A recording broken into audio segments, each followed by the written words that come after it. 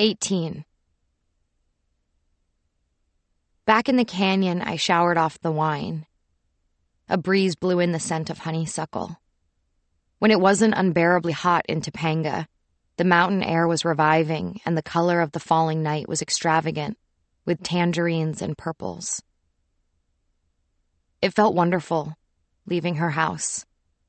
Every time I left a man's house after a long afternoon, or if he had been the one to leave mine, the evening was tainted.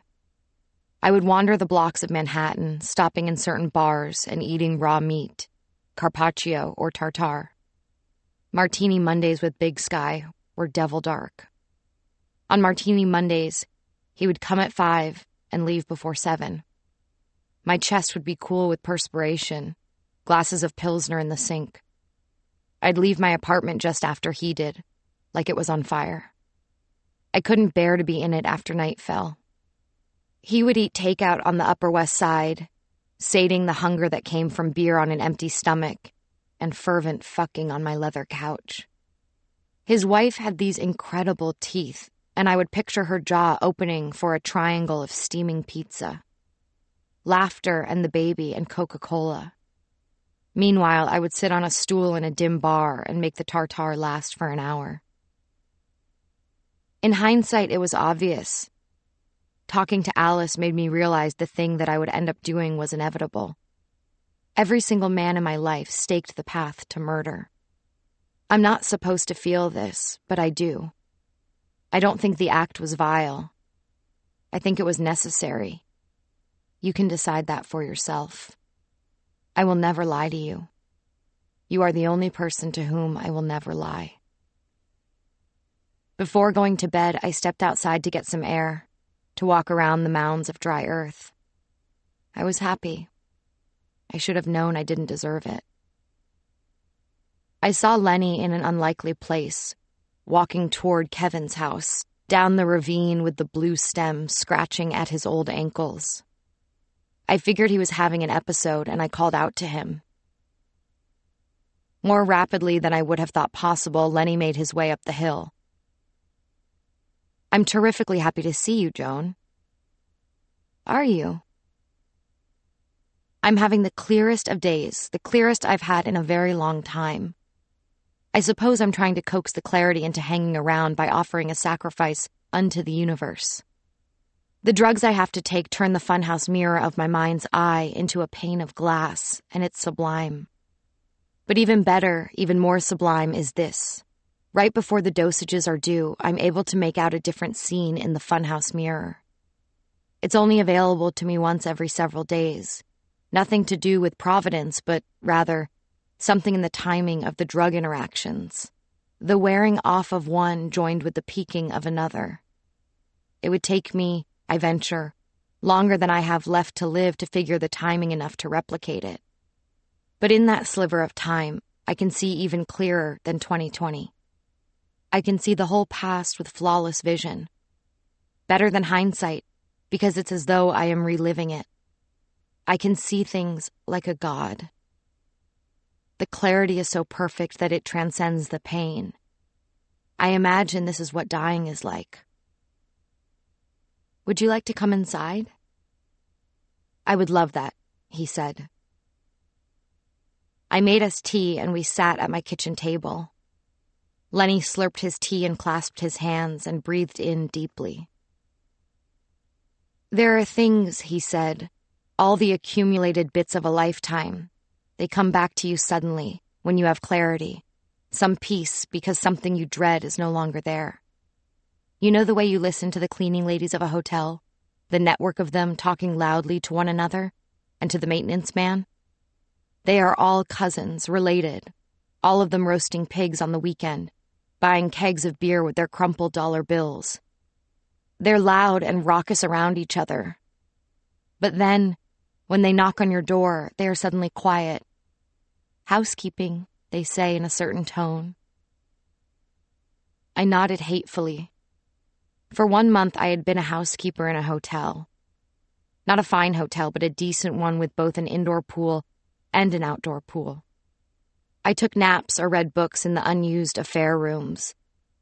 They smelled of paint and funerals. I was so young then. I didn't mind the married men looking at me in my black uniform, the starched hem falling at my knees. Oh, Joan, I can't explain it well enough, I fear. The reasons for everything come to me in those moments of hyperclarity. I can understand the lives of those housekeepers. I never thought of them enough, but somewhere I ingested their souls. I wouldn't be human if I hadn't.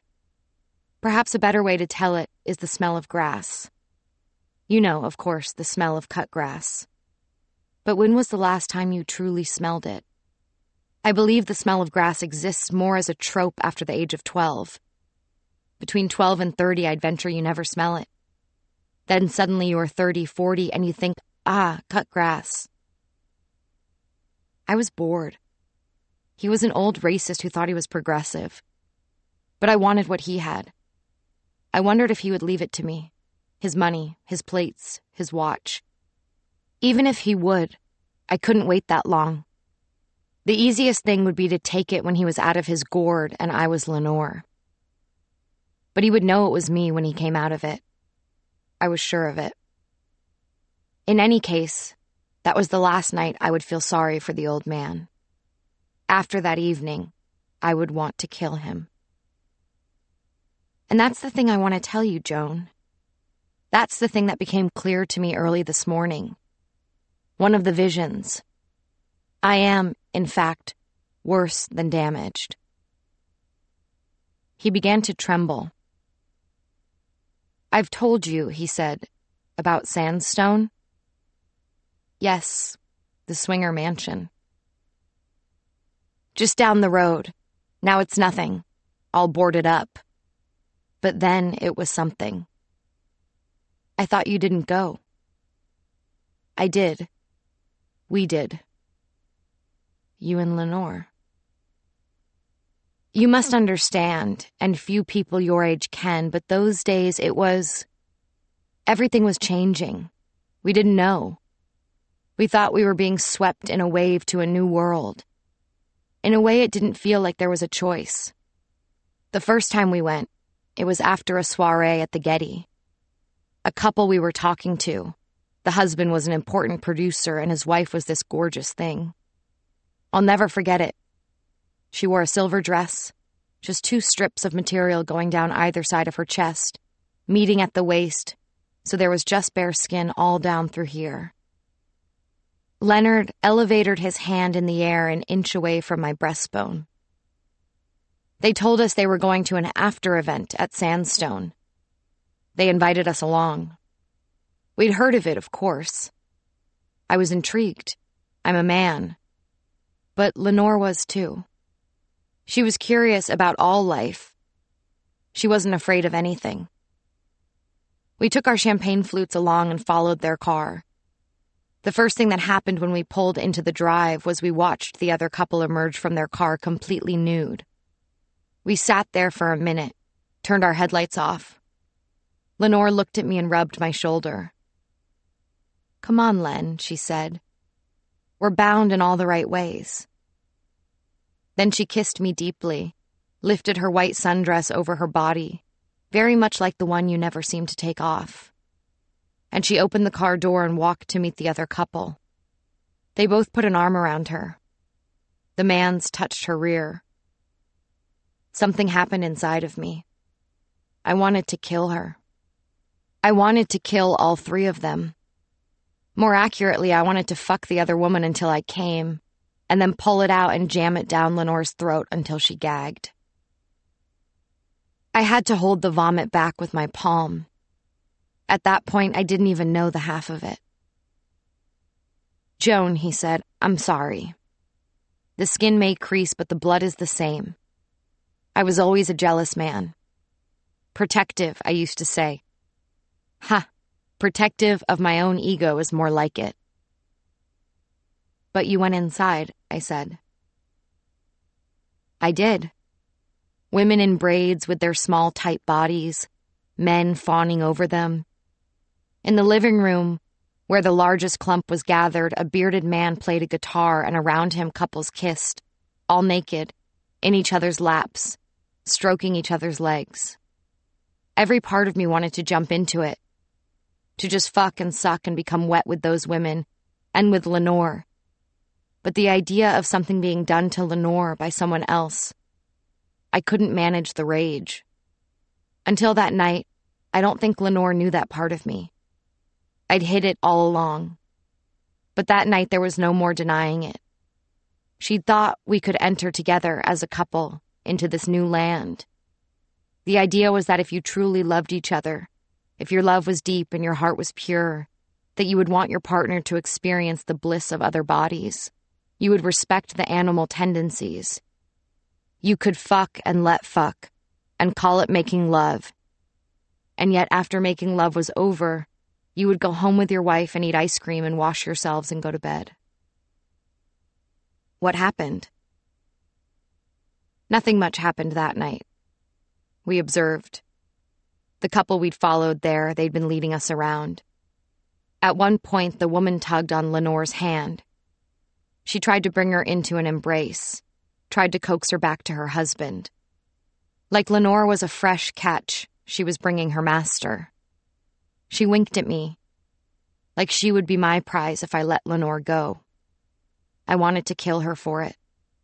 I wanted to fuck her first. I had my underwear on. I was one of the only ones in that room of snakes. Briefs? Yes, there were no boxers. Why did you keep them on? I hope you're not insinuating something. I never wanted for in that department. All the same, I felt discarded. I felt the whole room could sense my jealousy. Lenore stayed tucked into me. She politely turned down all the looks. She squeezed my hand. We walked back to our car, put our clothes on, and drove home. We didn't speak of it for some time. But something had been lit inside me a profound rage. Lenore and I had been trying to have children. We'd been married by then for four years and trying almost all that time. Each month that she bled, she would try to hide her sadness from me. That same week we first went to Sandstone coincided with Lenore seeing a fertility doctor who told her everything in her system looked fine. He wanted me to go in and get checked, my count. I refused. She didn't nag me. She wasn't one of those. She was one of the last fine women, a European sensibility. Leonard was tearing up. His grief was a lie. I knew when grief was a lie. It was one of my superpowers. Even though his voice had become odious to me, I was curious. Curiosity is something that has always driven me. I am depraved and curious. I went back, he said, groaning. Well, of course you did. There was a night Lenore lit candles all over the house, the one you're in now. She walked the rafters at the top and set red votives down. Pillar candles on the floor. The whole room was glowing like a church. We made love on the bed. It was the best lovemaking of our relationship. It felt like the best lovemaking in the history of the world. That was the night. She ordained it. That was the night she was going to conceive our child. I shuddered to think of the heat in the house and the candles on top of it, and this poor wife of his, spreading her legs for this insolent asshole. Once again, I'd trusted a man. Once again, I'd felt sympathy for a man who was not good. I don't know what kind of woman you are, Joan. Some women are not built for babies. I don't think that's bad. Biology is enigmatic but deliberate. It selects some for procreation and others it marks for a different path. Women like you are necessary to let off the steam, to depressurize the cabin. Women like me are good for men to fuck when they're not ready for baby making with good Midwestern girls like Lenore. That's not how I meant it. Fuck you. I deserve that, old girl. So you and Lenore, the mother of all mothers, fucked in a temple of love and lit all the magic candles to usher the insemination along. And then And then nothing. Her cycle came. It was a terrible day. You know about the coyotes and the cycles? I nodded, and Lenny did too, solemnly. The coyotes circled the house. They howled before she even started to bleed. They could smell the blood traveling down her tubes. I heard her upstairs, the whimper. My blessed bride. A good man would have gone and comforted her. But I only felt rage. Rage at myself, but also at her, like a real damn dog. I was angry at my bride for showing me the extent of my futility. Then further down it went, the boiling anger, down my hips and into my shaft. I wonder if you know how rage can stiffen the shaft. It's like a war cry. I left the house engorged. I drove up the canyon to Sandstone. I didn't check in at the main house, but sneaked to the yard at the back where the trampoline was. There was a tall American Indian girl laughing and jumping up and down, her tits like turkey wattles shaking. Two men were watching, and two other women, a couple of pale whore blondes all of them naked and slim as snakes. Nothing looked human to me. I was the stiffest I'd ever been. I climbed the trampoline and tackled the American Indian girl like a wolf. I stripped down and knelt her on all fours and got behind her like an animal. Look at me. I'm built like a rich man, not like a beast. But that day I was a beast, and none of them stopped me. After all, They'd built that place to act like animals, and here was a man dispensing with the formality. I was full of rage because I was being denied the one right of all humans. The one reason we are on this earth to procreate. So I fucked the American Indian girl with my rage, and then the two blondes as the two men looked on. They stroked their cocks and watched me take what I was owed. I shook my head in revulsion I thought I'd expended all my disgust on hearing from men about what they were owed. You are shocked, Joan. I'm an old man now. The evils we have done would be pointless if they didn't get passed down, so that others might not make the same mistake. Wouldn't you say, Joan? I know you have secrets too. Nobody comes to the canyon unless they do. I bit my lip I tried to keep my hands in my lap away from his throat. My point was that Lenore was only for children. She wanted only to be a wife and a mother. But a mother first. A mother always. Joan, that isn't you. I don't know you too well, but I hope you'll allow me that. I love a woman like you. A part of me always wished to have that. A woman I could do battle with. Perhaps it would have suited me better. Perhaps my story would have turned out differently.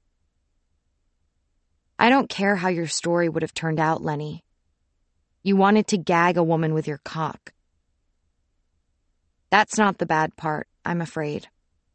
I'm still getting there. You see, I want to come clean. I pushed him to the door and then outside the threshold. Please, Joan, I'm an old man. I don't expect you to feel sorry. I only. I only feel sorry for your wife, Lenny. This stupid woman who wanted a child that you were too empty to give her. I spat and watched a bubble of my saliva land on the bridge of his nose. I don't know where the impulse came from, but it made me feel more powerful than I had ever felt before. I slammed the door in his face. Then I walked up the spiral staircase and took off my white dress to go to sleep. When you've been raped in a dress, you might think you want to burn it. But I didn't. In the morning, there was a knock on my door. Alice was early. I hadn't pulled myself together as much as I'd wanted to. I checked my face in the hallway mirror. I smoothed down my hair and opened the door. I'd completely forgotten about the little girl. She had Vic's face. That was the most remarkable thing. his face staring back at me, his probing eyebrows, the shining balls of his pale cheeks. The way she held herself in my doorway was all her father. An uneven confidence. Then I realized we'd met before. She'd come to visit her father in the first few months of my employment. I was enjoying the early days of being the boss's pet. I remember she came around to my desk, smiling at me dreamily. She'd probably been 10 or so, and I'd been 27.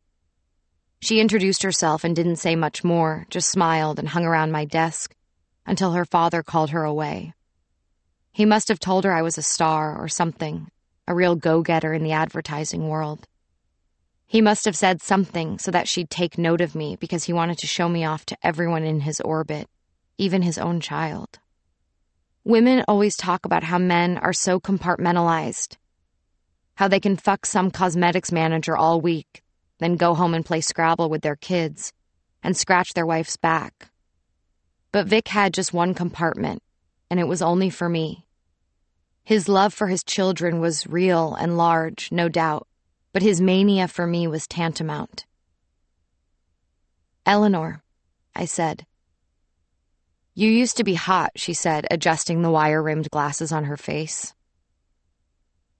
I blinked. She wore frayed jean shorts and a pair of white sneakers, and a pullover sweatshirt that said Esprit in large rainbow letters across the front. Thanks, I said. Do you know why I'm here? she said. It sounded foreboding because of how nice and childlike her face was, but for the same reason it also sounded ridiculous. I think so, I said. Her hands were trembling inside her pullover, which she was using like a muffler. Do you want to invite me inside? Wouldn't that be stupid of me? I'll do it right here, I don't care. I could see she thought she meant it. She was soaked through with pain and rage. I'd been there before. I understood exactly. But how could I be afraid of this little girl? of my child self standing there on the threshold. I told her to come inside. I opened the door wide and walked backward. Eleanor advanced, slowly pulling a gun from the front pocket of her pullover. It was marvelous in its smallness and blackness and made her seem like an adult. She kept the gun pointed at me. Gradually, her hands stopped trembling, she looked up at the high ceilings of my oven of a house. Not what you pictured? I asked. She shook her head. Not like the movies, I said. Fuck you, she said. Fuck you. Sit down. I sat down at the kitchen table and she advanced until she was four feet away. I assumed that was the distance at which she was confident about hitting her target. I can see your nipples, she said softly. I looked down at them. All talk of nipples made me think of my mother. In her big round eyeglasses with her layered blonde hair and her white 70s breasts. She was the buxom beautiful of movie stars. Her nipples were enormous. You could see them through wool sweaters. Do you want to hear a story? she asked. The gun was pointed at my head. I told her that of course I did. You probably already know, she began, how we go as a family to Anguilla every year. I nodded. Vic had spun it to me as his wife's trip, the highlight of her cold season, their Easter jaunt to Anguilla. Last year, she continued, Dad told us at the last minute he couldn't go. He said he had to work and it couldn't be remote.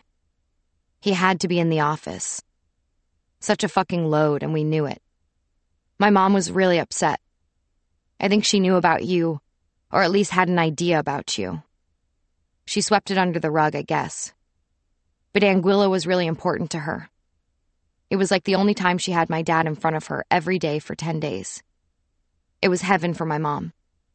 We'd get a nanny, too, this girl from the island, and she'd watch Robbie for most of the time so my mom could pretend she was this free woman with her husband, you know?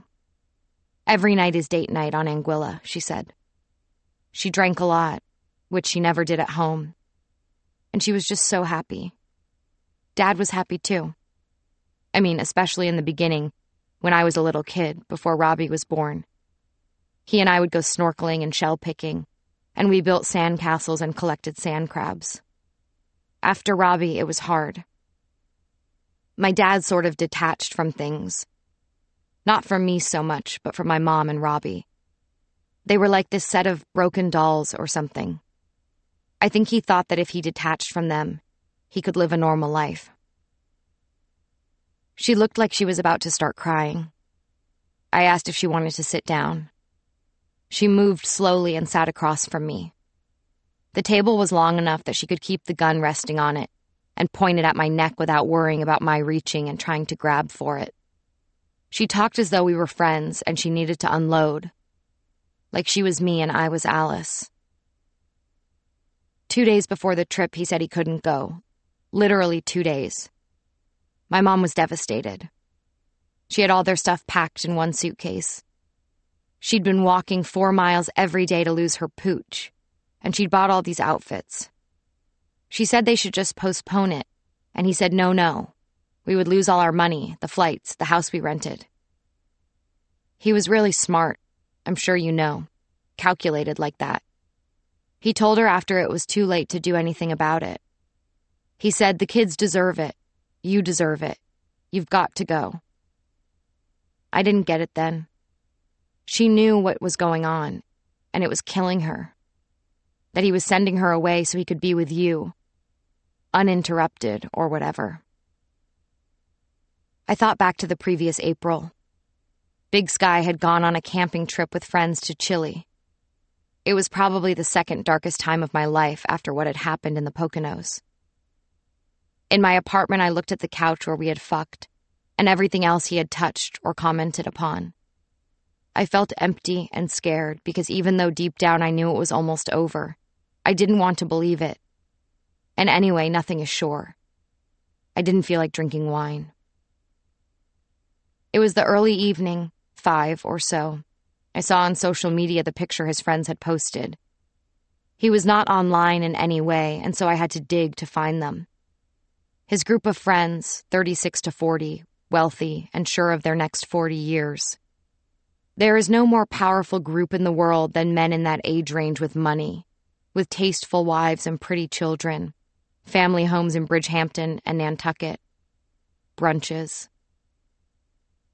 I couldn't help thinking about the women who would let their attractive and wealthy husbands take group trips to Chile and Argentina, where the men would get together with a group of girls in their 20s building fires and drinking mate and climbing mountains with all the right gear. There was a blonde girl in one photograph wearing rainbow leg warmers and holding a sausage on a stick to the fire, leaning toward the fire on slender haunches. And there was Big Sky beside her, looking at her. The picture came alive in my brain.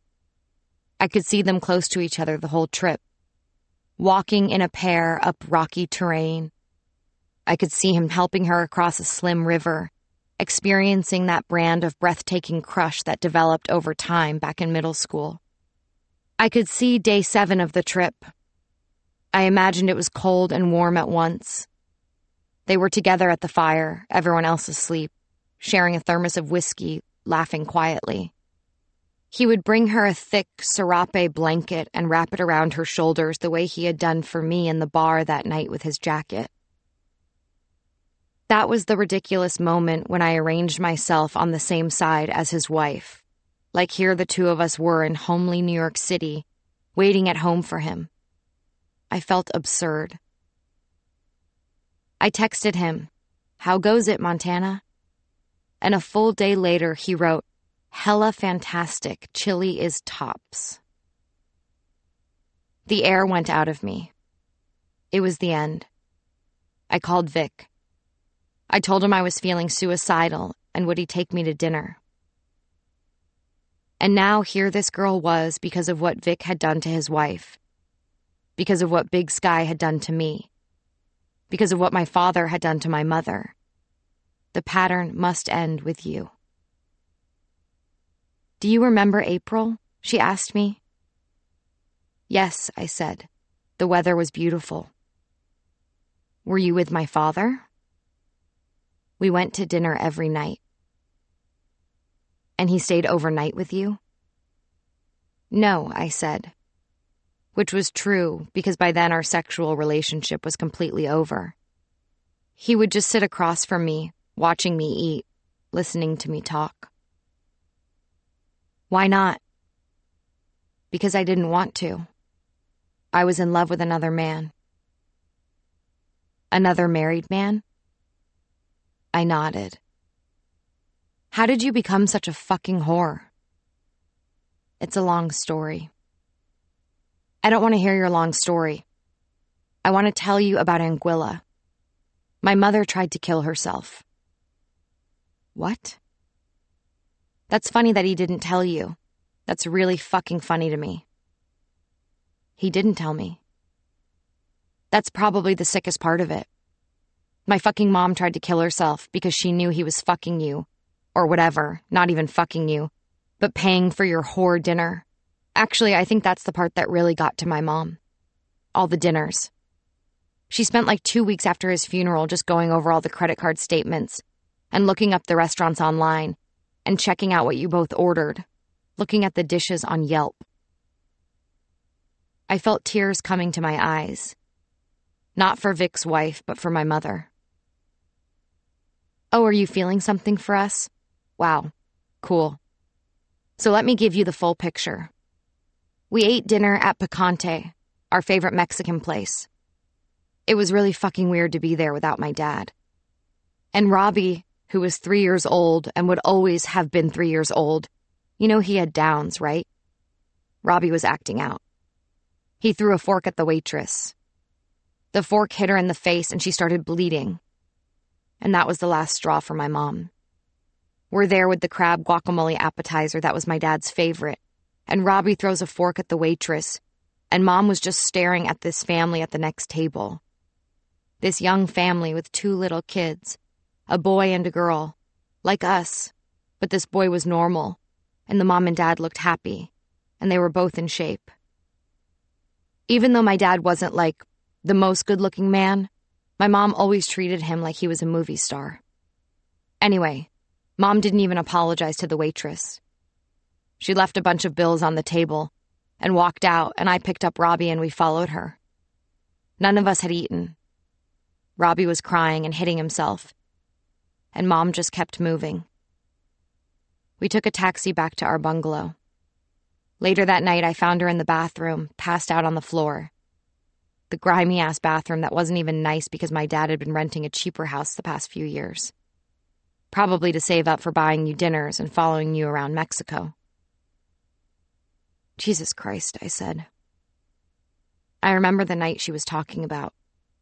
Vic and I were having late drinks at a tiki bar in Soho that dressed their drinks with pink orchids and green shards of shiso. His phone vibrated in his pocket and he took it out. When he answered the phone in public, he always covered his mouth. I believe this was somewhat out of decorum, but likely he also did it for privacy. Vic kept so many secrets from all of us. He rose and walked out the door of the bar. He was gone for 10 minutes or so. In that time, I sipped my drink morosely and checked all the relevant outlets of social media for new information on Big Sky's vacation.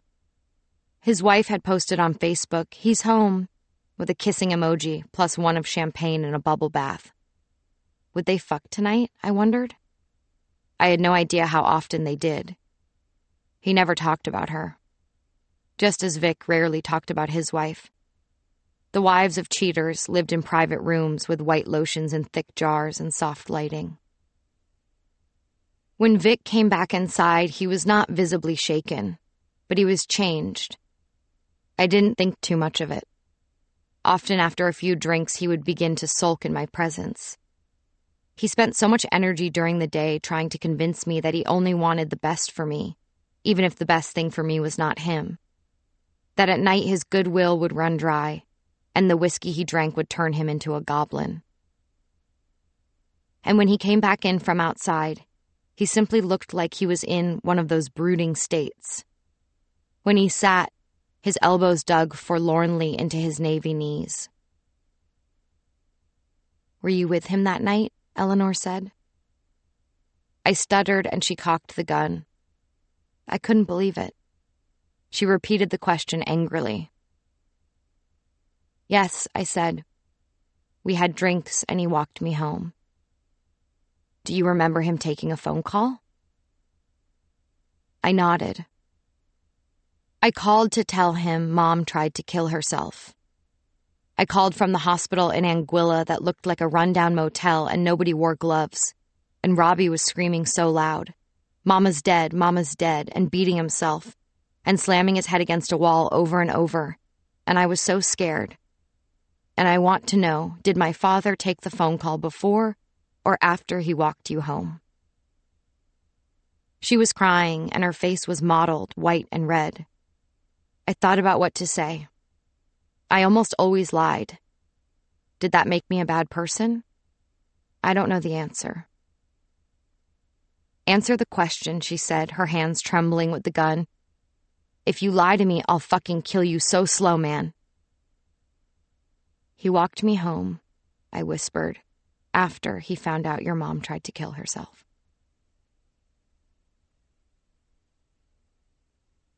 Nineteen. My father returned to the Poconos the following afternoon. In my memory, it was the sunniest day. They asked me if I would like to get dropped off at the pool. Later, I would realize it was because they needed to talk, but in the moment, I remember thinking they were going to have sex. Sex defined their relationship, at least in my mind. I couldn't believe they were willing to drop me off without supervision. I was excited by the prospect, but more so wounded. My mother had exiled me from her bed the previous night, and now this. That was when it dawned on me the unsettling feeling that my parents' lives did not revolve around me. I'd grown up thinking I was the center of their world. Even when my mother yelled at me or locked me out of her bedroom, it was because I had the power to infuriate her. It was because she loved me. It could be argued that my learning it when I did, at the age of 10, was perfect timing. Old enough to have experienced cozy solipsism for many years, young enough to change the way I walked through the world, to be cautious. I went to my room and put on my black two piece with the Technicolor butterflies. I applied coconut flavored lip gloss and clopped out in my wood and leather Candie's with kitten heels. I said, I want to go to the top of the world. My father acquiesced and took me to the rich pool. Rich, to think of it now. Perhaps it was the drab tiki bar that attracted me. All my life, I have been charmed by the trappings of the South Seas. I've looked for establishments with lighted puffer fission tanks, with towering fake palms, rock walls, and outriggers dripping down from the painted ceilings and it started with that tiki bar at the top of the world. In the car, my father was not himself, and yet my father was always my father in a way that my mother was not always my mother.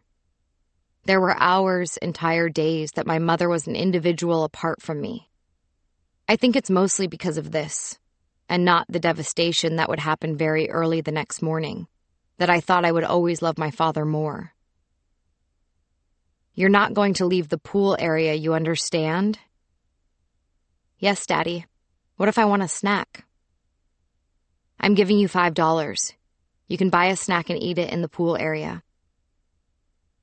What he didn't know was that there was no traditional snack bar at the rich pool, only a vending machine indoors, up two flights of sapphire stairs. It wasn't part of the pool area. Only the tiki bar was in the pool area. I was always making sure to follow rules, but I knew how to bend them. They were so strict, and my mother was so observant. But there were hours, like I said, when her eyes were closed to me. And these were the hours I figured out how to lighten my arm hair and have an orgasm. Daddy, I'm sorry about Grandma. He kept his eyes on the tree lined roads ahead. He nodded and swallowed. She's going to be fine, he said. My father accepted succor from no one.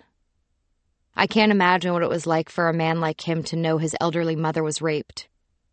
To what extent the reel of that scene would play in his mind. Is she scraped up? Not too bad. Does it look like she fell down some stairs? He looked at me. He had no conception of what I knew. Fathers never know that about their daughters. Partly it's because they don't want to know, but really it's because they cannot know. It's psychologically dangerous to see inside your daughter's brain. And I knew so much more than most girls my age because of the way I listened. Tonight, do you want to go to dinner at Villa Volpe? Yes. Maybe just the two of us? We'll give Mommy a break, let her take it easy at home. My shoulders fell far down beneath my neck. I nodded. I longed for something that was in the past, only I didn't know it yet. Vic once said to me, Families are silly. The whole concept is silly. He said that because he didn't want his family, but he would have wanted one with me. Me and him at the supermarket, pushing around a pudgy Vic Jr. in a cart, buying grape tomatoes. We pulled into the parking lot. I was saddened by the glass of sunlight on the macadam, by the fake smile on my father's goateed mouth. He would have died for me, but because he was a man, he didn't know how he was hurting me by doing the things he thought had nothing to do with his daughter. I'll pick you up at 4:30, right here. The car will be right here, but I want you to wait inside the gate. Do you understand? Yes. No disobeying. No disobeying, I repeated. He kissed my forehead. I brought the book I was reading. All the books I read were hand me downs from my parents. My mother's V.C. Andrews, my father's Dean Koontz. In this case, it was Stephen King's The Stand. I liked how massive it was, that it would last me a month. I chose a chaise longue near the tiki bar. I removed my terry jumper and laid myself down like my mother, legs bent and knees pinched together. I read my book and concentrated on the way I looked reading it. I was only 10 years old, and yet I remember having that thought that day. Only a few years earlier, I'd been a pure child, reveling in the space between the Christmas tree and the corner of the wall where the colored lights blinked for me alone, and it looked like heaven. Or wearing a princess dress to go to Maggie's pub, this seamy place with a green plaid carpet and high top tables. We'd go when my mother was in the mood for chicken wings. She loved the cheap parts of an animal, all varieties of awful. But wings were the easiest parts to come by, and we'd go for nickel wing nights, and I'd play on the crummy carpet beneath our table. They would talk, and I would play with my dolls down there. Their voices, their love above my head. Below, all the independence I needed. I didn't yet know my mother was a hypochondriac, or that she could be crueler on occasion than she already was. I didn't yet know my father's secret, or maybe he didn't have it yet. There is nothing in the world better than the past. That day at the rich pool, as I moved my body like an older girl, I noticed a man at the bar, perhaps because he noticed me. He had a mustache and wore a white linen shirt and khaki swim trunks. He was in his mid 40s, the age of my parents. He was sitting side saddle on the stool so that he could take inventory of the landscape. He was sipping something tall, reddish, and tropical. His bare knees made something thump inside of me, the way he held his drink. I could see up the hollow of his shorts, a miraculous darkness. I imagined my parents a few miles away rustling in a hot, damp bed. I imagined my grandmother in orange, pinioned against her brown couch with the Doberman piss. I made a fire between the inside of my knees. I thought of the word fucking. I wrote it inside my skull in Lite-Brite. The man was close enough to talk to me from the bar. He waited until the bartender made drinks from his gun at the other end. I heard the man clearly over the splashing water and the summertime songs on the speaker. He engaged me to begin with about Stephen King. He said he admired a young woman reading such a big book. That he called me a young woman was both tantalizing and repulsive. He told me his name was Wilt and that he was from Boise, Idaho. He was getting his parents' place ready to sell. They had just died his dad of emphysema and his mom of suicide by cancer shortly thereafter. He laughed, and I laughed too, as though I knew what he meant. Joan, he said, I've never met a woman under the age of 40 with the name Joan. Isn't that funny? I didn't smile or nod. I'd learned that from my mother.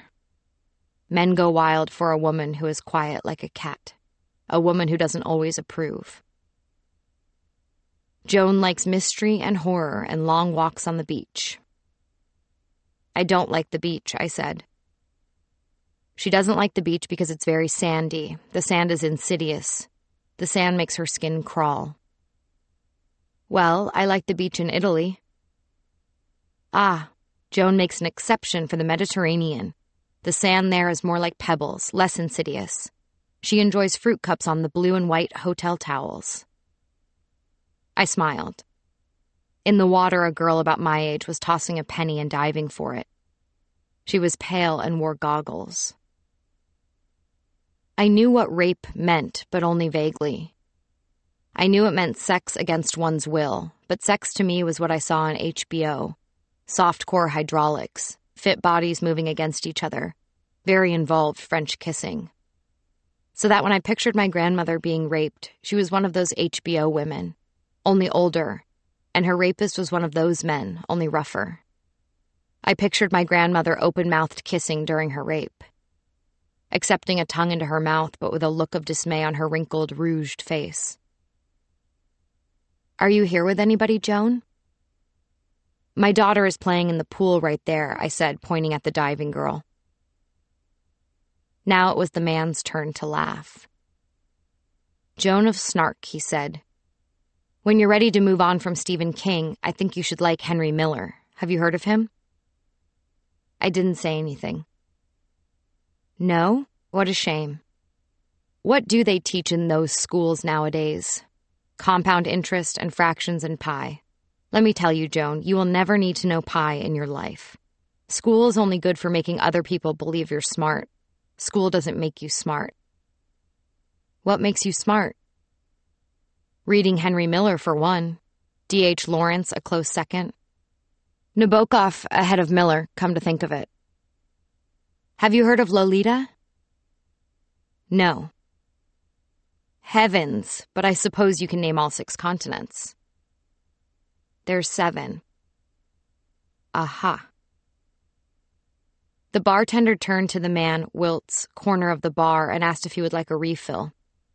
Wilt said yes and asked for a cup of water as well. I liked the way he spoke to the bartender. He was genteel like my father, but a little more authoritative. He was even a little rude. When the bartender disappeared again, Wilt poured the water out at his feet and filled the plastic cup with some of his drink, and then, in one deft movement, placed it on the ground beside my chair. Some geographers would say there are six, he said, not missing a beat if you combine Europe and Asia to make Eurasia. I picked up the drink and sipped it. It was sweet and tart at once. I looked across the lounge deck at the mostly female bathers, holding books or magazines and wearing big sunglasses. Taking the sun, my mother called it with her accent. It sounded spoiled the way she said it. But she took the sun too. She undid the strings of her bathing suit so she wouldn't get tan lines. She'd drink water from a tumbler, and the SPF cream from her lips would melt onto the rim of the glass. Why did I always want to be around my mother? She didn't make me feel terribly loved. She didn't give herself up for me the way many mothers did for their children. At the same time, besides taking the sun and eating chicken wings, she also wasn't living for herself. In Idaho, Wilt said, we don't traffic much in municipal pools or association pools. We don't have any tiki bars.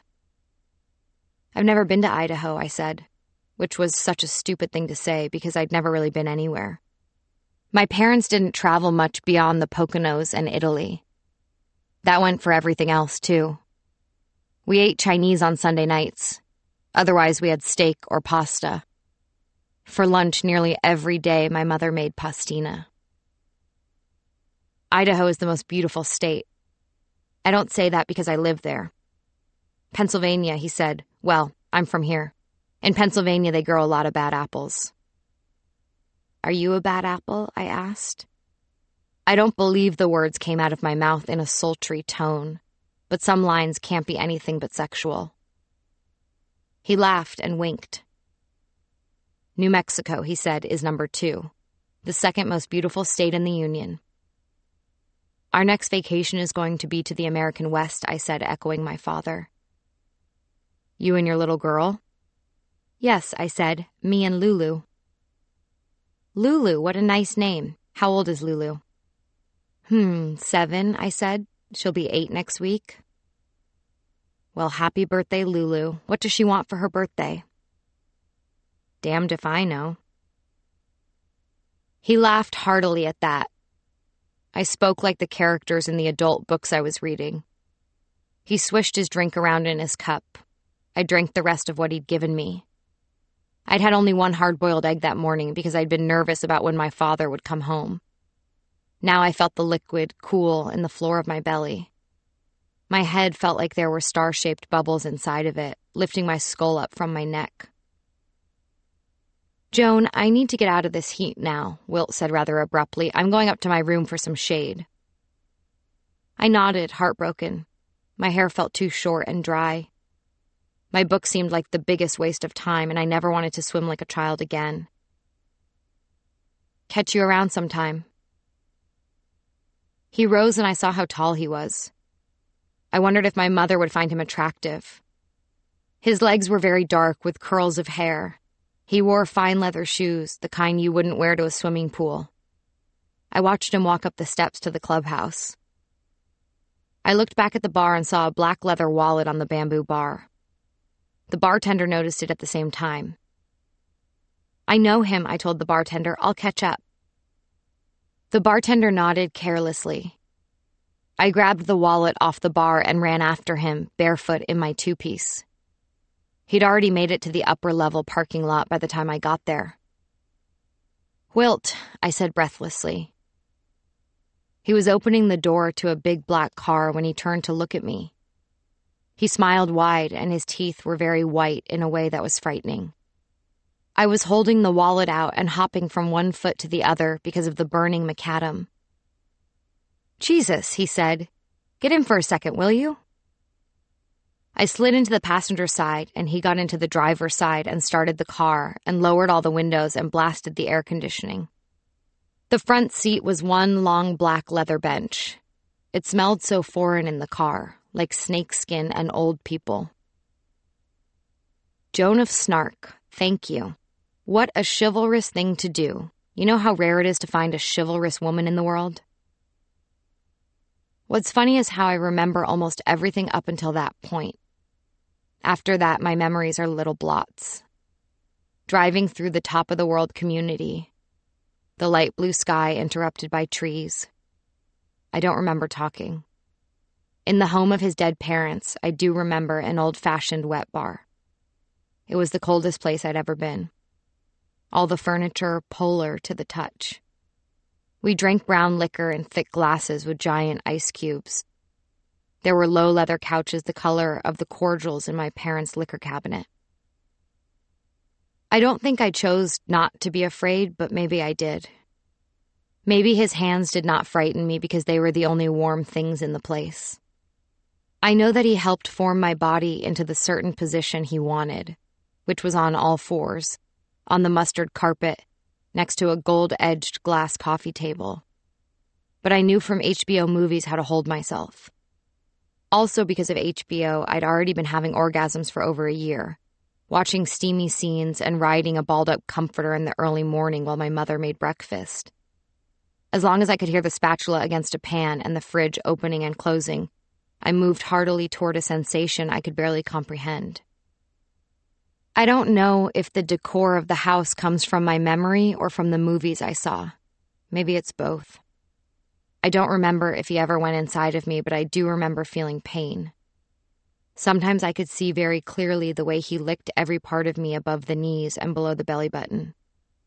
like a mother animal bathing its young with a wide tongue. He never took my bikini bottoms off, just uncovered the fabric section by section, looking for unlicked strips of flesh. I stayed very still. There was no music, no sound at all, except the sound of his tongue. I was back at the top of the world pool by four.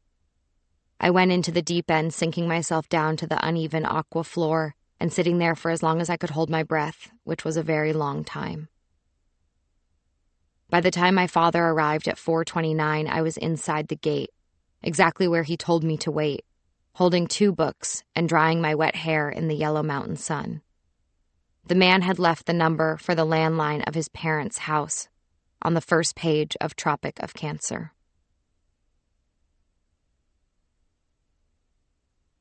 Twenty. Eleanor stood and stretched her arms, extending the barrel of the gun at me.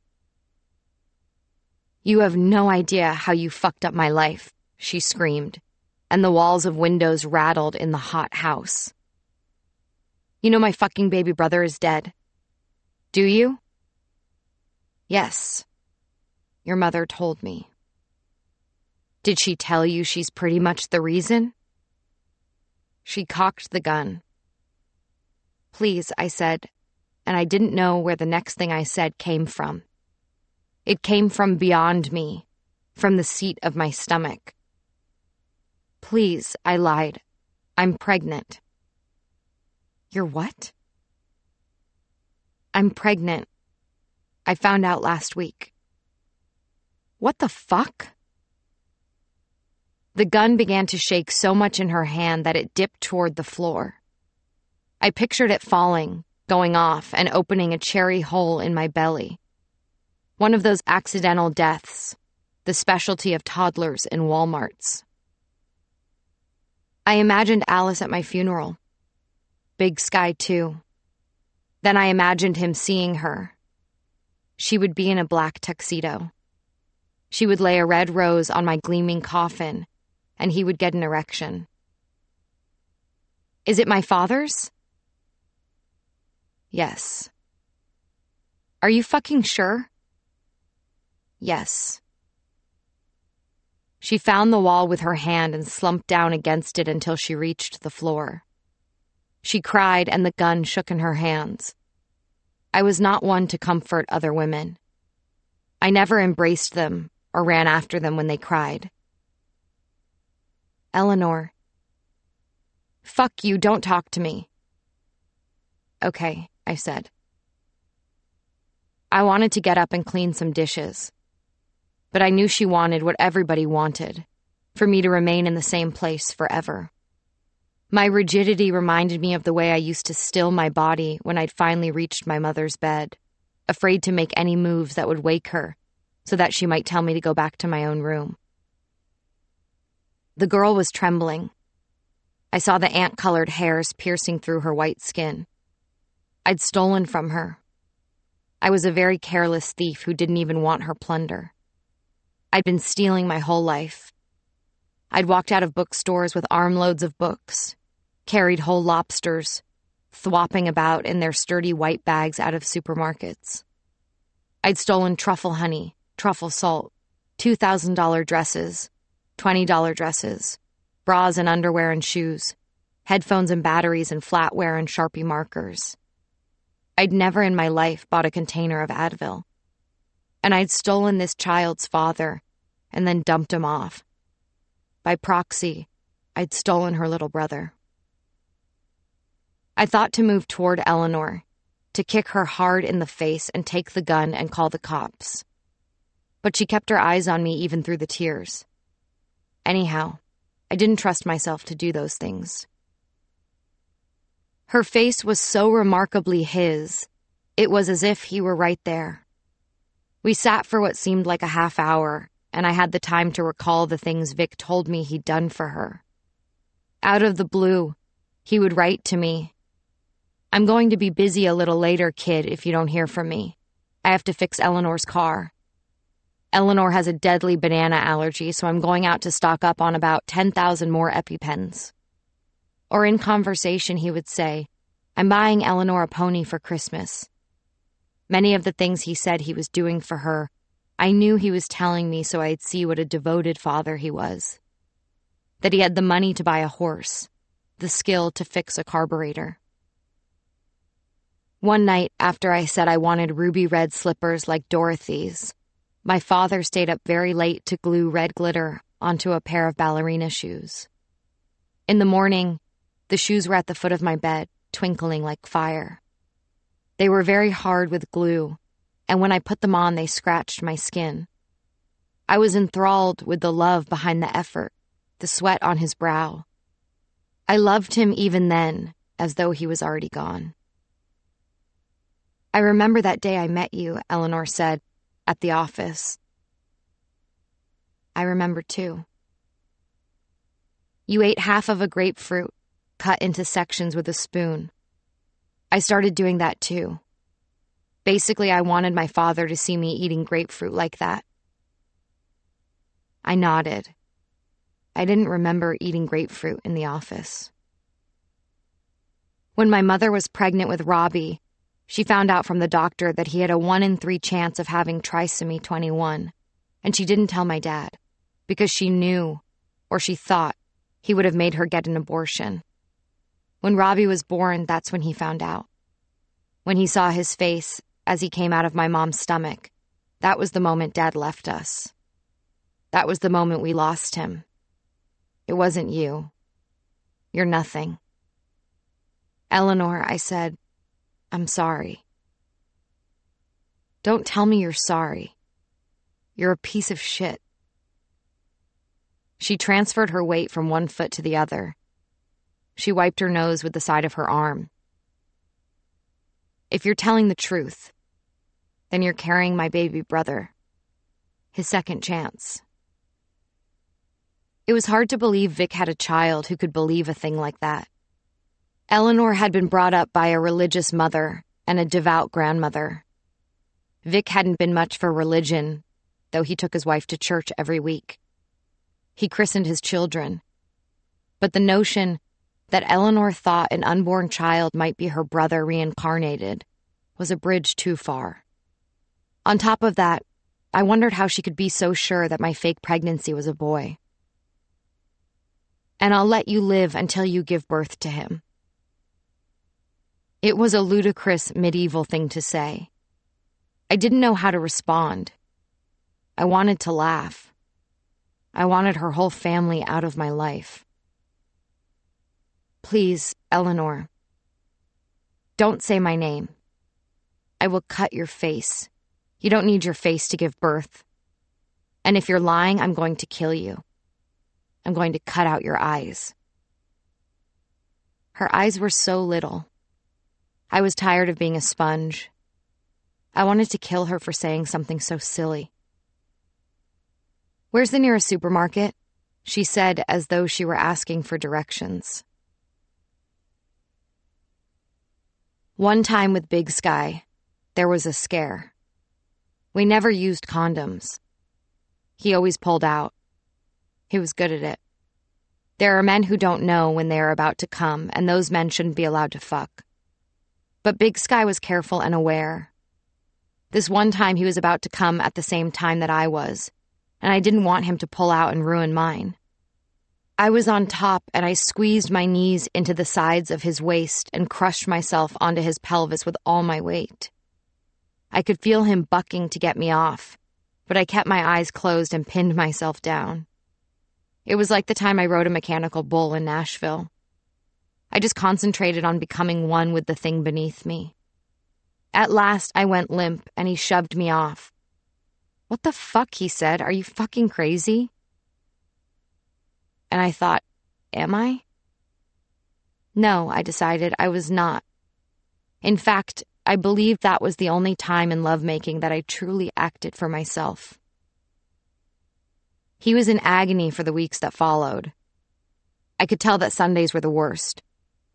Probably he and his wife and son would come back from a stroll around Central Park, eat a nice summer dinner on that impressive stone patio, and, after putting the child to bed, the wife would retire to their bedroom with the book that everybody was reading, and he would tarry downstairs, drink a Boddington's.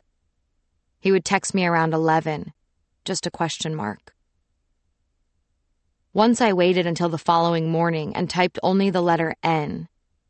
And then, realizing he might think I meant negative, I wrote another message to follow the first. Niet. We had the talk one weekday afternoon at Salumeria Rosi. I ordered prosciutto and bufala, and to fuck with him, I also ordered a pot of pickles. He said, Listen, if it's. If you are, I'll take care of everything, obviously. To make sure I didn't misunderstand, he said, I mean financially, the procedure. I'll come with you too, of course, if you need me. I nodded. I loved that restaurant. The silken slices of prosciutto and the pillowy discs of mozzarella. But I didn't have an appetite. I thought that if I swallowed the pickles, I'd throw them right back up. Then he really would have shit his pants. My period finally came on a Sunday, and even then I didn't tell him I'd gotten it until Wednesday. When you're in love with a married man, the truth is that you are in hate with a married man, and you have to take succor where you can find it. The supermarket I chose was the Ralph's in Pacific Palisades. I liked it because it was easy to park there. In the car, Eleanor kept her gun pointed at my face the whole time. She told me she didn't care about going to jail, that she would shoot me anywhere. I didn't believe her. The gun was likely not loaded. Or maybe it was. It's not that I didn't care if I died, it's that I knew I would survive. I parked my Dodge next to a motorcycle.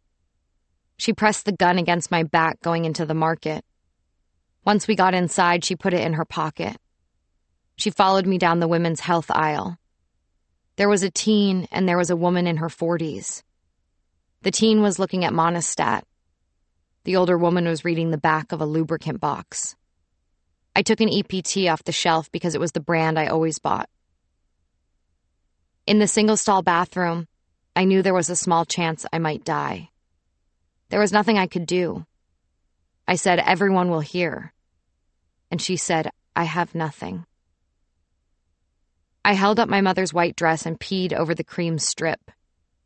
I had always been fanatical about peeing for a very long time on the strip. But that time I did it quickly. Then I shook it off and rested it on the edge of the grimy sink. In the past, I would leave the strip in the bathroom for a long time. There's nothing more horrendous than coming back too soon. I didn't think about the possibility that the strip would be positive. I obviously hadn't fucked Big Sky the night Vic killed himself. I hadn't slept with Vic in ages, and I hadn't slept with anyone else. Until Marfa, which I didn't consider sex. Because the thing is, one could call it rape. It was half a rape, or three quarters of one. Like Alice said, there are rapes for which we shower, put on our nice shoes. The man, John Ford, had one of the ugliest faces I'd ever seen large brownish teeth, horny gray eyes, zero lips. There was a sign outside the hotel We're open when we're open. I sat in the lobby bar eating ceviche with two thick rings of jalapenos and drinking Bloody Marys. The cubes of tuna on my plate were dark and warm and stringy. He sat down next to me and asked the bartender for a grasshopper. Even from not very close, his breath smelled like metal. A song I liked played in the lobby, and he smiled as I moved my body to it. Later, when we were in his motel room, he would play the same song. He acted like I should be impressed. I found it ridiculous. I tried to leave twice. I couldn't say how he got me to stay the first time. Maybe it was the idea that it would be a free night of sleep. But the second time he gripped my arm. The hold didn't really hurt. I could have freed myself in that first moment. He turned me so I was facing away from him and lifted up just the back of my dress. He swiped my underwear to one side and pulled my right leg away from my left. He did it very crudely, laughing, so that it was like a mock of rough handling. His penis was indefensibly small. When he slid himself inside me, I couldn't believe it wasn't a finger. It felt like a little length of chalk. Yeah, he said over and over, going in and out, pincer gripping my arm. I squirmed and said, Please stop. But I didn't say it loud enough. I didn't try to push him off because I was worried he would become more violent. Grossly, I was feeling bad about the size of his penis. I didn't want him to know how absurd it felt, and yet I hated him with every cell in my body. That was when the seed of what I would end up doing was planted. Of course, it was planted when I was 10 years old, but I hadn't been paying attention to how tall it was growing all my life. Finally, I kicked a leg back at him like a horse and tried to free my arms. But he exercised a remarkable strength, pinning both my arms against the wall. It lasted less than a minute. He thought he pulled out in time, but I guess he didn't. In the morning, I washed my dress in his sink and left before he woke. I sped away in my car, and the first minute on the road, a bird flew into my windshield and remained there, orange, red, and blue, until hours later when I stopped for gas. The horrified attendant scraped it off while I bought lottery tickets. So I suppose Marfa was the thing that did it. In the wheelchair accessible bathroom of the Ralphs, the test took a minute or so. Eleanor stared at it, and I stared at the ceiling. I was waiting for the sound of the gun. I knew what one sounded like now. Then there was an intake of breath and the small noise of a dumb young kid. I looked down. I saw the plus sign, rendered in cornflower.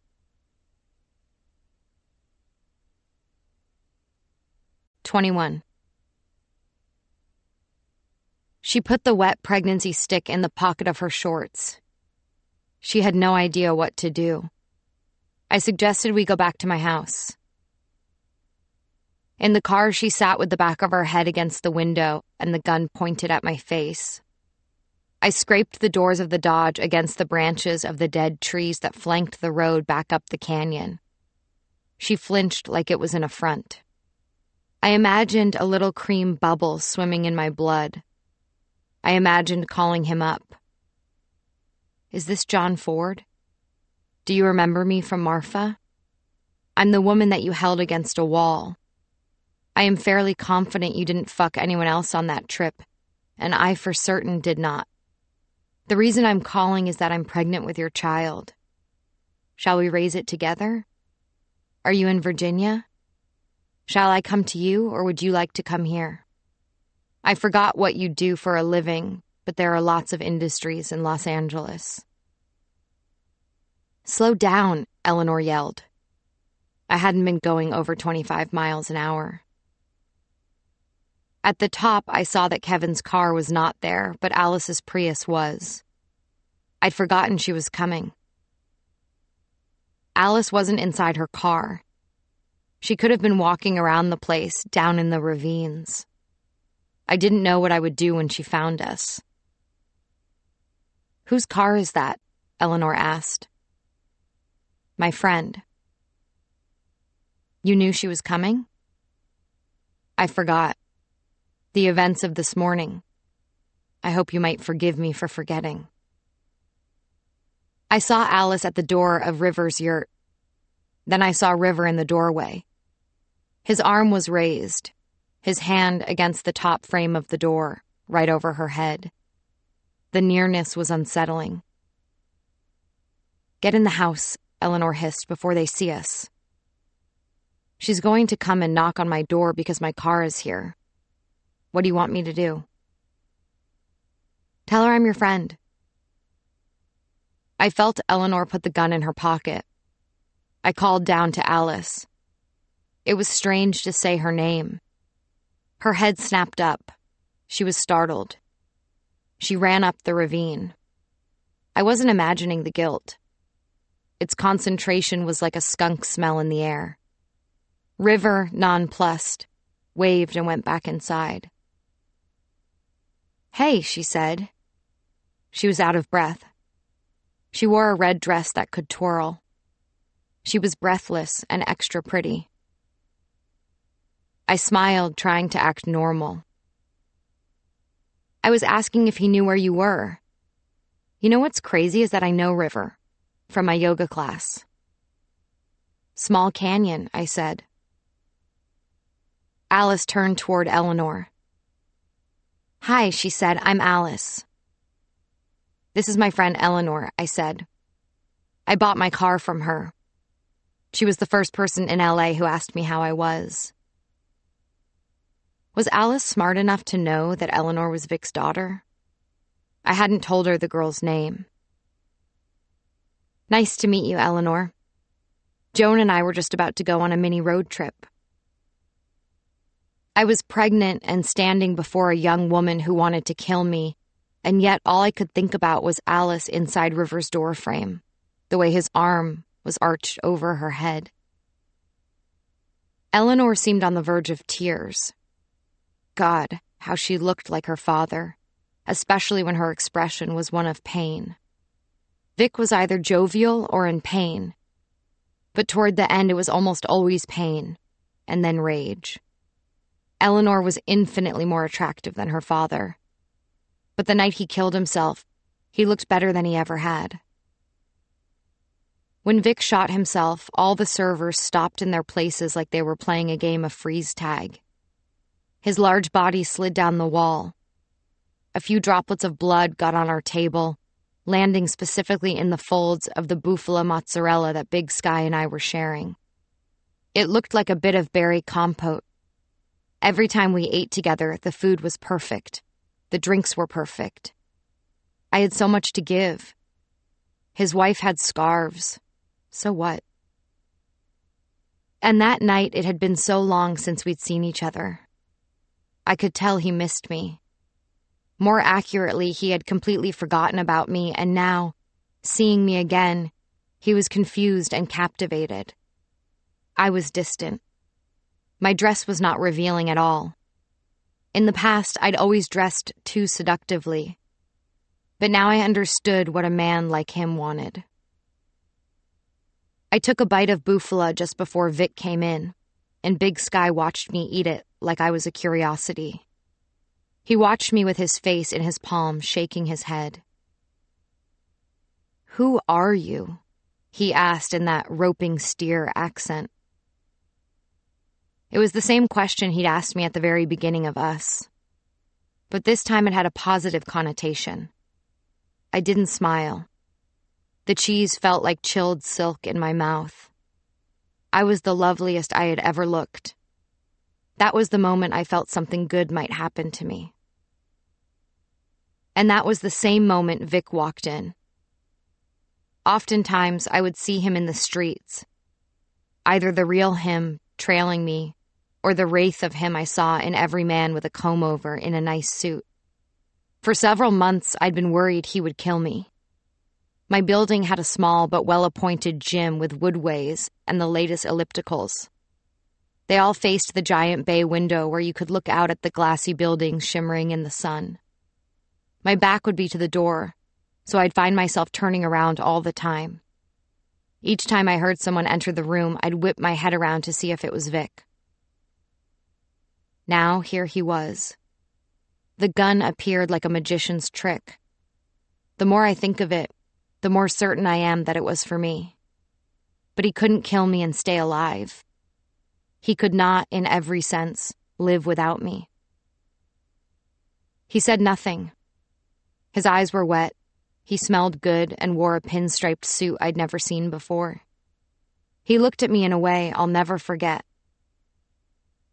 Then he turned the gun to the side of his head, blinked, and pulled the trigger. Pink brain and sharp bits of skull went flying. Big Sky did not jump back. He held his arm in front of me like a gentleman. He tried to cover my eyes, but I wanted to look. I wanted to look at the next man who had come along to ruin my life. I wanted to see him bleed. I don't think Joan is going anymore, Eleanor said to Alice.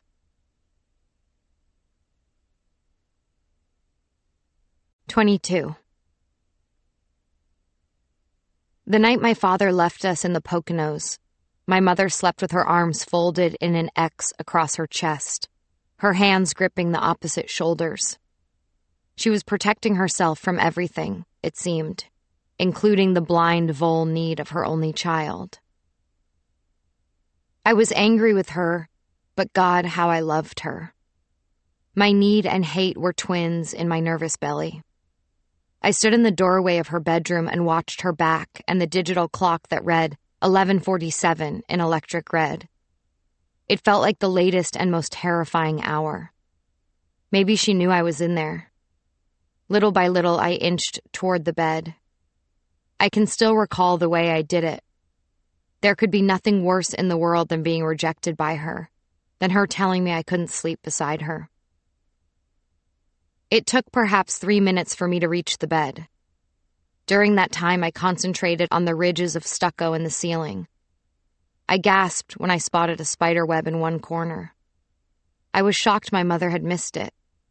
She didn't miss anything. She was the most diligent cleaner, the most observant woman in the world. I spent another few minutes working up the courage to lift the cover and press one knee on the mattress. Even then, I laid my weight down one teaspoon at a time.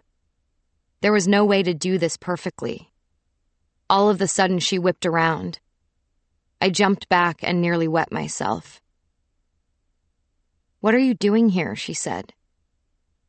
I felt like something large and ungainly. My mother had the power to make me feel the opposite of a little girl. I said, Mommy, please.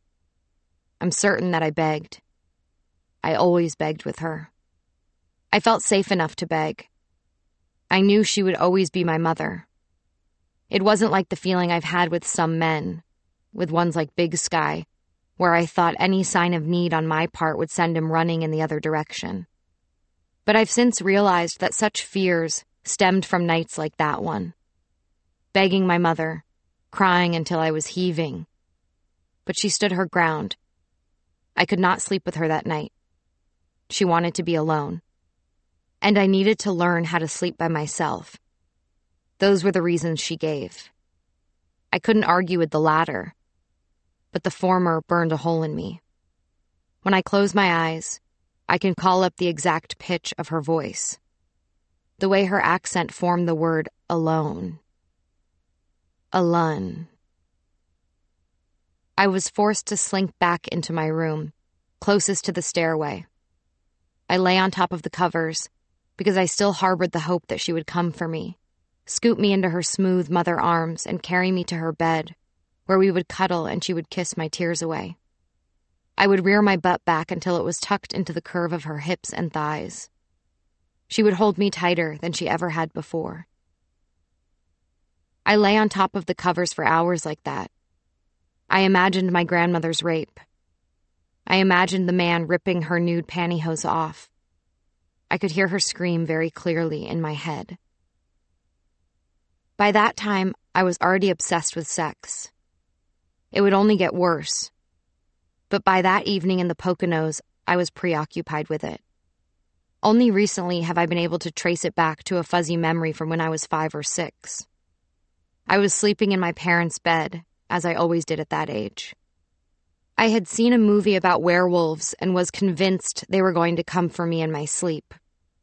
Every few months, my mother tried something new bed sheets, even a new bed. But nothing could get me into my own room. This one night, they tried very hard. They began to prep me at dinner, over pastina naturally. My mother made it sound like I would be disappointing her very much if I didn't at least try. And so I did. I tried for an hour, and when I finally fell asleep, I dreamed of a plush gray carpet in a room with a mirror. And I was looking in the mirror when suddenly the mirror cracked in half, and I saw a stripe of black blood across the carpet. I heard the howl of a wolf. I woke in terror and ran into their room. My mother held me and I fell asleep easily. Hours later, I woke again, this time to movement. It was a king size bed, and sometimes I would wake up not knowing where my mother was, and if she was in the bathroom, I would wait restlessly until she returned. This time, she was not to my right, but she was on the bed. She was on my father's side, and he was moving on top of her. I turned slowly back to the other side of the bed and saw her bra and underwear and nightgown on the floor. I suppose I lay there until it was over, and I fell back asleep, but I can't remember. I blacked that part out. Though it definitely happened. My parents fucked in bed beside me. That night in the Poconos, my mother didn't care if I slept or not. My grandmother had been raped, and my father had gone home to be with her, perhaps to hunt the rapist in the streets of Orange, New Jersey.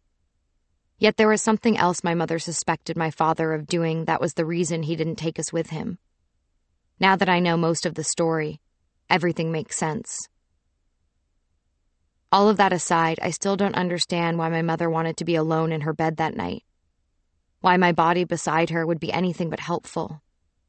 To this day, it's the same chemical burn in my heart that I cannot cool.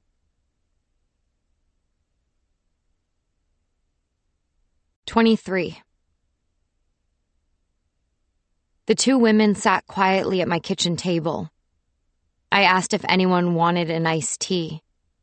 I wondered if Alice could tell I was trembling or whether she'd noticed the way the girl was keeping her hands inside the pockets of her pullover. Eleanor, meanwhile, was projecting the same fearful rage that I'd witnessed so many times on her father's face. He would be angry at me for lying about something, some nascent love affair, but he wouldn't show it. So he had to conceal it through clenched teeth. There was also the fear that I'd see through him, recognize his rage, and leave in disgust. Alice said that she would love a glass. At the beach that magnificent day, I told her I didn't think anything could grow inside of me. She touched my belly and said she was sure I was wrong. I said I didn't want anything to ever grow inside me. I had a miscarriage once, she told me. I didn't even know I was pregnant. I'd skipped two periods, but I was an idiot. My boyfriend was French. We were 15 at a hiking camp in the Dolomites. I told him I think I'm having a miscarriage. He didn't know what to do, so he fell asleep. He didn't sleep on a sleeping bag or with a cover, and in the morning when it was over and I'd returned from washing myself in a creek, he told me he'd slept uncomfortably all night. That was his gift to me, his night of discomfort. Something came out of you? You don't have to look at it. I remember how badly I wanted my mother. Do you miss yours? No, I lied. I only wish my aunt were still around. Your aunt raised you? How did your parents die, Joan? Gosia, yes, she raised me. Or she let me raise myself. Tell me about her, Alice said. And happily I described Gosia to her her smells and clothes and furs, her large black Mercedes, and how, Every time she spoke to me from her car phone, I would hear the seatbelt chime and I would say, Gosia, put on your seatbelt. And she would say in her heavy accent, Shut up. Tell me how you are feeling. I explained to Alice how it had been calming that Gosia wasn't my mother, that I didn't have to care for her in that way, that I didn't have to know everything about her. There was no backstory through which I had to sift. Her own history only served as a lesson for me. She mined it when she had to give me advice. I thought of Gosia then in my kitchen, what she would tell me to do, what mental strategy she would instruct me to employ. She always thought that anyone who hurt me should be punished severely. She wanted me to destroy Vic's life, tell his wife. I told her that he had children, and Gosia said, I don't care about this man's children. You are child. Look at what he is doing to you. I'd seen pictures of Eleanor. I never wanted another child to hurt the way that I had. The truth is that even then, in my kitchen, I felt sorry for her. I didn't feel fear. The only fear I felt was that I would lose Alice. Already I had the premonition that Eleanor's presence would push Alice away. Eleanor was what my mother would have called a poor soul. She'd suffered so much. I couldn't decide which parent had been crueler to her. I thought of her little brother in the tub. The last moments of a child's life. I pictured him looking at his mother, the only thing in the world he knew to trust, looking at her wild eyes as she made that decision. It was easier for Eleanor to blame me than to blame her parents. I took the glass pitcher from the refrigerator. The fragrant mint leaves floated at the top. I selected three wine glasses by the stem and handled all of them with the skills I'd learned as a waitress at an all glass restaurant on the marina in Jersey City. That terrible winter, I slept with two clients, one of whom, the married one, though I didn't know that at the time, asked if he could fuck me in the ass the very first night he came to my apartment. We had been fucking for barely five minutes when he asked. The next night, he came into the restaurant, this time with his wife. I lifted the rubber bar mat and poured the evening spillovers into his Long Island iced tea. Then I stirred it with a knife that had just deboned a raw chicken. Now I set the glasses on the table and filled Alice's cup first. As I did so, I saw out of the corner of my eye a blur of activity in Eleanor's lap. I thought she was going to shoot Alice. I thought of the time her father had me on all fours, going in and out of me, his hands lightly gripping my waist, not making any noises because he was too happy, too scared it would all end if he made an unpalatable move. I thought of his warm breath in my ear and the glee in his eyes. I thought of what he had done to his daughter and his wife. Eleanor, I said. I said it so calmly and sweetly that it shocked her, that she let the gun drop in her lap. Alice realized what had been about to happen, what might, in fact, still happen. She screamed and then she began to cry. I had never seen someone look so beautiful while they cried. But it made her seem immature, it was such a stupid thing to be afraid of a little girl with a gun that she didn't know how to use.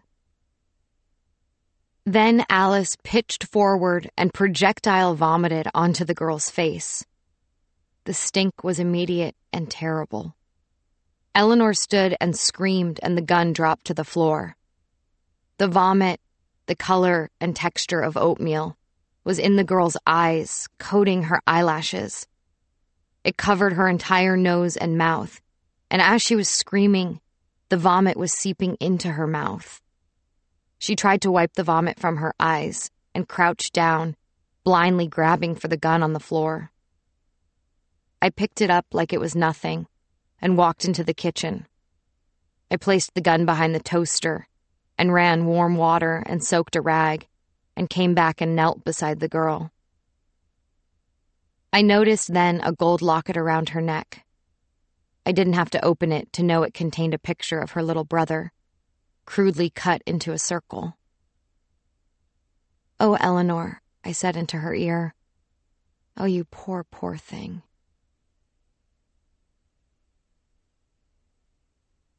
Twenty-four. Eleanor showered the vomit off when she came out of the bathroom, she looked like the age that I was when I died. The gun hadn't been loaded after all. I didn't know what to do with it, so I put it inside my pot bellied stove. I laid it across the crystals. When it became clear the girl was no longer a threat, Alice, in shock, went home. It hurt me that she did, but I acted like it didn't. That night, the girl and I spoke until the early morning. The guilt I felt was enormous. I did what I had to do. I told her the grand calamity of my childhood. As with her father before her, it bound her to me in a way that erased any hostility. There was no way to hear my story and still hate me. And like her father before her, she was going to keep me company. Alice, I knew, might abandon me at any point, but this girl would never. Over the next few weeks, she stayed with me. She never left. It happened slowly. Every day I hoped it would end. She slept downstairs on the couch. My parents hadn't allowed sleepovers.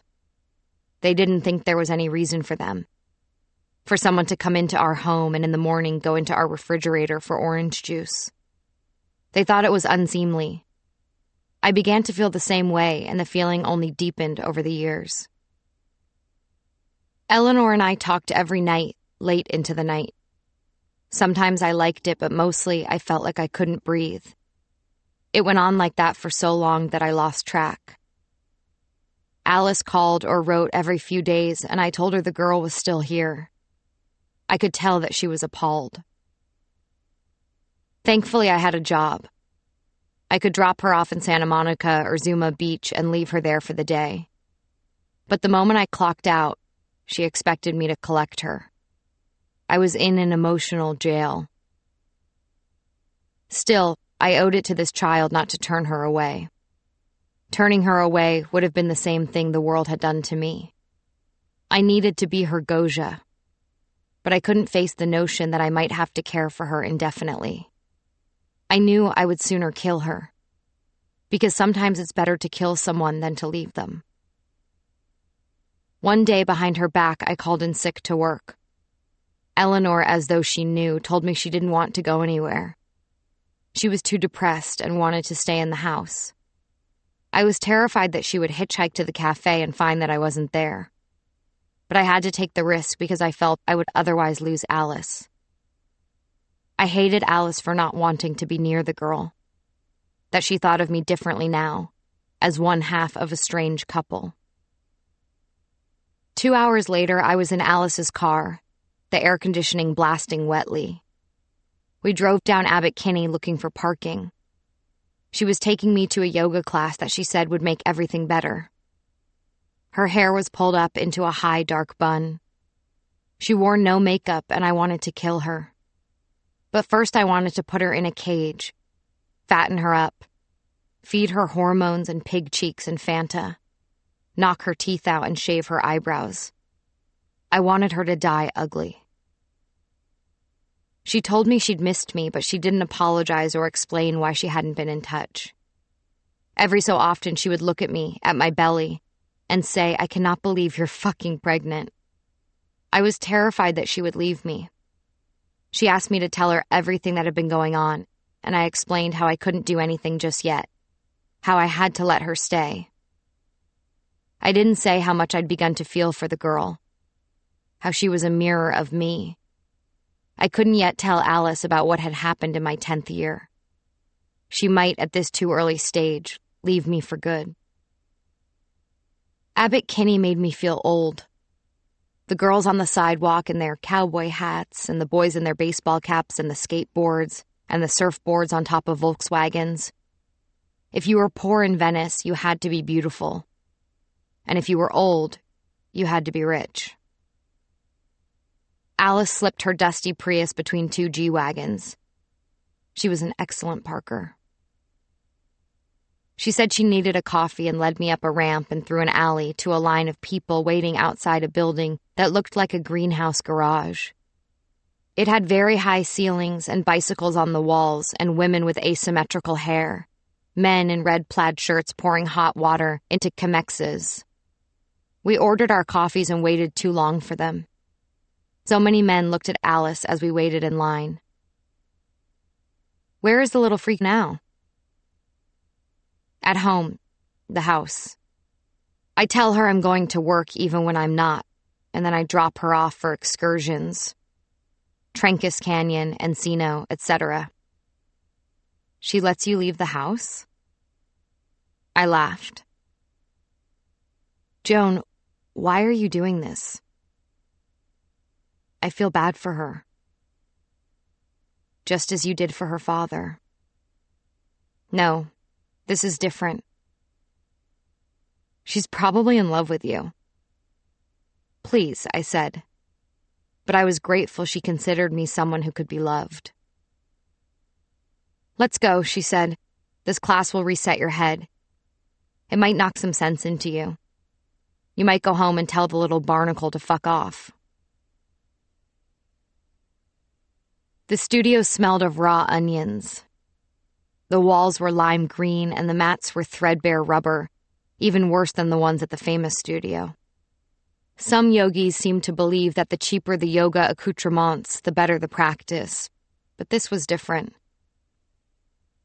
At the head of the room, a rangy instructor pulled his Christly hair into a top knot. His lips were buttered with balm, his neck snaked with tendons. Alice and I took two places next to each other. Aside from the instructor, there was only one man, skinny, in long black shorts and a white tee. He adjusted his towel at the top corner of his mat. I felt sorry for him, but didn't know why. Soon others trickled in. The instructor dimmed the lights, and it felt like evening.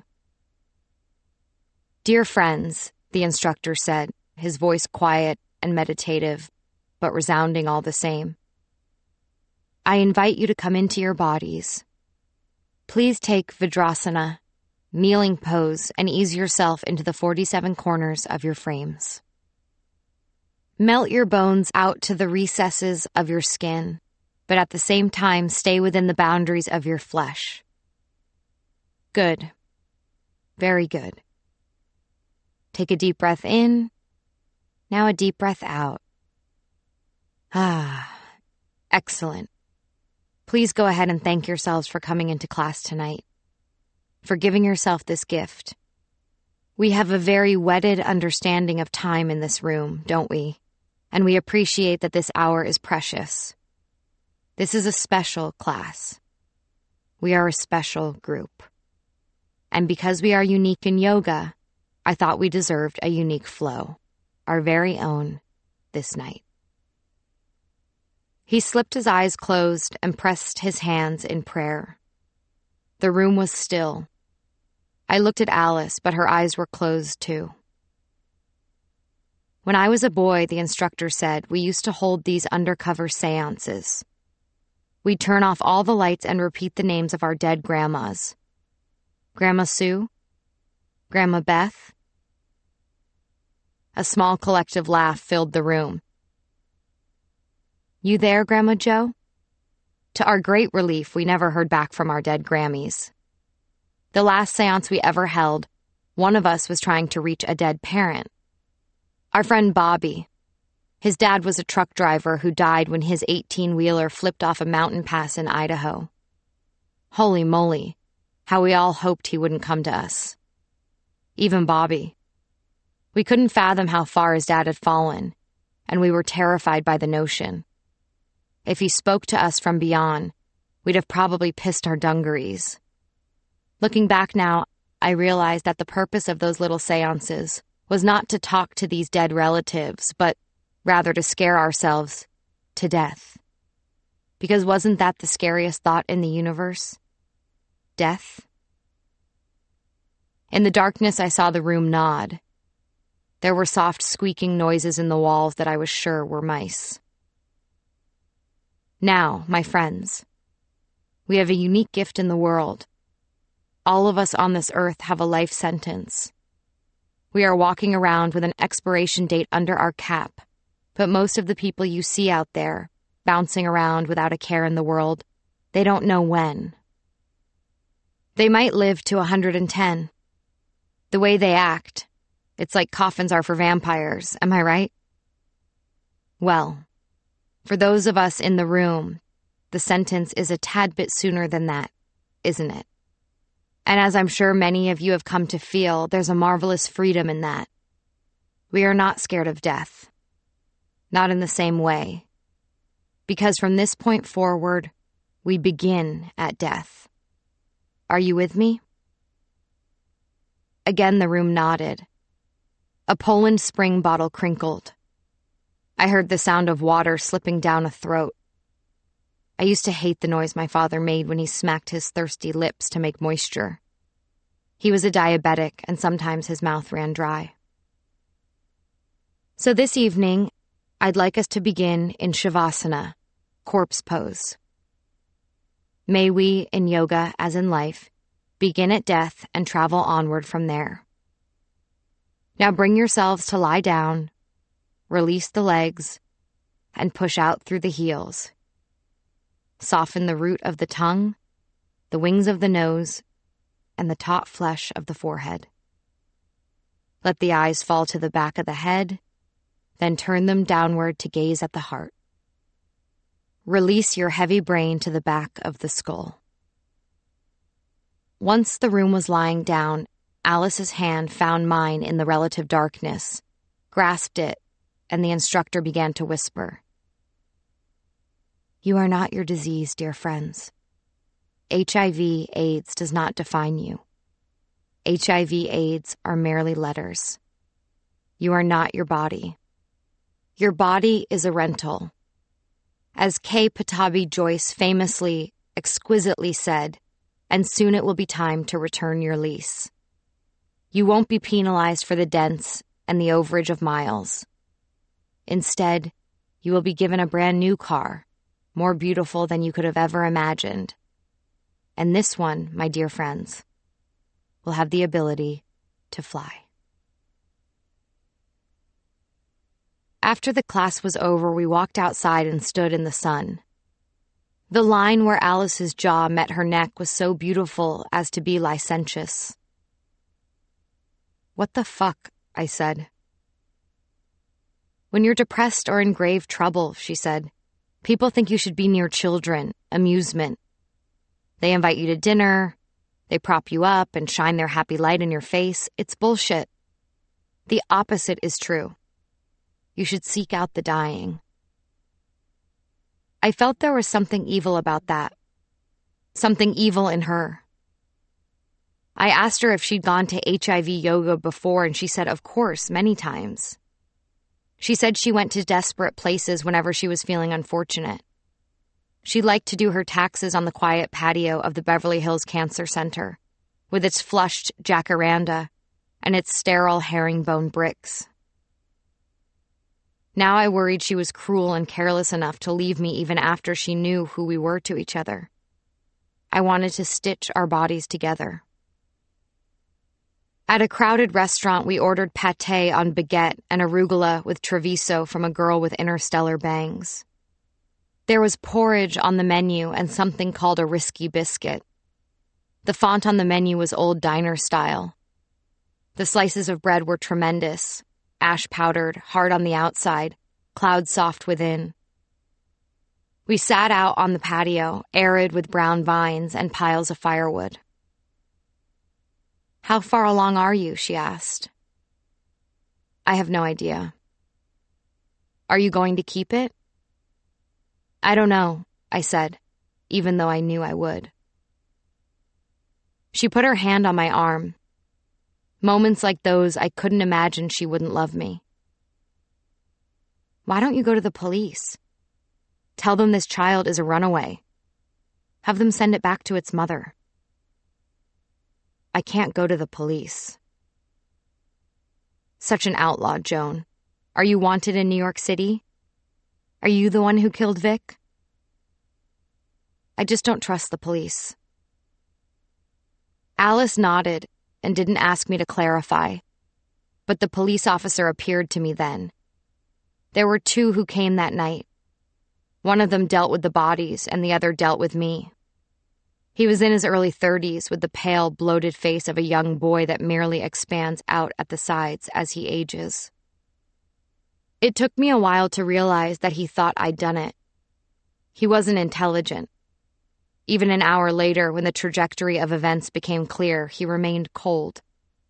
He treated me as so many men in the future would.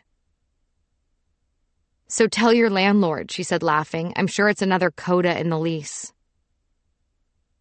She's a little girl, I said as I touched my stomach. You have your own child to protect. Are you a warrior I want to know? Or are you some husk that men and now this girl have had their way with? After the words left her mouth, there was no trace of them on her face. I realized that no matter how much I'd told her, she didn't understand my life. Of course, I hadn't told her the end. Big Sky, in one of his pontificating moods, said it took 50 years for a death to be completely forgotten, but sometimes it took only two weeks. Some people, he said, were stronger than others. I realized in that very instant that I would never see Big Sky again. I would never see his face again. Feel his warm and reticent touch. Of all the rapes I'd sustained, this was the worst degradation.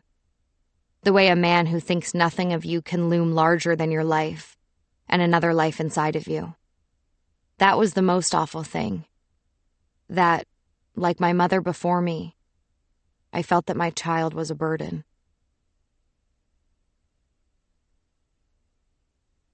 Twenty-five. Lenny met Eleanor one 103 degree afternoon. She was curled up on the couch when he knocked. I felt I was opening the door to a shameful secret.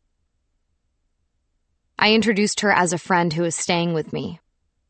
She was quiet and looked homely in a pair of inexpensive pajamas. For how long? he asked.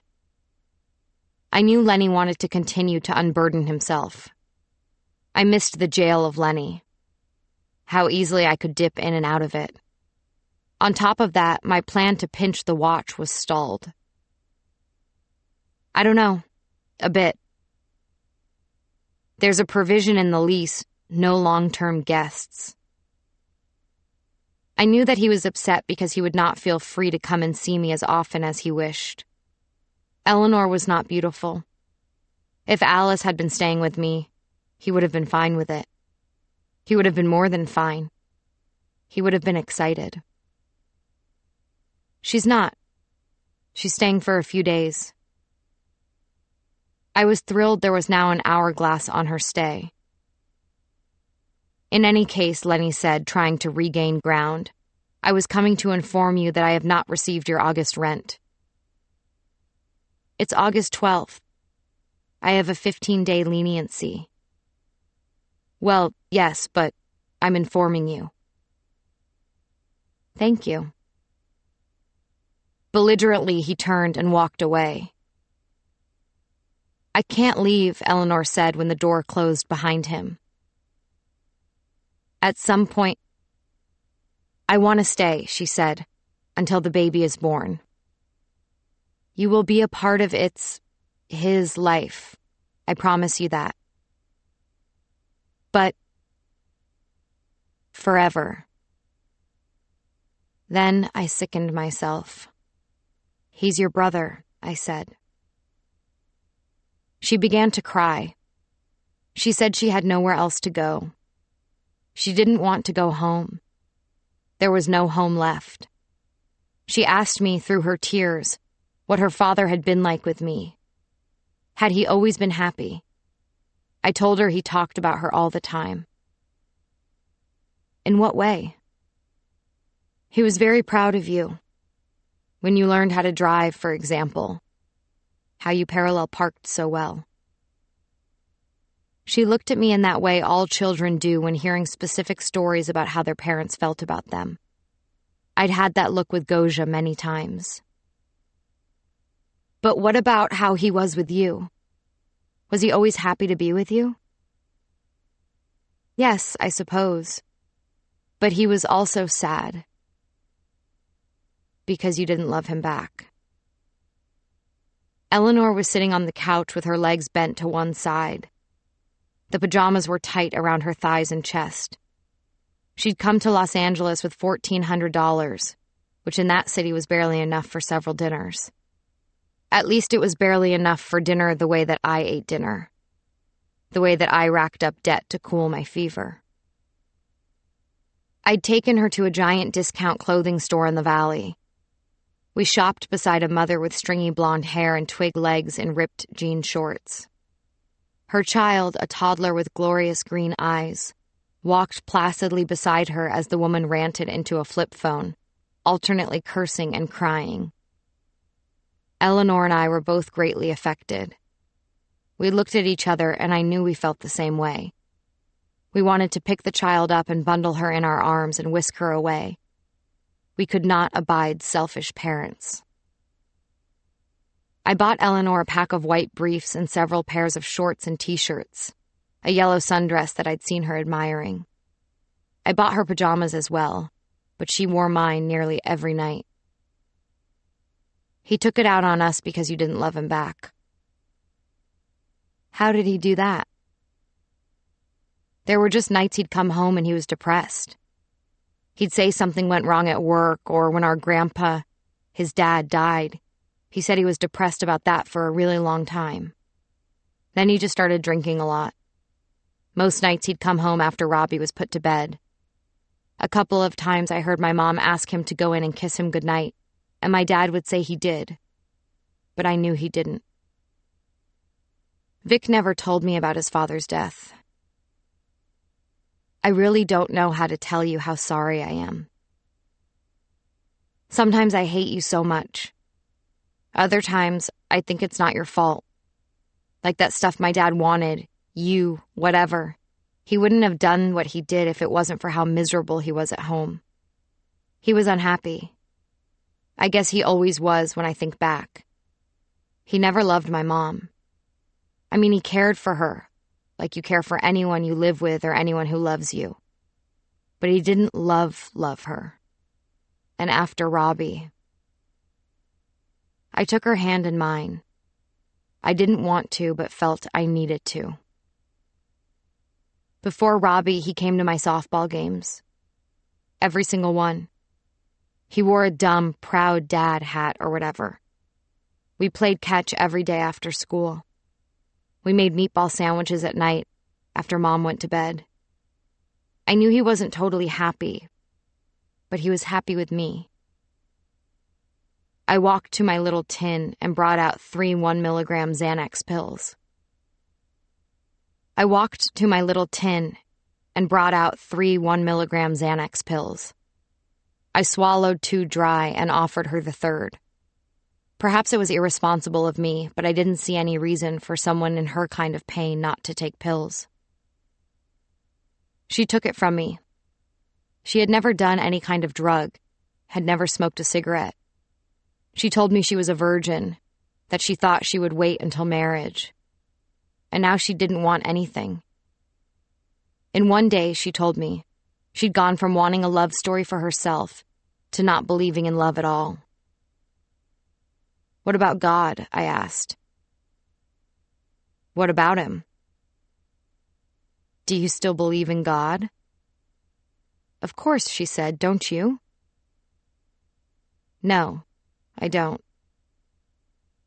That's weird to me. That's kind of totally nuts. Why? Because how else are you going to see your parents again?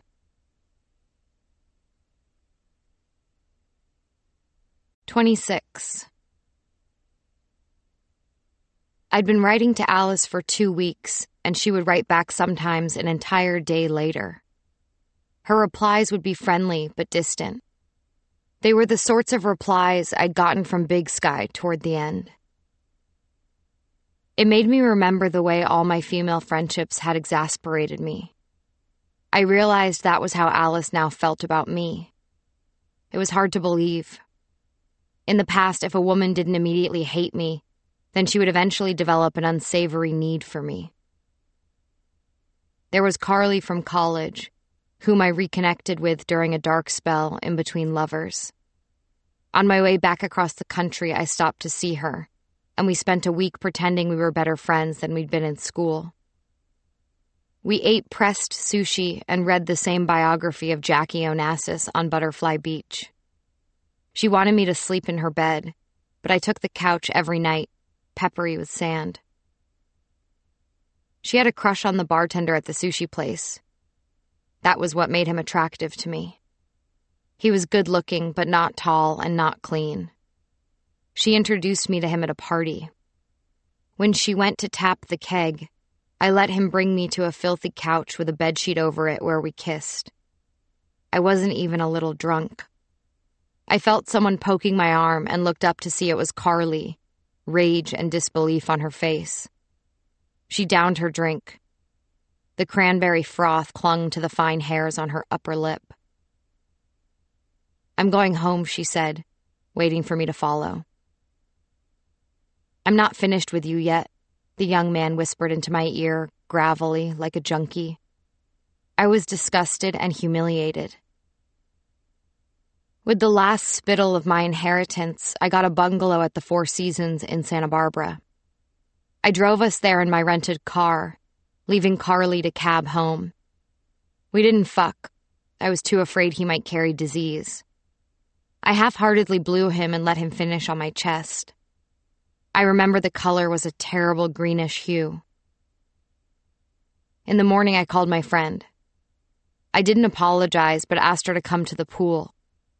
She was over in a flash. It was one of those pools that impresses people.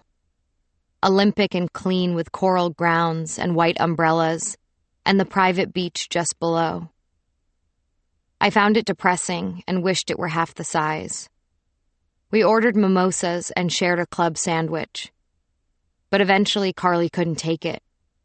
She wanted more from me and tried to pick at my insides to get it. She didn't know anything about my history. Nobody did besides Gosia and later Vic. But anyhow turned to me with a piece of sandwich in her mouth and said, Are you the way that you are because of your mom or your dad? I stood up. I was 26 and wearing a red bikini. My body was at its peak, the best it would ever look. Without another word, I walked back to my room my rear swinging, polo shirted pool boys watching, packed up my car and left town. I slurped some Belon oysters at a harbor bar on the way out because I'd already spent so much in one weekend that it didn't seem to matter. I never spoke to Carly again. I often wonder how she thought of that day. How long she hung by the pool after I'd left, expecting me to return. She'd become marvelously invested in me within mere days. Had it been me, had I been the one who was left, I'd have lain on that chaise through dusk. I'd have sucked the day down to its bone. But now I was the jealous friend. I couldn't even go back and look at our messages because my need was so shameful to me. The most recent one I am eating cilantro and thinking of you. She didn't reply for hours and then asked me if I'd ever been to the Santa Monica Pier, and I said that I hadn't. By bringing me to that place, thick with tourists, their lips stained and slurpy, their rotten children running wild, I knew it meant she was going to leave me for good. I didn't know exactly why, but I was sure of it all the same. We ate chili dogs and drank lime rickeys and headed for the Ferris wheel. She led me up the steel stairs of the ride, treating me like I was a dog and my arm was the leash. She was much taller than I, and even though she was slender, her bones took up a lot of space. Her hips were like my mother's. I can't be sure because it's been so long, but my memory is that my mother's hips were very wide. I pictured Alice on my father's arm, not as his daughter, but as his lover. I reveled in that feeling of her holding my arm. I hadn't loved a woman's touch that much since my mother. I worried that when Alice left me, I would go looking for her forever. Once I followed Big Sky. I waited outside of his office building on Wall Street for an hour until he finally emerged, laughing with a well dressed woman. Was he fucking her? No, probably not but from afar it appeared they had that flirtation, the one we'd had at the magical start. I followed them to the nicest lunch spot in the area. I watched from the window as they ate. Frise, bald black olives. They each drank a glass of red. Vic had followed me like that, probably more times than I could even imagine. In his two large suits, his teeth gritted behind his thin lips. Alice and I sat across from each other inside one of the cups of the wheel. The steel clanked with a risky noise as the wheel began to turn. I miss you, Alice said, but it didn't sound genuine. Eleanor is going to leave soon. Good. I wanted to know why it bothered her so much, why I wasn't enough on my own, even with this barnacle on my back. Hadn't we hit it off perfectly? Didn't she realize our bond was deeper than a new friendship? She's much younger looking than I expected and built like a circus strongman. She's a little girl, I said. Joan, you don't need to take care of her. Tell her you're going on a trip. Tell her you're going to see your parents. She knows I don't have any, I said, thinking how strange it was that Eleanor knew my secret and Alice did not.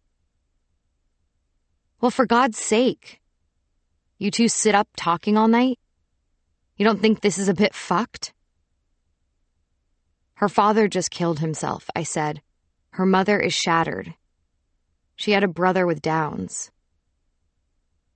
You didn't tell me that, she said. I thought I did. What does it matter? It matters a lot. That's a big thing. Why? What do you mean, why? Did Vic agree to have a child with Down? I wonder. I don't think he did. She kept it from him? She knew there was a one in three chance or something, and yes, she kept that from him.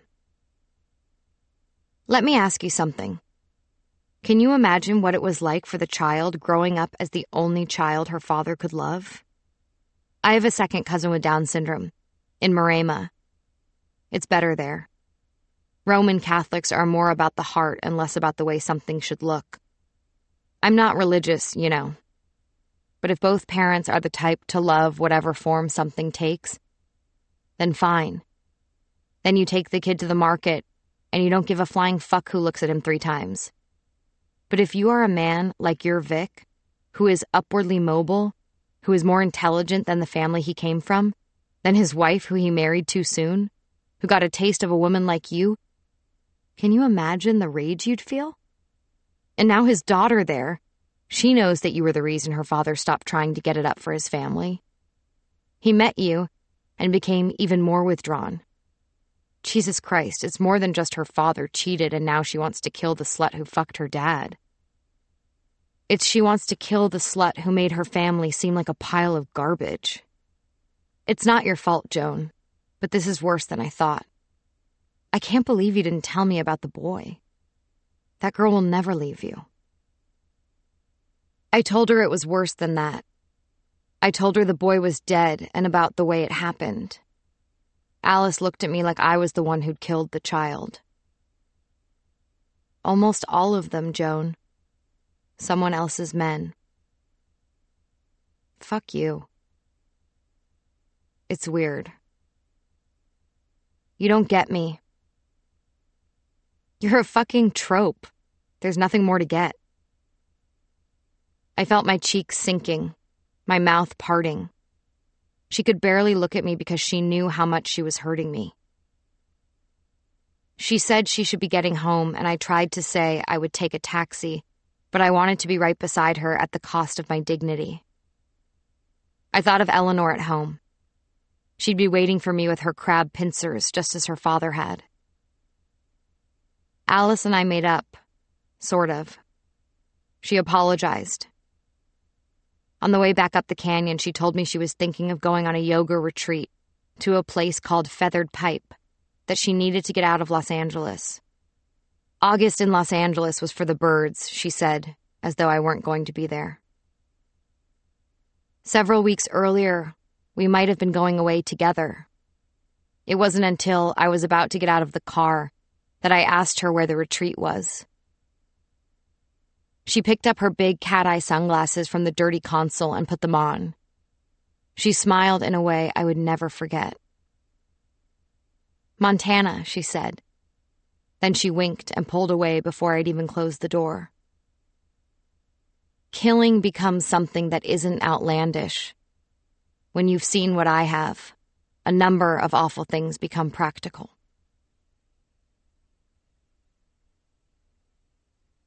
27. I got Eleanor a job at the cafe working half my hours so that when she was gone, I was at home, and vice versa.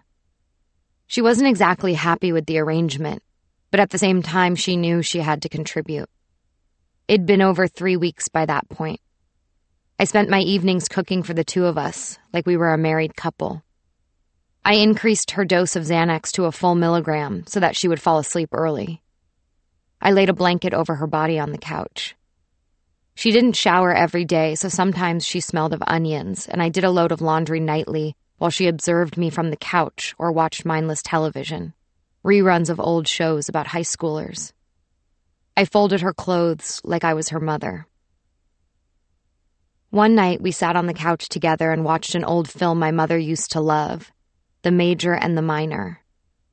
I took in only art that wouldn't fell me. I watched only romantic comedies and read books only about subjects that didn't mirror anything in my own life. On the coffee table, my phone began to buzz. Nobody called anymore.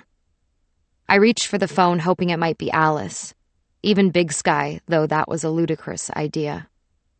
I prayed to my parents for it to be the man I thought I loved. But before I could pick up the phone, the ringing stopped and a message came through. Is my daughter there? Tell me if she is, tell me her name is Eleanor. I showed the message to Eleanor, who looked utterly nonplussed. Don't you think you should call her? I asked. She's lucky I don't call the police, she said. I understand, but she's been through a lot. It's her fucking fault. All of it. Will you please block her number? I blocked the number and we sat on the couch and drank our tea and took our drugs. And Eleanor passed out, and I watched the movie straight through to the end. Once it had reached the one month mark, I thought about killing her. It got to the point that there was nobody I didn't want to kill. I was finally showing, and even though I tried to cover it up with loose dresses, I could see Eleanor staring at my belly, co opting it with her eyes. I felt bonded to my child. I didn't need anyone anymore. I was throwing up every morning. I would do it outside like an animal to avoid Eleanor waking too soon and stealing my morning hours. I wanted to kill everyone.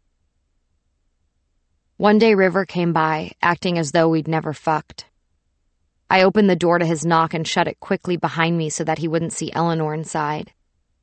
She was having one of her spells during which she cried and shook on the floor, the same as the ones I'd had. I watched her during these spells. From several feet away, I said comforting things. I never touched her, even though I knew how badly she wanted me to. River stood in a white tee and cargo shorts, his blonde hair catching the sunlight. Kurt was with him. The day was bright, but not hot. They were going on a hike, and River asked if I wanted to come. I pictured us high up on the mountain on one of those dry trails, fucking amid the monkey flower, my back getting scratched by the ragweed. I imagined it would turn him on to know I was pregnant. It turned me on. It also made me feel hopeful that I might pretend the child inside of me was River's and not the man in Marfa's. I was about to say yes I was about to say I would just run inside and get my boots when the door opened. There stood Eleanor, her face a mess. Oh, River said, you have company. This is Eleanor, I said, about to cry. Oh, hey, he said, extending his strong arm. She looked jealous. She lightly took my arm. I felt her pulling me inside. I felt the threat and the pain in her touch. Maybe some other time, he said, smiling as though he'd seen something untoward, something a little gross. I nodded and smiled and told him to have fun and closed the door. That's the guy who lives in the circus tent? The yurt, I said, feeling faint. She asked me if we could go for a walk, just the two of us. She was crying. I began to cry too. Following our day at the pier, I heard from Alice even more sparingly, twice a week at most. I considered going to one of her classes, but shame stopped me. I missed her like I hadn't missed anyone since Gosia. I understood I'd become a seedy figure to her, but I couldn't accept that Eleanor's presence was the end of Alice and me. Then one afternoon, one of those perfect days that can make you feel lonely, I heard the light engine of a car. But it never came up the hill. It parked at the bottom, almost inside the start of the trail under a tree that would scrape its hood. The car was Alice's Prius. My heart leaped. Thankfully, Eleanor was at work. I watched out my window and saw Alice's long legs in a pair of tiny spandex yoga shorts climbing the hill crossing the big ravine until she was out of my eye line. From the window, I couldn't see the door of River's yurt. When I found the courage to step outside, I saw no one. She hadn't come for me. Back inside, I waited, trembling, for several hours. I thought to leave the house, but I needed to see her, to confirm where she'd been. At dusk, when I saw her finally descend the hill, I noticed that her previously ponytailed hair was undone. I left to pick up Eleanor from work. Alice's car was now at the studio. She taught a 7 p.m. Ashtanga class. Over the next two weeks, as my stomach grew and Eleanor's need expanded throughout the house, stifling me more than the heat ever could, I observed Alice come to River's yurt six times in total. There may have been more visits while I was at work. The first time she stayed overnight, I vomited into the toilet of the tiny bathroom where the smell of Eleanor's menstrual blood filled the air. I'd bought her dog waste bags and told her to triple bag her large, thick pads. But, like the child that she was, she forgot. I was devastated, jealous on many levels. For one, the fact that they seemed to never go on dates, leave the house, like all each wanted and needed was the other's young and perfect body. I couldn't get it out of my head that it could have been me in there with him had Eleanor not blocked me that time he came to my door. That, even though he was immature, his body and his energy were a great salve. But more than anything, I was crushed that Alice had left me so cruelly and substituted this boy for me. The feeling of wanting to be her of wanting to possess her body and her strength, but mostly her past, intensified to a point where I couldn't bear it. I felt again the urge to kill her, to kill myself. I knew I was going to kill something. What had begun to torture me most was the idea that she didn't care that I saw her. Yes, she parked down below, hidden partly by trees, but it was a half assed gesture. The fifth week of Eleanor's stay and Alice's withdrawal from my life, I made a decision. I returned home from work and cut Lenny off at the pass as he approached. He asked about Eleanor, and I told him she had a bad cold. I told him I was feeling ill, too, and I didn't want to give him something that might lead to pneumonia. He asked me if I hated him. There is no need to tell people you hate them. No need to confront them. I would advise you to lie in wait until you take your revenge. But he placed his hand on my arm softly. The expression on his face was plaintive. Joan, he said, I have been waiting to finish my story. I noticed he was wearing the watch. I tried not to look at it. I told him to wait a moment, then I went inside to get a carafe of water. I told Eleanor to stay, she hated it when I did that. She hated to feel separate from me.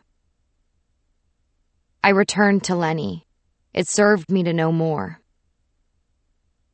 Thank you, Joan. There isn't anyone else. It was a role I was used to, last woman standing. Lenny poured himself some more vodka. I placed my hand over my glass with fanned fingers as my mother used to do. Lenny placed the vodka down. Go on. I remember where you left off.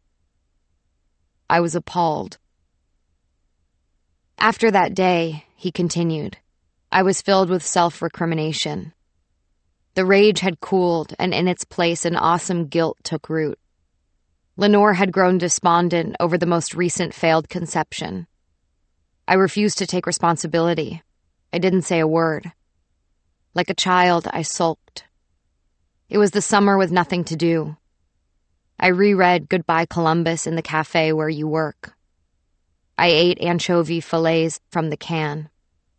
That day at Sandstone, I'd been as ugly as I think anyone can be. I'd taken the love of this beautiful woman and just. He made a crushing motion with both hands. Several times I walked onto the beach at night toward the rolling ocean. I never believed in God, but I asked the ocean, the universe, to take me, to swallow me whole. I laid myself down at the shoreline, but it turned out the ocean didn't want me. The white man's burden, I said. I'm sorry? You're a white, wealthy male. Once you were a young, white, wealthy, entitled piece of shit. Now you are old and you have the diseases you should have. He nodded. He appeared suddenly chastened. Yes, I know, Joan. I understand. And I'm telling you this terrible thing I did, not to absolve myself, but to sacrifice the last thing I can. I nodded, but my rage was so intense at that moment, I imagined it issuing from me in a bear shaped vapor and killing the man. It was the female rage that builds for decades. I thought of the day I watched two skinny teenage boys playing ping pong in the rec room of the hotel where I cleaned. I watched as another cleaning woman, Anna, heavy with four children and a broken back, vacuumed the floor. The ping pong ball jumped off the table and rolled into the mouth of Anna's industrial vacuum. I saw how she hadn't gone for the ball, but neither did she veer away from it, and the ball was swallowed by the vac, and the young boys swore. She turned the vacuum off just in time to hear one boy cry out, Fuck, the fucking ball. The other said, Give it back. And Anna sneered. Your little ball is gone, she said. And she turned the vacuum back on, a poltergeist of light and noise. Anna needed that job, but she would have lost it that day if she had to. The facts, Leonard said obediently. I took Lenore back to Sandstone to punish myself. It was late August and there was a party at the ranch. I bought her a dress that was nothing but a swath of purple silk, and she tied it like a toga over one shoulder. She had long, thick legs like a Clydesdale. I wore a tuxedo. Most people were clothed that night. Some, of course, were not. There was a band playing on a strange little stage in the main room. Dr. Johnson. Oh, I said, and Leonard nodded at me. And we watched them and danced. Lenore was easily the most gorgeous woman in the room. The lead singer of the band was eyeing her. He was effectively singing to her and her alone. Halfway through a dance, someone came up to us, a bearded man, oily and tanned, and he handed us both a pill. Back then, we called it a Mickey, Within 30 minutes, Lenore and I were both reeling. She went to the bathroom and I thought to accompany her, but then some red haired bimbo came and intercepted me. She had tassels on her tits. I'll never forget the way they swirled. And in my brain, the drug was dancing.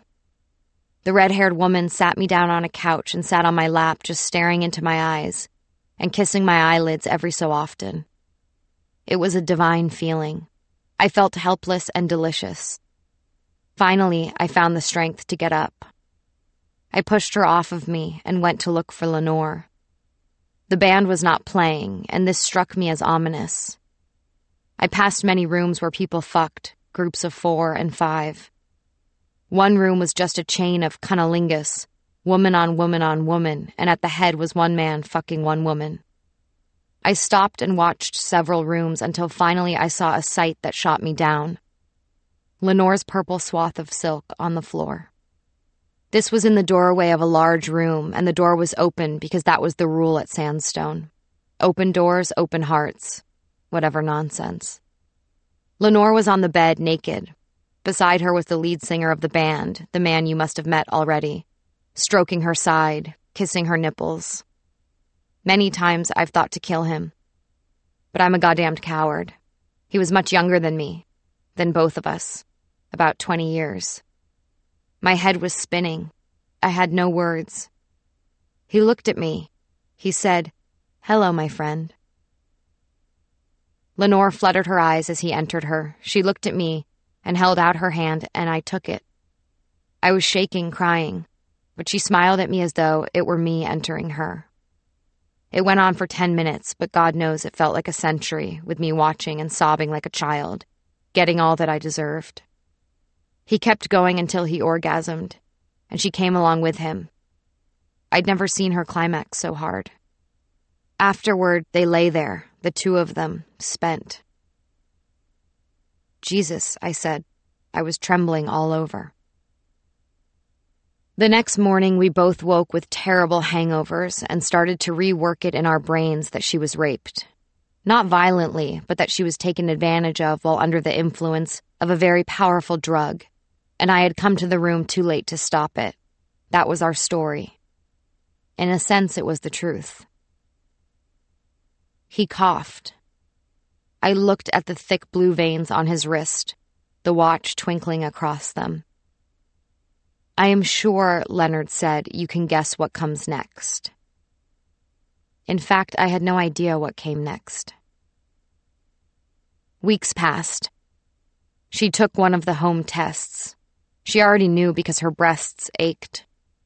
Her mouth was full of spit. She couldn't hide her happiness. That was the hell. He began to shake. We could have pretended it was mine. No one would have questioned it. It was the happiness in her that I couldn't take. The happiness that someone else had put there. And so we decided, and yet we never discussed it out loud. I said, Let Dr. Menta see you. She knew only a bit about Dr. Menta, but it was enough. All right, she said. She said she would drive herself to the appointment. She would get a drink first at the Beverly Hills Hotel and wanted to be alone. I paced the house all that day. I couldn't read or eat. The day was overcast. I pictured her driving through the fog down the canyon. Part of me hoped for a car accident, something absolving. She came back late, past nine. Darling, you said, did you do it? You didn't, and that's all right. Yes, I said exactly that. I believe. How did you? Go on, finish, I said, surprised that men always seemed not to know it when you hated them. She didn't do it, and I told her it was all right, and she cried out in gratitude. She wanted a child at any cost. She wanted that child, I said, because she already knew who it was. Perhaps, he said, stroking his wattle. You did something. Yes, I did something terrible. I shook my head back and forth, vibrating with wrath. This canyon is full of the types, you know, their pebbles and sands and crystals. The Bulgarian at the dry cleaner whom I'd known for years. Her breath you could smell from ten feet away, as though she ate bugs and dirt.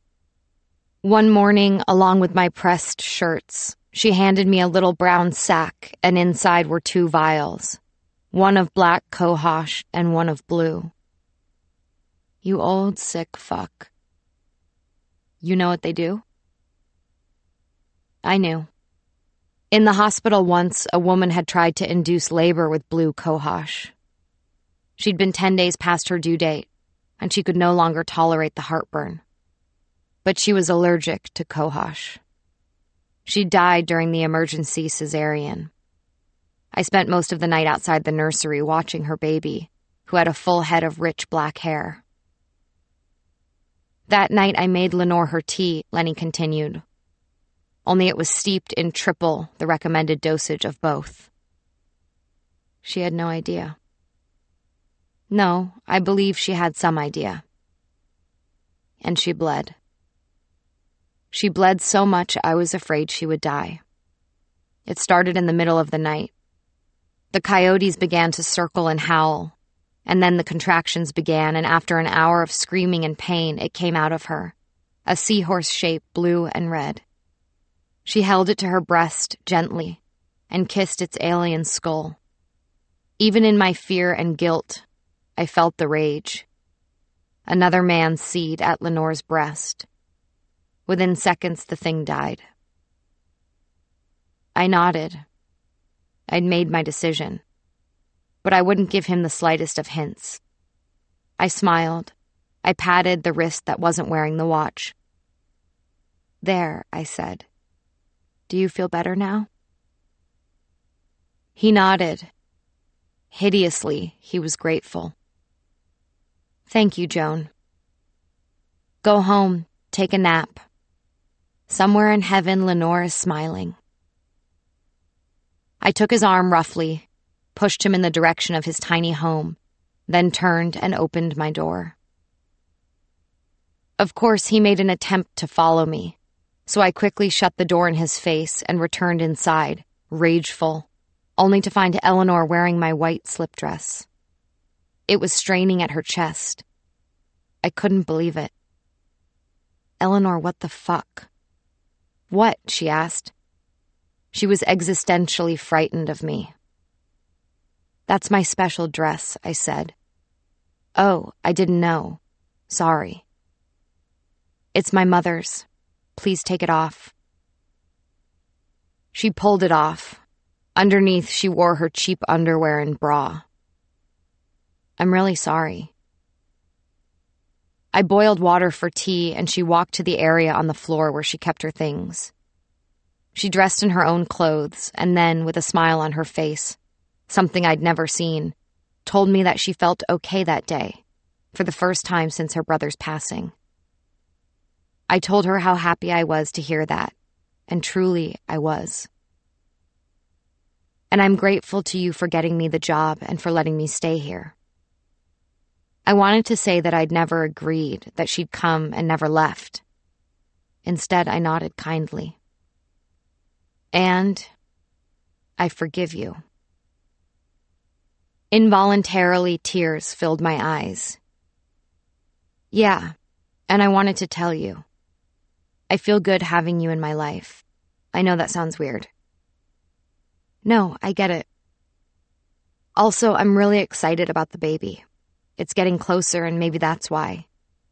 I don't want to be creepy or whatever, but I love him already. I nearly spilled the hot water on my legs. I turned from her and crushed three Xanax between my fingers and dropped them into her cup.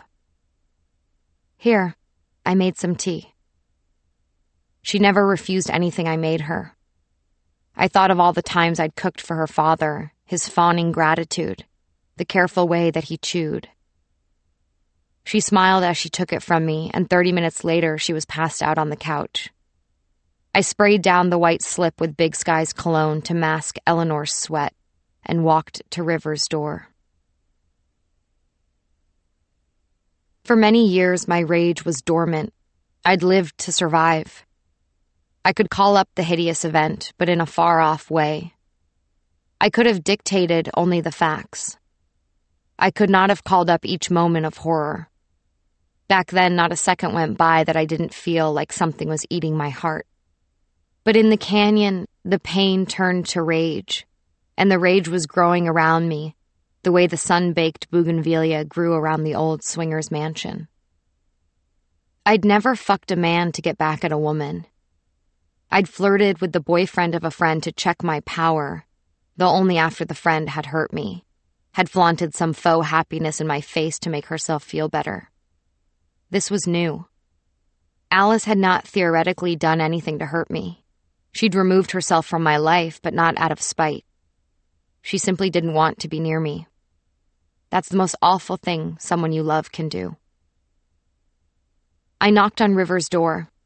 He opened it shirtless. I told him my air conditioning had broken and that I couldn't stand the heat. I asked if he had anything cold in his fridge to drink. I had nothing in mine. Yeah, of course, come in, he said. His bed was unmade and Kurt was lying on top of it. Is beer okay? I nodded, and he pushed lime halves into two bottles of Corona with his calloused thumb. He said, Cheers. We clinked the glass, and his thick pink lips covered the whole mouth of the bottle. So that girl, is she like a friend? She's the little sister of my good friend back in New York. Their dad just died, and she came out here to get away. That's why I came out here, too. Is your mom still in Nebraska? Yeah, but she's good. She's seeing this dude. He's a good guy. I'm happy for her. That's good. Yeah, it's pretty great. The last time I was in here, I said, sitting down on his bed and stroking the dog's head. He laughed nervously. The thing with Alice was apparently becoming serious. I understood that he felt guilty and that if I referenced our intimacy, he would pull away. The last time I was in here, Kurt wasn't. Oh, yeah, he said. He was grateful I didn't say anything else. I also knew that would make him want me more. The notion that I might have forgotten the way he made love. I crossed and uncrossed my legs. The dress made a V shape between my thighs, a gleaming silk triangle. It was impossible for him to avert his eyes. I drank half the bottle. I could feel the heat growing between us. I wish there was a pool or something, I said. Do you know the song Nightswimming? Fuck yeah, that's a great song. I'll play it. That'd be great. He played the song. I lay down on his bed and cuddled with Kurt and swayed my bent legs left and right to the music. The dog was a very good dog. He liked to lie against a warm human body, but he wasn't needy. He didn't smell or shed. He was smart and loyal. He never left River's side, even when they were mountain running. I'd never known a dog that good. I thought how lucky Alice was to have a kind and good looking boyfriend with a perfect dog. The fact she was able to have that was because of the particular love she'd been given by her single mother. I believed that with my whole heart. By the end of the song, River was lying beside me, and our legs were interwoven. We kissed like high schoolers for nearly half an hour before I leaned into his ear and told him to please put it everywhere.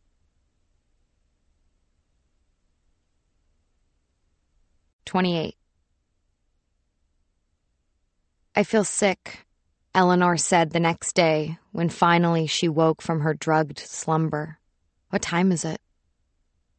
It's noon. Maybe you have the flu. It's going around.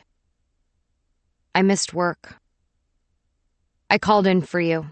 Steve opened. You can go in now. Or I can if you don't feel well. I wish you could just stay home. One of us has to work. She nodded and got up. She pulled her hair back and walked groggily to the door. You're not going to shower? I'll shower later.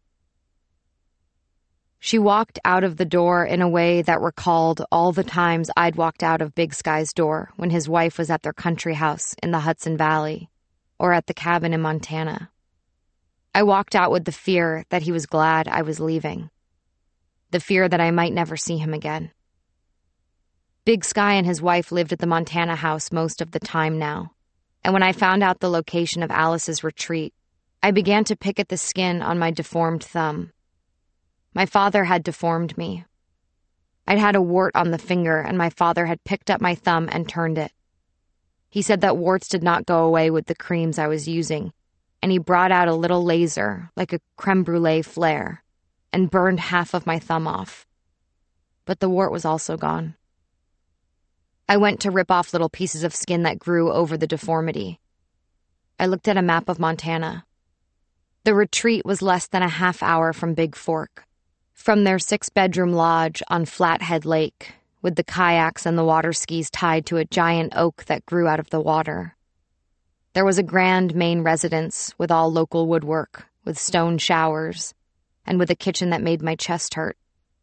And then there was a small but gorgeously appointed cabin on stilts over the water, where he sometimes slept alone to hear the lapping of the lake against the pebbles he'd had specially imported from a place in Sandpoint, Idaho.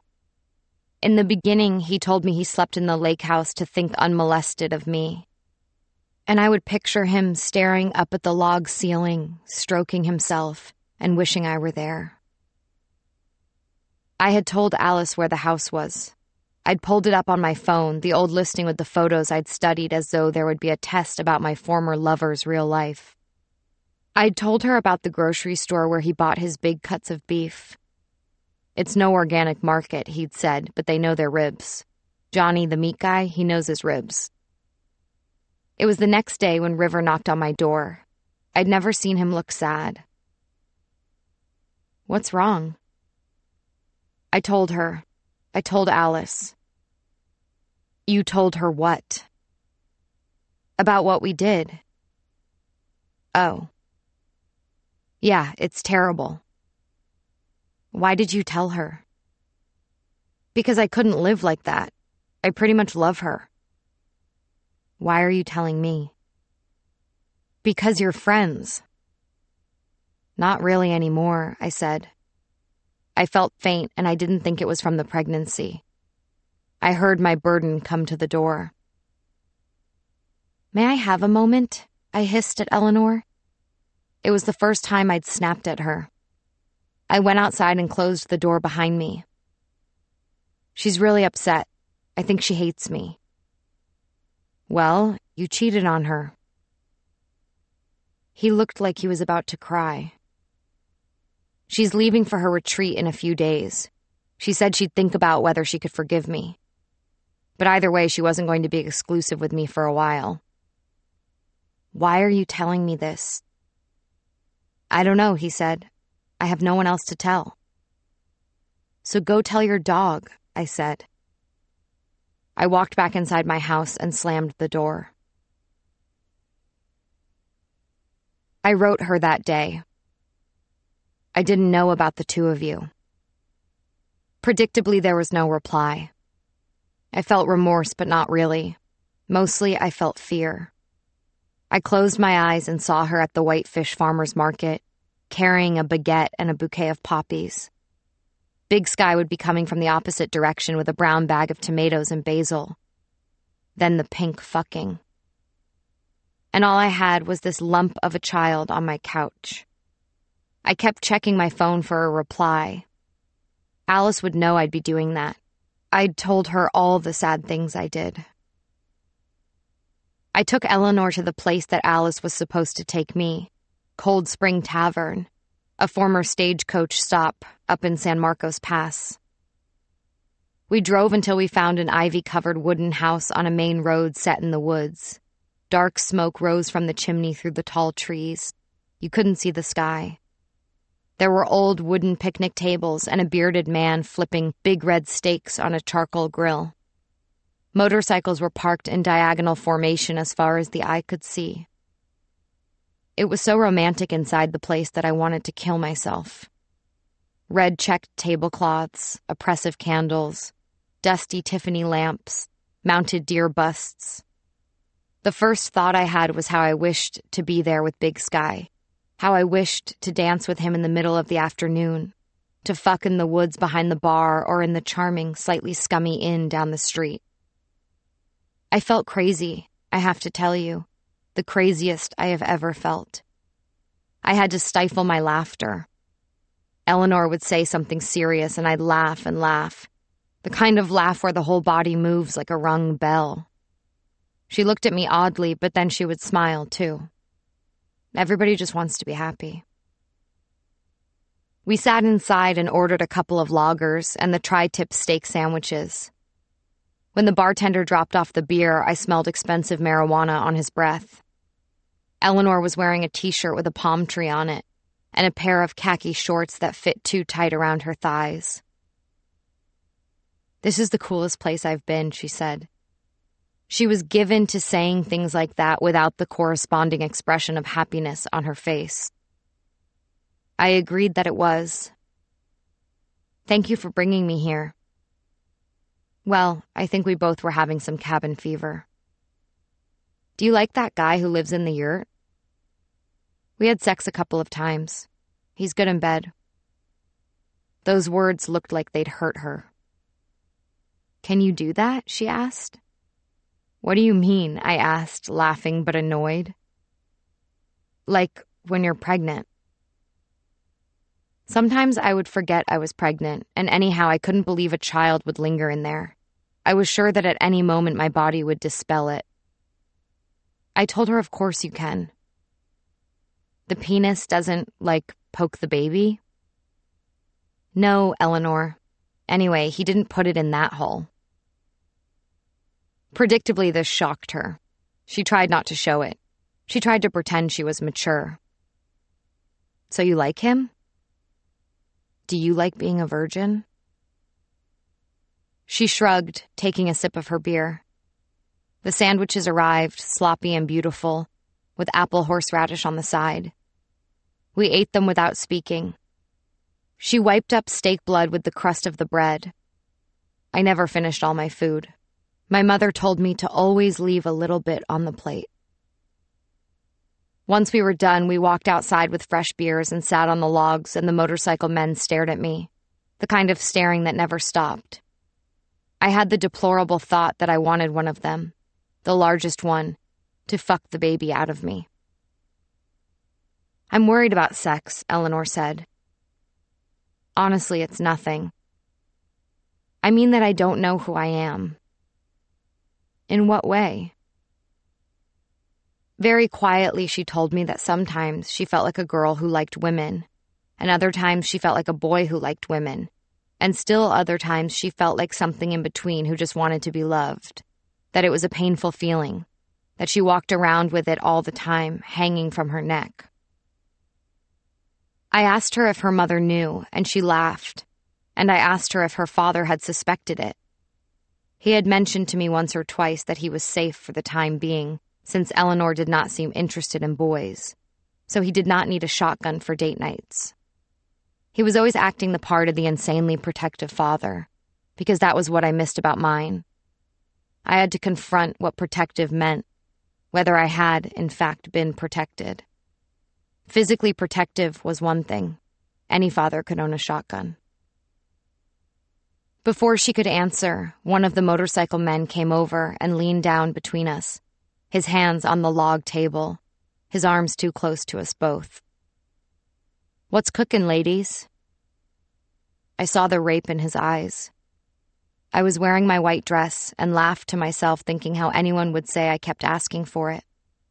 I'd opined often with other women and with men that every man has a degree of rape in him. Women didn't understand what I meant. They were alternately disgusted and confused. They thought I was stupid, but the men didn't. I think they were impressed that I understood. Nothing cooking, I said, remembering the impeccable way in which Alice had turned away those Ray-Bans at the farmer's market. He moved his face frighteningly close to mine. His beard had the stink of meat. Yeah, he said. We're having a conversation. He bit his lower lip. You want me to get you some more beer so you can continue your conversation? No, thank you. We're leaving soon. He rested his hand on Eleanor's thigh to better balance himself as he squared his leather chest to me. I used the side of my palm to karate chop his arm off her leg, and even though he was big, he toppled. What the fuck?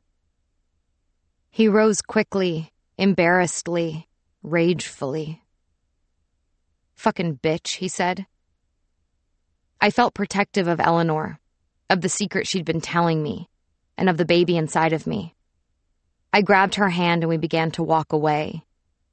He was about to follow, but there were so many men out there, some with their burly women, mullets, and studs and dust. Half of them were witnesses. The other half would have egged him on if he'd bent me over and tried to fuck me. We drove off through the mountains, under the trees that cast a feathered shade on the road. That was really you're really strong, Eleanor said. I said nothing. I could feel her eyes on me as I stared at the road. Big Sky once told me I was the best female driver he'd ever known. I'd taken a dumb pride in that. I want to tell you something. I wanted to tell you from the beginning. I wanted to tell you that you shouldn't feel that bad about all that happened. What do you mean? You weren't the first person my dad cheated with. What? I mean, you were the last, and I guess he liked you the most. But there was also another girl from his last job. She was like 20. I caught them in the house. They were fucking in my parents' bed, and Robbie was in the crib. He was like two months old, and I was 15. And my dad asked me not to tell my mom. He cried and begged me not to tell my mom. And the fucking worst part of it was that I was attracted to the girl. It was the first time I was attracted to anyone ever. I found them when she was on her back, and my dad was, you know, eating her out. And I was attracted to her. Her body was perfect. I guess that's not the worst part. I guess the worst part is that I didn't tell my mom. Back at my house, we drank a bottle and a half of the good wine on which I'd spent an entire day's paycheck. I couldn't get out of my mind the image of Vic's head between a young girl's legs. A 20 year old girl with a perfect body. I had never been in his house. No matter how many men I fucked in the time I knew him, and no matter how little I wanted to fuck him, and how I stopped fucking him very early into knowing him, I could not believe he'd lied to me. That he'd told me I was the first and the only. That I'd believed him. But there was Eleanor on my couch, a girl who had lived through a scourge brought upon her by her parents just as I had. Like the mother I would become, I stopped thinking of myself. I looked at her on the couch, her bare feet pulled up beneath her legs, the little feet I imagined in her mother's mouth when she was an infant. My mother told me once that she'd put my feet in her mouth when they first passed me to her. Part of her wanted to eat me, she said, and put me back in her tummy. After the wine hit, Eleanor began to cry. I'd never cried from wine. I didn't understand why people did. She cried about Robbie, about how much she missed him. I took her in my arms. It was the first time we'd touched that way. Heaving, she moved into my chest. She placed one hand across my belly. I held her tightly and rocked her like a child. She placed her cheek against my breasts, which were fuller with pregnancy. They were so plump and risen that I hadn't worn a bra in weeks. I let her cheek stay there. I let her brush her lips against my nipple, the most imperceptible of touches, but clear all the same. I knew what it was to miss the breast of a mother.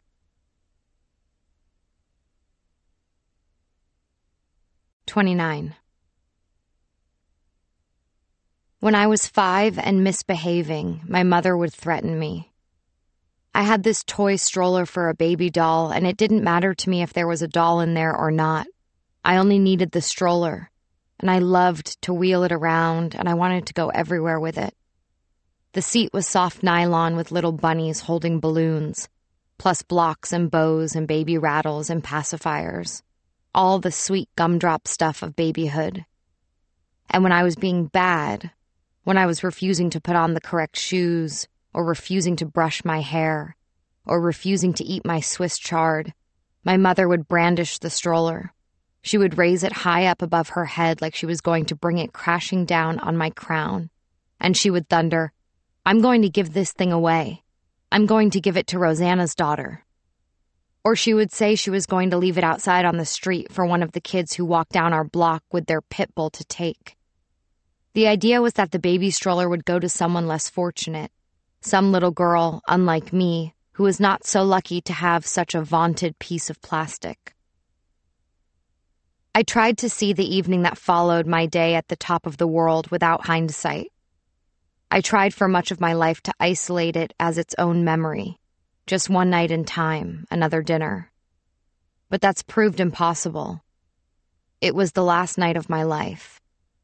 Just as breakfast that morning was my last cereal and milk, just as the trip to Italy the year before was the last good summer I would ever know. My mother made pastina, something we had when there was not enough time for a real dinner, but also the thing that was made when I was sick or when I needed something soothing, like a pacifier. It was evident that their talk had not gone well. The quiet was colossal. Outside, the sun beat down on the sticks and the trampled grass, I could see the rock that I liked to sit on at the end of the gravel drive, gleaming with heat. I wanted the sun to go down. I wanted that day to be over and to fall asleep so I could wake up from the events that had transpired. But the truth is, I was so connected to my parents that what was severed between them was a larger weight on my mind than what had happened to me in the tall man's cold house. I'd been abused, of course, but you couldn't call it violent. At no point had I been grabbed against my will or shoved into a car. I bore no marks, not even the red marks on a wrist that often showed up when I was younger, and my mother yanked me off the floor of a supermarket. While my mother cooked and washed up, my father sat on a butterfly chair on the patio. He smoked a cigarette with his legs crossed languidly. When my father was on his feet, he was always moving, his hands working screwdrivers, doorknobs, polishing the grills of cars. But when he sat down, he fully sat, his flesh softening into all the ovals of his bones. My mother, on the other hand, barely sat. My memories of dinner time are of my father and me at the table, and my mother rinsing plates before we were even halfway through. I suppose she did sit in restaurants. That night, it was no different. When the pastina was ready, my father and I sat down at the pine dining table. There was a side of chopped spinach with butter. My mother was not good with vegetables. They were always dark and limp. As we ate, she Windexed the shelves of the refrigerator.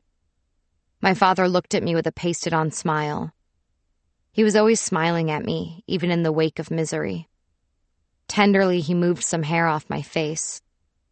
I winced a little, the touch of a man suddenly meaning something other than what it always had. Beyond the screen door, the summer evening vibrated with bugs. We didn't talk at all that night, my father and I. Talking was something I did with my mother. My father listened to me and smiled and ruffled my hair. He was still and resolute in all ways, a steadfast man. Even his veins were powerful. My little princess, he said, went to the pool all by herself today. Did she swim or read? Flashes of hands and the feeling of a tongue went through my mind. It made sense that my father would have no idea what had happened to me that day but it was unimaginable to me that my mother wouldn't. She'd often told me she was omniscient, a witch, and I believed her. As she bent forward into the mustard yellow refrigerator, I felt she was trying to trap me with her silence. Both, I replied, watching my mother's body for a clue. Why don't you bring the dishes to the sink? Help your mother clean up. I don't need any help, my mother said sharply. Her voice stopped our movements, even our breath. How can I explain her power? It was a magical thing. She was cold, but her body was warm. Even today, even after everything, I would give both my arms to be held in hers. After a while, my father turned on the television. The sound of music was playing. To this day, I can't watch it. I can't hear the notes of any of the songs without shaking all over. That night we saw the last hour. My father had his arm around my shoulders. Just the day before, his mother had been violently raped, and only a few hours earlier, his daughter had been sexually assaulted. I didn't know what he would do if he learned of the latter, but I knew he'd gone looking for the man who'd raped his mother. I felt it was possible he'd killed him. My father was one of those men with secrets. I thought that all of his secrets were the honorable kind revenge killing, acts of mercy for maimed animals dying by the side of the road. I didn't understand why my mother was being so cold. I figured it was a combination of horror that my father might have killed someone and disgust over what I had done. I was terrified she would stop loving me and terrified my father might go to jail. Up until the following day, I wouldn't have had any of the long conversations with Gosia that would mark the rest of my formative years. But once she had told me that simply going to sleep and seeing the next sun could fix you up, that the new day would be infinitely more survivable, or at least it would seem to be. So that was what I longed for. I longed for the night to be over, for the new day to dawn. I swore I would never go back to the top of the world pool. I would swim exclusively in the pool with the log roll and the tired ducks and the green paddle boats and the mosquitoes. I would be a perfect child.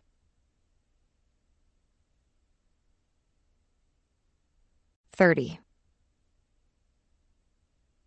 Vic once said to me, What do you have to fear, kid?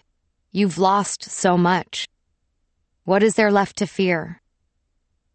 That was one of his cruelest moments.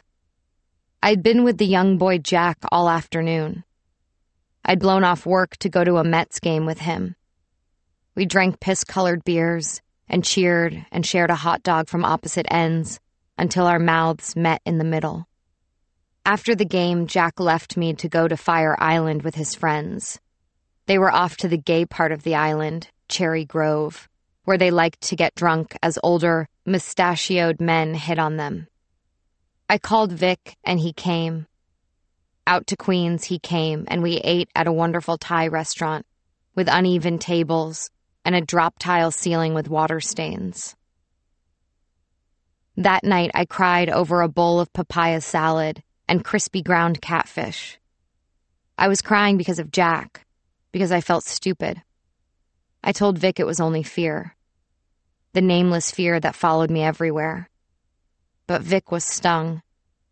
He had to accept Jack and accept the lie that I was trying to date people my own age or far younger because I needed to feel normal. He brought me into his chest. I was disgusted by the expensive pique shirt that he doubtless had bought to impress me. He held me, but hated me. I could feel it. Pressing my cheek to his chest like he wanted to absorb me. What do you have to fear, kid? he asked as I sobbed. The place was BYOB, and he'd gone to the liquor store next door and bought their most expensive bottle of wine, $129.99. He'd left the price on. He laughed, saying, Can you believe that was the most expensive bottle? The wine was spicy and not good. It barely tasted like a $20 bottle. I hated him for how little he knew about fine things. I hated him for coming all the way to Queens in a black car for being cruel to me even though I deserved so much worse. What do you have to fear? he said. And I said, You're right. We both have nothing to fear, nothing to lose. But I have my daughter, he said. I have my daughter to lose. And I wanted to kill him because he was taunting me with fatherhood, with all that it meant. So I pushed away from his chest and said, You have to go get cash. This place is cash only, and I want to leave. Vic had been right. I'd had nothing to fear. Now that I had a child inside of me, I finally understood what he meant. On a Sunday, the blood came so rapidly and thickly that I felt like I might pass out. And then I did. My sleep was dreamless only when I took pills. There were few times I slept without them, but this was one occasion. And all of my dreams were nightmares about my parents. Even my good dreams were nightmares, as anyone who has lost someone important knows. After passing out, I dreamed of the Atlantic City boardwalk of my youth, where my mother liked to play the slot machines, and my father and I would pass the time walking the beach, picking shells, digging for sand crabs. On rainy days, we would go to the Ocean One Mall, which was shaped like a cruise liner and full of pastel taffy and mosquito specked skylights. But my favorite place, probably the most magical of my childhood memory, was an indoor midway at one of the casino hotels. I tried many times to remember the name and never could. It lasted only a year or two, shutting its doors around the time I was eight or nine. It was raised to make room for something less gaudy. But right then, like Lenny, I experienced a sudden clarity and remembered the name Tivoli Pier in the Tropicana. The name itself was garish, like everything in Atlantic City. There was a Ferris wheel, though I don't think we ever rode it, and bumper cars, pinball machines, and a theater starring animated characters who looked like big name entertainers Dolly Parton and Wayne Newton, droopy faces that kids wouldn't know. There was a saloon and a simulated space shuttle ride that was always out of order. There were boardwalk style rolling chairs that slid you through dark tunnels, illuminated with fiber optic lighting. Along the walls were wax reproductions of Atlantic City's heyday. Women in high waisted polka dot bikinis, posing on ginger sand, high dives. The part I loved most was a flying carpet ride. It was a raised dais covered with a Persian rug, and you would sit on the rug and watch a screen in front of you that showed you flying through the night sky. You could choose from a selection of backgrounds. I'd run through them all, and my father would watch me and smile. After several hours and hundreds of tokens, we'd meet my mother and go out for a seafood buffet. All you could eat crab legs for $29.99. Coca Cola with a glistening cherry on top. It was heaven for me. Why, I wondered, wasn't it enough for him? The rest of the night in the Poconos, the last night of my life, my mother ran a bath. None of her products were expensive. In the years to come, I would go to the houses of friends and shower in their parents' master baths, and I'd be impressed by the expense or the idiosyncrasy of a particular shampoo. A lotion made of white mallow, a massage oil the color of gasoline from the woods of Wisconsin. You can tell a lot about a woman by her bath products, by the range or the minimalism. Sometimes the stingiest lady, seemingly unconcerned about her looks, will own a ferny conditioner from Paris, and you will question everything you assumed about her. My mother's products were mostly mementos from hotels. From our trips to Italy, all of them. From her honeymoon with my father, which was the first time she saw Rome and Venice and even Florence, though she grew up in a town less than a hundred miles away. She had multiple shower caps from La Lumiere in Rome and a beach hotel in San Benedetto. She had old yellow lotions from a hot springs hotel in Castrocaro Terme and conditioner from a little albergo in Como.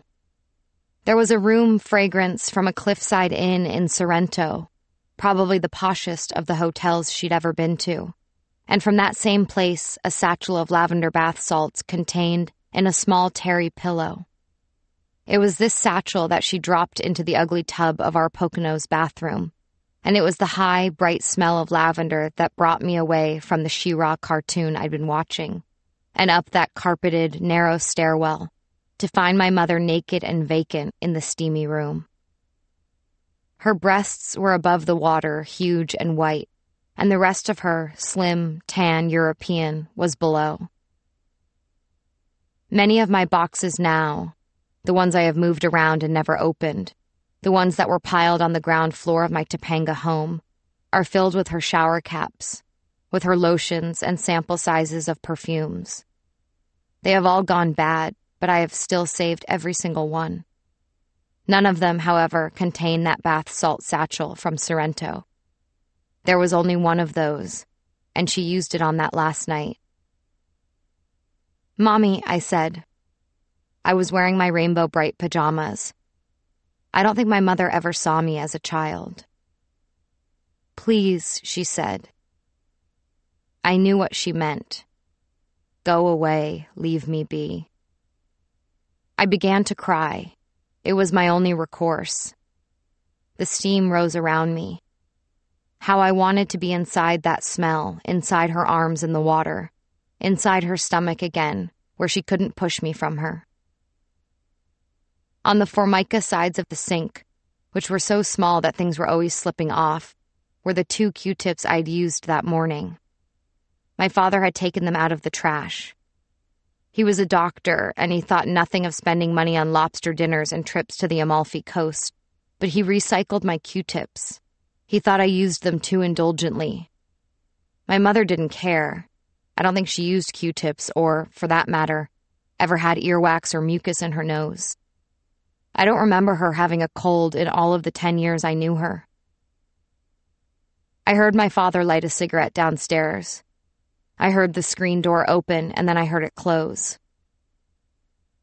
Mommy, please, I cried. Tell me what's wrong.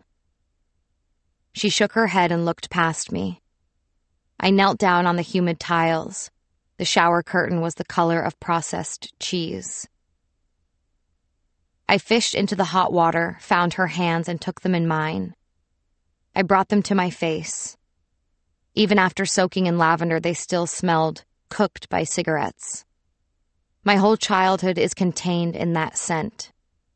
The mothballs, too. I wanted to take care of her, and I wanted her to take care of me. She was the only thing in the world I wanted. Mommy! I shrieked, but my voice didn't seem to reach her. My need was so primal, so simple, and her interior was so complex. Like the mantle of the earth, with layers upon layers of nicotine staining the cracks.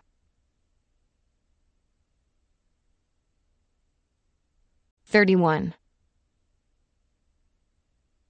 When I woke, I was still bleeding, and there was also a remarkable pain. Eleanor was home and she came into my bedroom and asked me if I was okay. I ignored her and walked into the bathroom. I locked the door and stayed inside for a long time. Eventually, I told Eleanor to please go out, to take my car and get as many rags as she could. Rags, she said. Why? Because I'm losing the baby. I heard her gasp. Just go. Because it had been vital for me to be practical, I decided it was all for the best. I reminded myself of the time I'd seen a picture on Big Sky's wife's Instagram during one of my morbid nights. I was doing cocaine in my apartment off of a Jimmy Buffett CD. I was scrolling through her feed, which was rarely updated and sparsely populated. But this night there was a new image. It was of a bathroom in what was surely the Montana Lake House their youngest son, just about a year old at the time, in a Japanese soaking tub. The walls surrounding him were made of smooth, knobby stones. It was early evening, and there was a fantastic light coming in, and you could see the sun out the window firing up the trees. Those sensational ponderosa pines that Big Sky was always saying he hated chopping down. It made him feel like a murderer. So, why do you do it? I asked. Because, he said, a family needs a fire. This child in the bath had no idea how lucky he was. The wife taking the picture had no idea who I was. What child could I bring into the world? You would only have had shower curtains with mold on the hems. We could only have stayed in damp motels, eating heather colored burgers and greasy potato chips as we counted our last dollars on the filthy carpet. I'd eaten too much caviar, and I hadn't saved for your future. I'd eaten too much caviar with men who didn't marry me. It was better like this, I thought as the blood rained out. Then a new contraction came, the worst one yet. I screamed so loud the sound might have colored the air. And then this thing, this palpable thing, released itself from under me. I caught it in my hand. It didn't look like an alien, but very definitively like a human child. The shape of it and the feeling of it. The eyes nearly sewn shut. I could see the dark balls beneath beautiful, tight lids. It was blue and red with organs, and its own pumping blood, close to the surface of its glossy flesh. The nose was the most exquisite I had ever seen. It fit in my palm and yet it was larger than the length of it. I don't remember. I only kept thinking it was large enough to live. I believed this with my whole being. You will have days when you think God is cruel, or what God is there at all. You may believe there is nothing. I believed, and then I did not. Whichever I felt on a given day, the only thing I was certain of was that I must have been wrong. That day I figured it must be a female god to give you gifts like these that cannot or should not be kept. A female god would know who could be trusted with a child, and she would also know who might need a moment's reprieve from the darkness. And then she would take the child back and place it into a real mother's womb and let it grow there. It had perfect hands, and I tell you this not to be sensational, but because it was perhaps the only pure feeling my heart had felt in nearly 30 years. One of its hands curled itself around my index finger, wrapped itself nearly all the way round it. My finger was so concretely, so shockingly held. I'd been held enough by my father in the short time I had him, but I had always pined after my mother's arms, her hands. I always wanted them to make a cap over my skull, to grasp me and suck me into her. But now to have my child, its little fingers, webbed still and yet delicately discreet, to have them press into me, to hold me. It was enough love to keep me for another 30 years. It recognized I was meant to care for it as long as it lived. I don't know why I keep saying it, because I knew very well, it was obvious, the child was a boy. I don't know how long he kept breathing in my hand like that. His ribs, ivory etchings beneath the gel of his skin, moved up and down in elegant puffs. With a finger from my other hand, I stroked his forehead. My baby, I said quietly. I felt peace and happiness. I knew it wouldn't last, but I allowed myself to feel it for as long as it did. When it was over, it wasn't sudden or dramatic. The breaths simply stopped. A small chill came over his body. My next emotion was rage. It was more well defined than the happiness because I was better acquainted with rage. At what? Everything. Everyone. I wanted to kill the world. I knew that at the very least I would kill someone. It was more than a premonition. It was a promise I could control. The rage was so great it needed to go somewhere. But for once, I did not have rage at myself. For once, I didn't hate myself. I loved myself as my child had. I saw myself as something greater than I thought I could be. And though certainly the feeling would fade, it still shone radiantly in that moment. Then suddenly from outside, I heard the familiar screeches if all the misfortunes of the world could be contained in one sound, it might be the bright hell of the coyote. Then I heard them make a new sound, an angry growl that sounded more like a human imitating an animal than an animal itself. I ran with my cooling child in hand to the door. Kurt the dog was being attacked by three slavering gray beasts. That dog had nothing to prepare him for his horror staring down the imminence of his own death. He'd been mistreated for the first year of his life and then sent to a kill shelter and had no idea he was set to die until he was saved by a young man with a love of the great outdoors.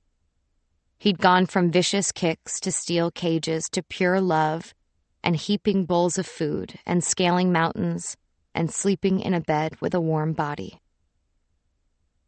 I saw River come running from his yurt. Then I looked down and watched as one of the coyote's teeth, glistening and white, caught on Kurt's fur. I saw the dog pull back and a strip of his furred skin come away from him. I screamed, and one of them came toward me. Everything was going so fast. I didn't think with my human brain, and so I suppose that's why I did the only thing that made sense. My hands released my glowing fetus. Everything stopped. The night went clear, a wash of starlight. I felt my knees buckle, and the dog ran into my house. Where's Kurt? River screamed.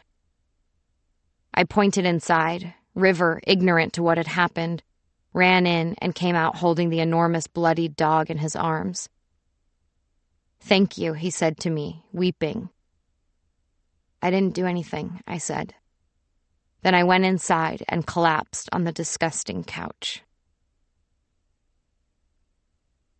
When I woke, Lenny was stroking my hand. I noticed he'd somehow turned the air conditioner off, perhaps with his cane like a geriatric crusader. hitting the switch on his first jab. Joan, he said, thank goodness. I wasn't sure if you fainted or what. My God, those vicious creatures. You're bloodied, dear. Did they get you? Did they nip you somewhere? They don't generally go after humans. I didn't say anything. I was very still. I thought about what those people with their normal lives would think about me now. I knew I would never be able to tell anyone, not even Alice. Nobody wants to hear about great suffering or anarchic decisions. They think it's an offense against their ears, their lives. I cleaned up your vomit from earlier. I understand you were embarrassed.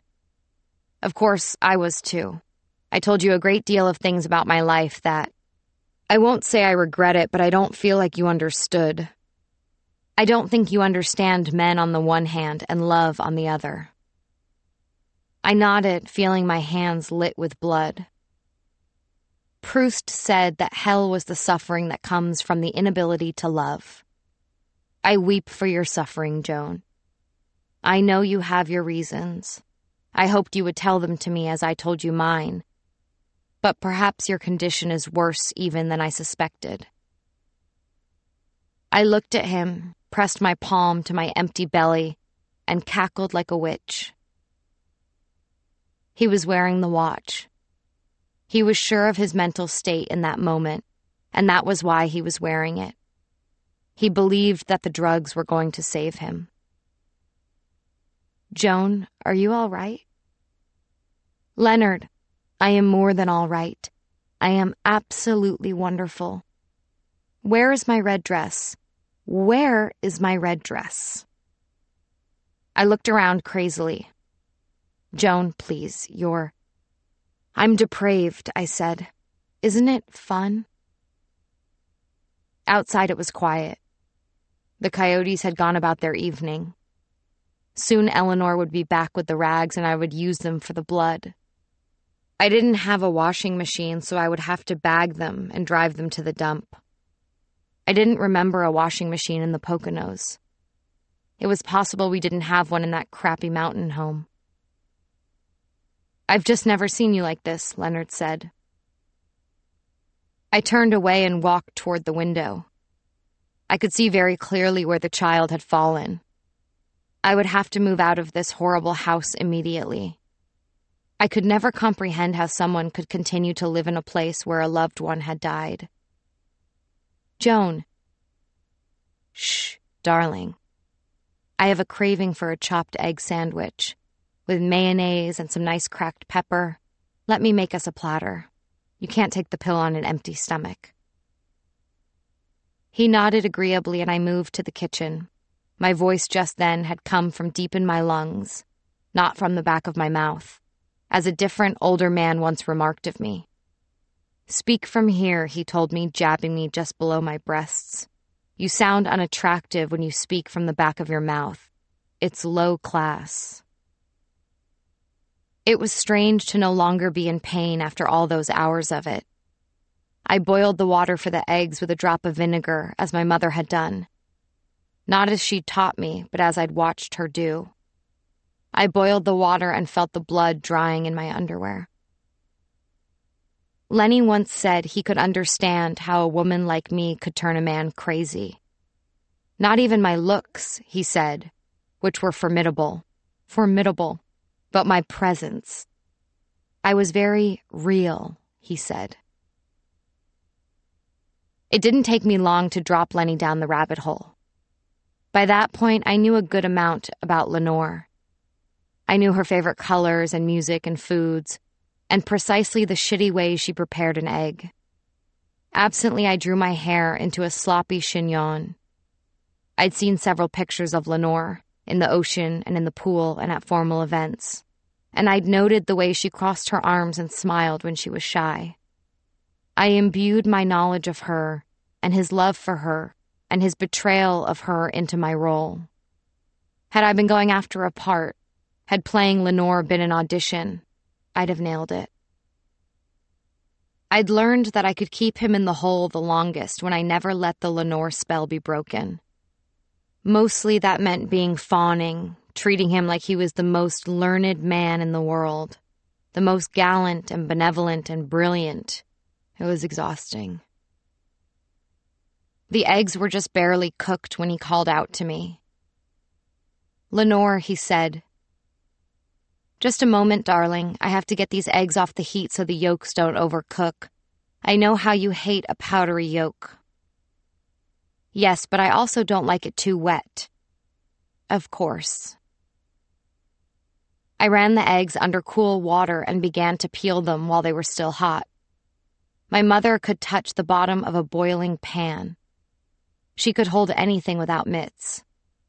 Indeed, her hands were calloused, but I always suspected there was something else at work witchery. I mashed the eggs between the tines of a fork. I added a tablespoon of mayonnaise and a teaspoon of horseradish sauce. I added smoked sea salt and freshly cracked black peppercorns. As I approached Lenny, he finally looked below my waist. Lenore, my dear, did you spill something on yourself? Not exactly. What is that? he asked, pointing to my thighs. Lenore, is that blood? I lost our baby. Oh, dear. But it's all right, I said, sitting beside him and taking his hands in mine. We'll try again. He nodded and looked all around the room. He wrung his hands as old men do. Was it painful, my love? Not too bad, I said. Sometimes it's for the best, you know. You're right, darling. You're right about everything. Oh, Lenore, that's kind of you. I've studied and read my whole life, my love. I come from a long line of wise men. Please, dear, try some of this egg salad. My Lenore, he said, not a woman of the kitchen. Well, you didn't marry me for my cooking. He nodded. He licked his lips. He brought his wrinkled hand around to rest on my rear, cool and wet with blood. Darling, you're aroused, he said. Oh, always when you touch me, you know that. But now is not the time. We wouldn't want to make a mess. Wouldn't we? he said, smiling impishly. I suppose I could lay down some sheets. Go lay down some sheets. I'll eat my lunch and be right behind you. My legs felt rubbery as I walked up the spiral staircase to the hottest bedroom in the world. I'd taken two Klonopin right before my child was born, and the effect was finally at work. I heard the wretched sounds of him eating, the dentures clacking, the whole mouth working to move the soft food down the throat. That noise was enough of a reason to kill him. My white dress was bright red from the waist down. It was rather lovely. I figured I could dye the whole thing red. I took it off and used it to wipe between my legs. I put on a clean pair of underwear and a green t shirt that said Montana on it. I would love to tell you it belonged to Big Sky, but it didn't. There was a night he came to my apartment wearing the same t shirt. After we fucked, as he was putting the t shirt back on, I was struck with the usual fear. He was about to leave. I never knew when I'd see him again. Every time could be the last time. He was going home to her. She got to have this man in this t shirt. I was naked in the bed, Listen, you must always be the first one to dress. This is obligatory. I didn't know to do that. Gosia hadn't lived long enough to impart that wisdom. We lie there naked after the other person rises because we can't bear to leave the space. We can't leave the sweat and the warmth because we love it too much. We love it more, nearly, than we love the asshole rising to put on his t shirt. Don't be the fucked one. Be the first to rise. Meekly, I asked, Can I hold on to that shirt? He laughed. I mean it. Can I have it? He continued to laugh and shake his head. Please, I said, hating myself. He left quicker than usual. He usually stayed long enough to come twice. The moment he was out the door, I opened my computer and bought the same shirt off the internet. Ponderosa pines on a green background. Lenore, are you ready? Lenny called from the bottom of the stairs. I looked down and saw the dirty plate on the table, the fork beside it. There were little mounds of egg salad on the table that he must have dropped as he spooned a second serving onto his plate. My father used to bring all the dishes to the sink. He even asked me to place my dirty clothes neatly in the laundry. If I left something inside out, he considered it disrespectful to my mother. Leonard wasn't the type to pick up his plates. He'd grown up with a live in housekeeper in some colonial house with a foyer table and fresh flowers every three days. Put that fucking dish in the sink, my love. I could have said anything to him as long as I did it in his sweet Lenore's voice. He stuttered something and dutifully bussed his dishes. Then I heard him make his way up the stairs. Remember when we met? Of course, I said. You were my boss. I didn't like you at first. You were married and ugly. Excuse me? You are ugly, Leonard. You are ugly, but it's okay. I was never ugly. That's true. You were never ugly. He approached the bed and unbuttoned his fine linen shirt. His hands were shaking with his disease. The full extent of his disability was revealing itself to me. The heat was too much for me to bear, and I couldn't imagine how he was handling it. He lay down beside me, shirtless. He wore nice khaki pants and simple black socks. Klonopin is a wonderful thing. Xanax, Ambien, they melt you down to your wolf tone. I remember the first night I read to you from Muldoon Incantata. Do you remember? Every stanza is a sentence, I told you, and you, silly thing, you hardly knew what a stanza meant. You wore a lime green dress. It suited you, but of course a paper bag would have suited you. He scuttled closer. His touch was odious, and yet Vic's had been worse. I could count on one hand the number of times we'd fucked traditionally the number of times I hadn't simply masturbated in front of him. I couldn't for the life of me call up the sound of Vic coming. Honestly, I felt like his love for me, what he thought was love, drowned out his lust. Len, I said. He brought his hand to rest over my belly. Yes, my life? I'm a whore, my love, a filthy, used up whore. So fuck me. You can feel how wet I am. Only whores are wet like this. He gasped and began to pinch at me with his old fingers, roughly and cruelly. How I missed my child. In the mere moments he lived, my child showed me how useless men could be. How boring, how selfish. This old man, this old killer. I groaned against the invasion of his hand on the place where my child had fallen, but he thought it was rapture. My rage was growing by the second.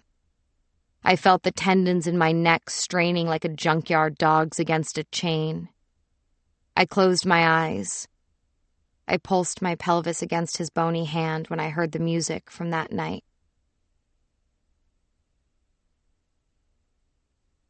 Thirty-two. My mother didn't know how to use the paltry sound system in the Pocono house. She barely knew how to drive. The only thing she understood was the Vanity Fair Circus Animals record player that belonged to me, with its fat orange needle in its own little suitcase. And that was the sound I woke up to that night. The Lion Sleeps Tonight by the Tokens, turned up as loud as the player could go. I was waking up all the time back then usually between three and four in the morning.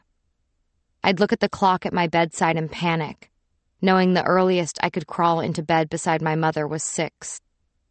I would have two or more hours of waiting, eyes on the ceiling, haunted by shadows against the window.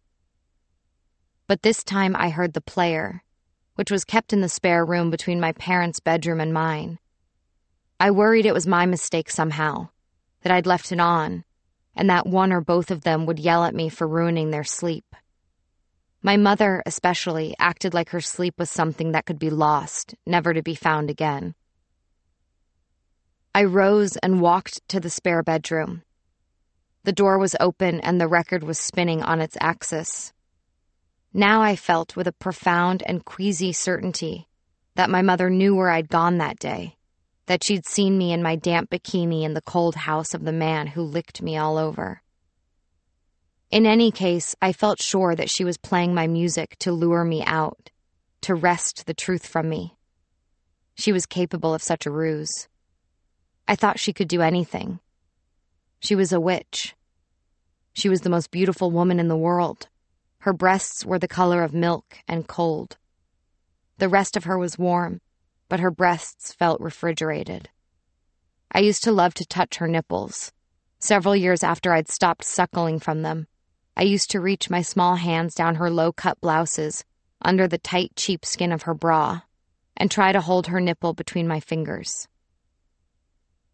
I turned the player off. All that remained was the whirring of the fan in my parents' bedroom. The door was closed, which was unusual. I figured they could be having sex. I wondered if part of sex was licking someone all over, as the man, Wilt, had done to me. It bothered me to think of what they might be doing behind the door. I also thought it was possible they were discussing where I'd been in the afternoon. I wouldn't have expected police to be involved, but I did think they were discussing whether or not to send me away to boarding school. My mother often threatened this when I was being bad. She told me they would ship me off with a small suitcase to a place up in the mountains, Castelrotto, where you had to drink goat's milk every morning and suck down raw egg yolks. Once she went so far as to drive me to the train station with my little She-Ra luggage packed haphazardly with shirts and socks and my favorite doll, Marco. I was seven or eight then and didn't know you couldn't get to Italy by train. I shivered and sobbed and began to hyperventilate as my mother strode up to the ticket seller. She took out her huge burgundy wallet, and I thought I was going to die. I began to scream. Even though my father was at work and would have had no idea of this cruelty, I screamed, Daddy so loud that nearly everyone in the vast hall turned to look. One of my mother's fears, the disapproval of Americans.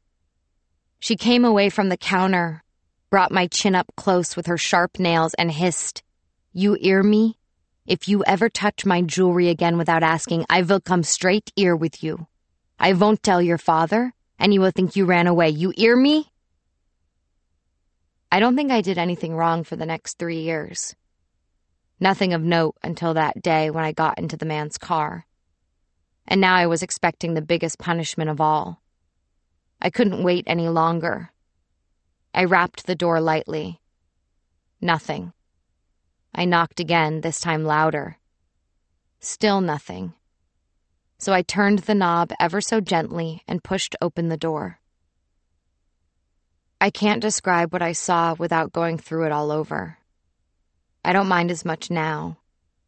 It used to be that even thinking about opening the door, cheap cedar stained mahogany, would send me retching into the nearest toilet. It was him, my beloved father, on the bed. The sheets were a tweedy brown, so the blood was merely a dark stain. My mother's reading light was on and illuminated the room just enough.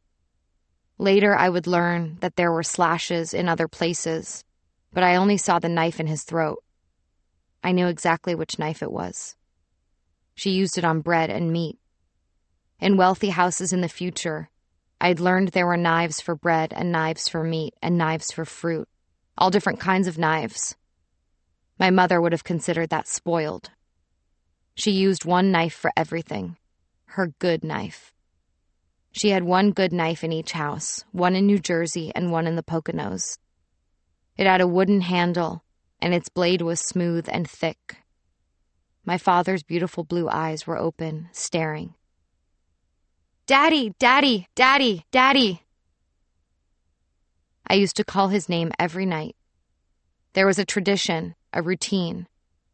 I waited near the window in the formal living room we never used, with the antique furniture and the fireplace maned in stucco. I watched through the drapes for his headlights.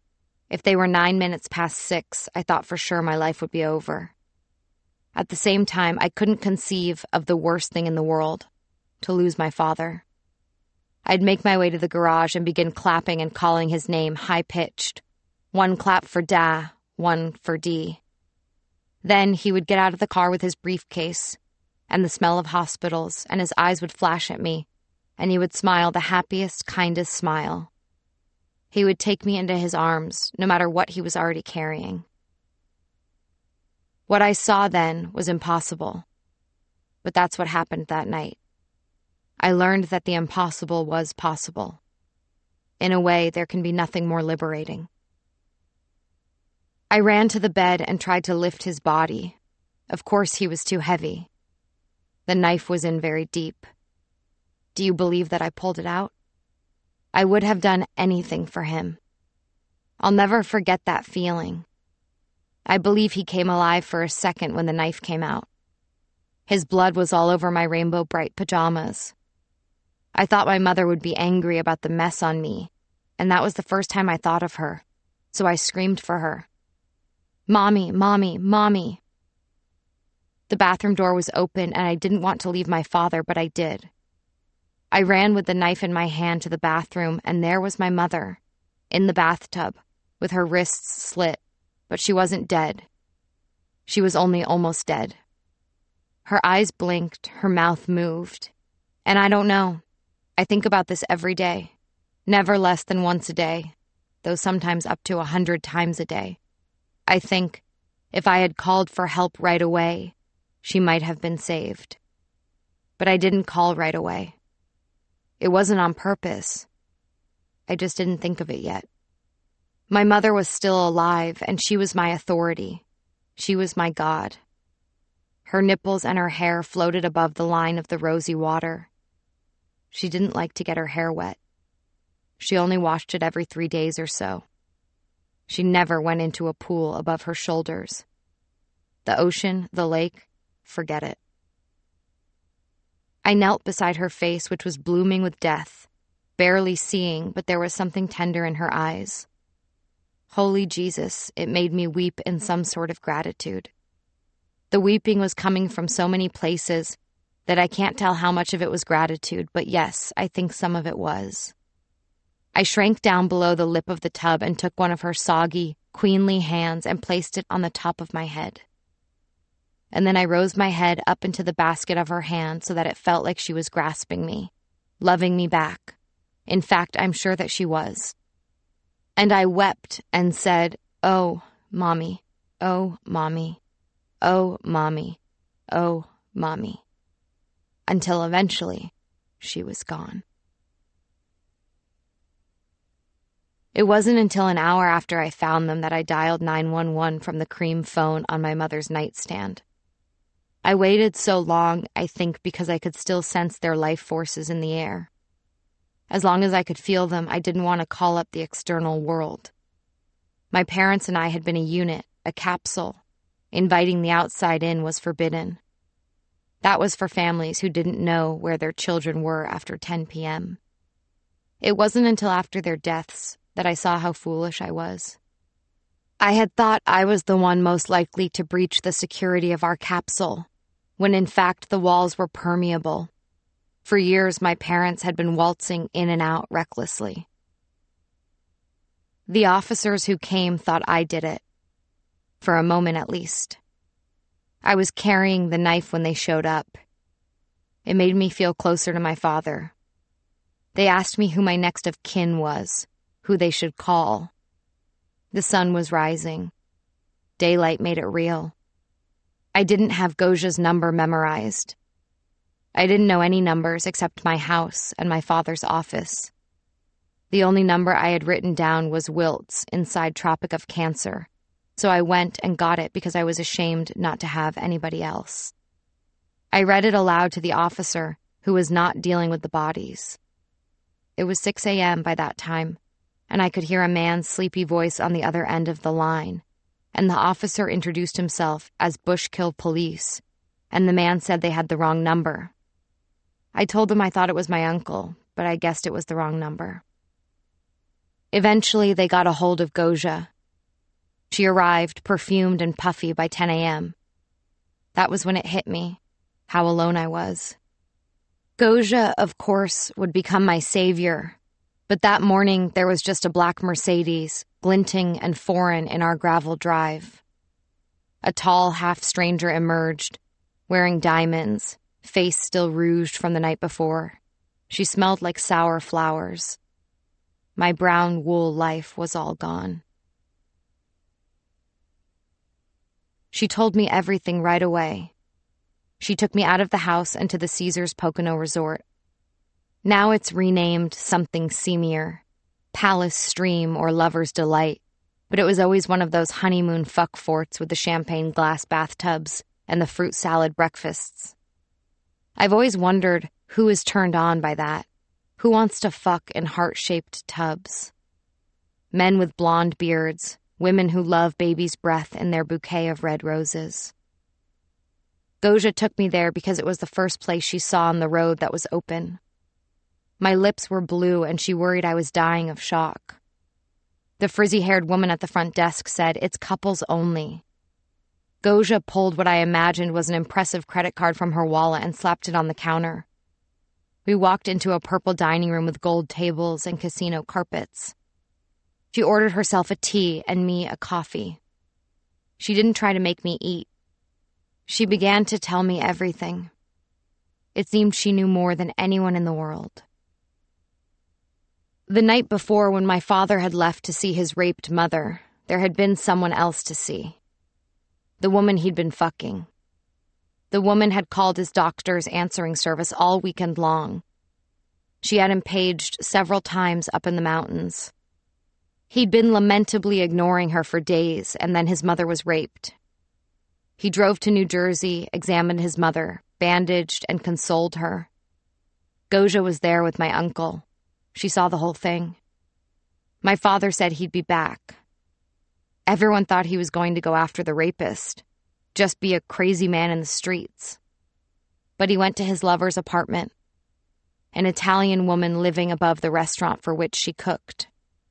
She was more than the woman he'd been fucking. Gosia told me he loved her.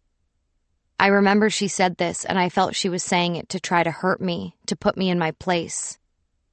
As a second wife herself, she wanted the first wives and first daughters to know they were replaceable. It wasn't until much later that I realized she had a more noble motive. This other woman was a beauty, even more beautiful than your mother. Black hair, blue eyes, blood red lips, metronome breasts, and much younger. He drove to her apartment in the middle of the night. This young beauty had something to tell him. She was pregnant. She said her child would not be a bastard living above an oven. She commanded him to tell my mother, to tell her that he loved her, that this was going to be his child too. She had some kind of hold over him, Gosia said to me in that purple room. I think how it has affected me that the two most important women of my life were heavily accented. Their voices like church bells resounding in my head. Your father loved women. He loved them too much. My father came home that next morning, having not slept at all. I wondered, even that day, I wondered if he had sex with his pregnant lover.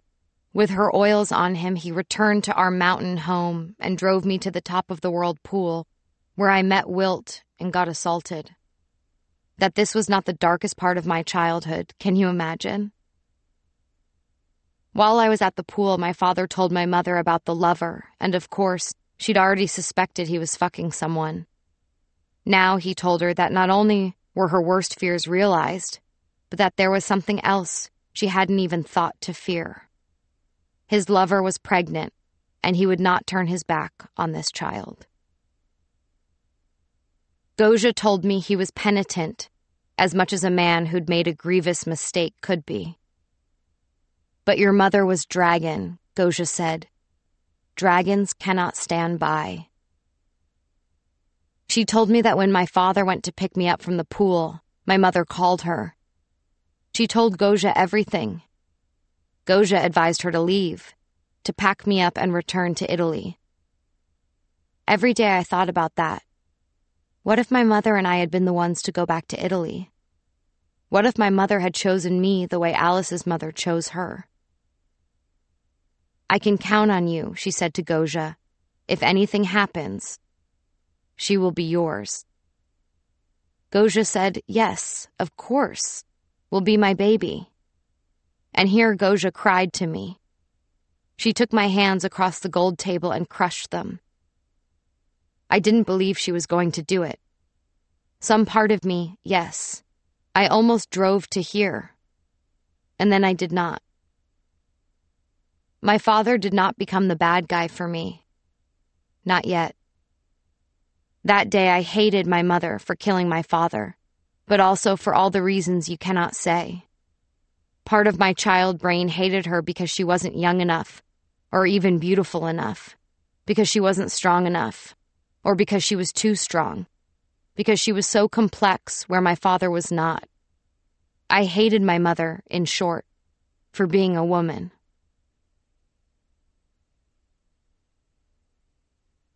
Thirty-three. In the bed beside me, Leonard's penis had grown rigid alongside my thigh. He was pressing it against me. Mmm, he said over and over, Mmm. I was still hearing The Lion Sleeps Tonight in my ears. I thought of my father making a child with someone, the selfishness, especially, to come inside another woman. All my life, all the men taking what they wanted and leaving when it was over. Big Sky, the slug in Marfa, my first bad man from the top of the world, the man who raped my grandmother, what my father did to my mother, what Leonard did to Lenore, what Vic did to his wife and their son and his daughter, what my father did to me. All the men from all the clubs and airplanes and dockside restaurants. All the fingers inside the waistbands of our underwear. I heard the door open downstairs. Go away, I hissed. Please, Eleanor called. She sounded like me, trying to get into my mother's bed. Please go away. I need to be alone. The door closed. Who was that? Leonard whispered, as though we were teenagers covertly fucking. A woman, a friend, nobody. You're so wet, Leonard said as he tried to push himself into me. Those words coming out of an old man's mouth. Were women blameless? I didn't care in that moment. I thought of my son, his thin, wet bones, the incorruptible gift of him. I felt close to my mother then, to feel her rage in me. I turned to face the old man, swinging one of my legs over his to pin him. I wrapped my hands around his chicken skin throat. I looked at the magnificent watch around his gaunt wrist. I would come to find out it was worth an inconceivable amount of money. More than Lenny had alluded to, perhaps even more than he was aware. I could feel Eleanor's presence outside the door. I would have invited anyone inside to watch. I knew what I was doing was fine, and I knew I could legitimize it, even to God. As Lenny was dying, he held my face in his hands. I thought he was attempting to strangle me back. He was about to speak, and I spat in his eye to make him stop. I would not let him have any more last words. I would never again be the basin in which a wretched man would bob about.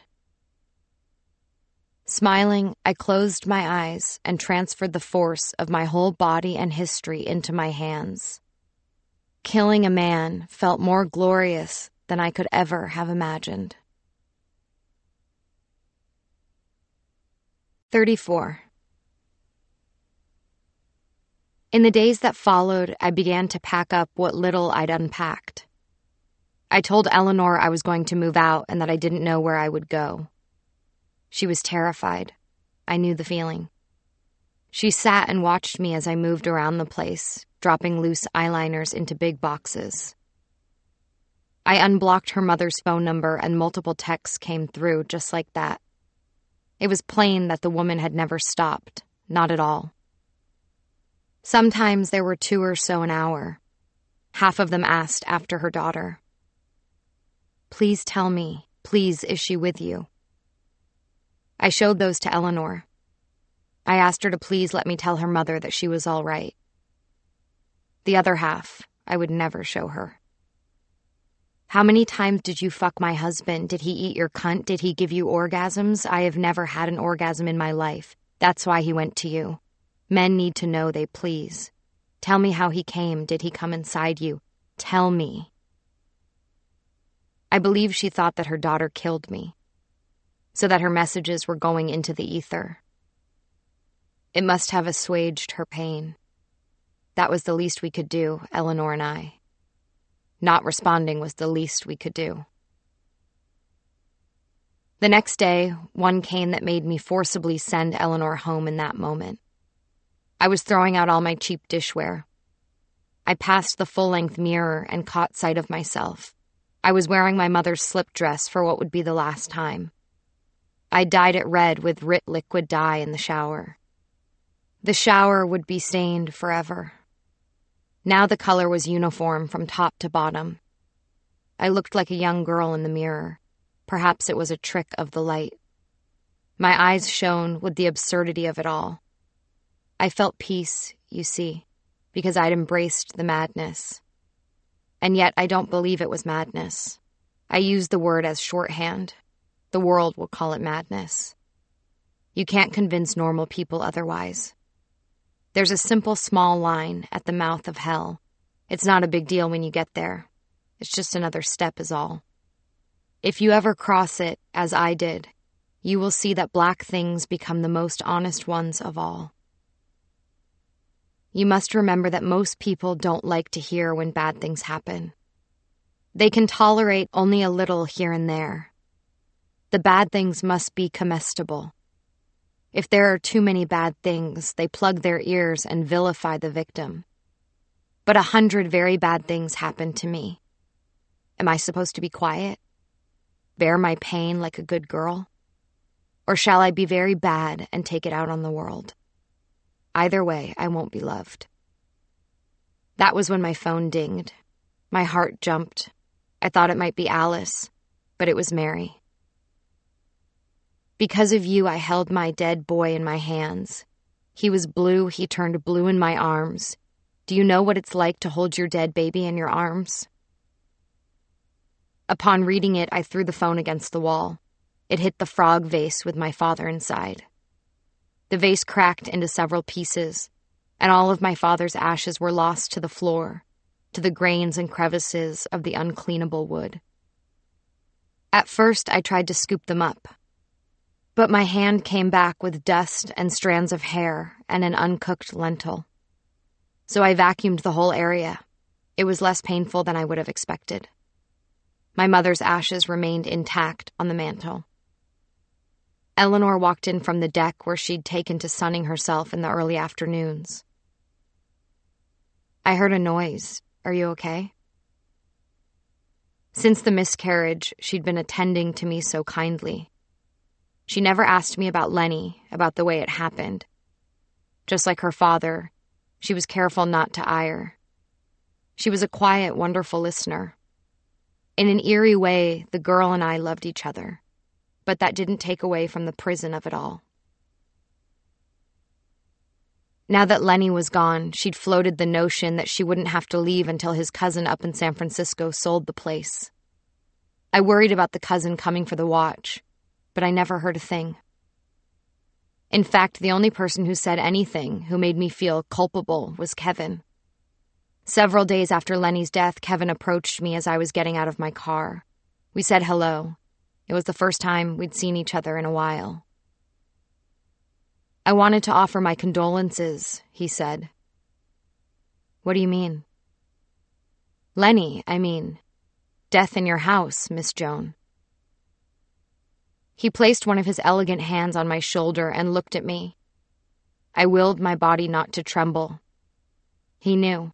I knew that he did. Don't beat yourself up about it.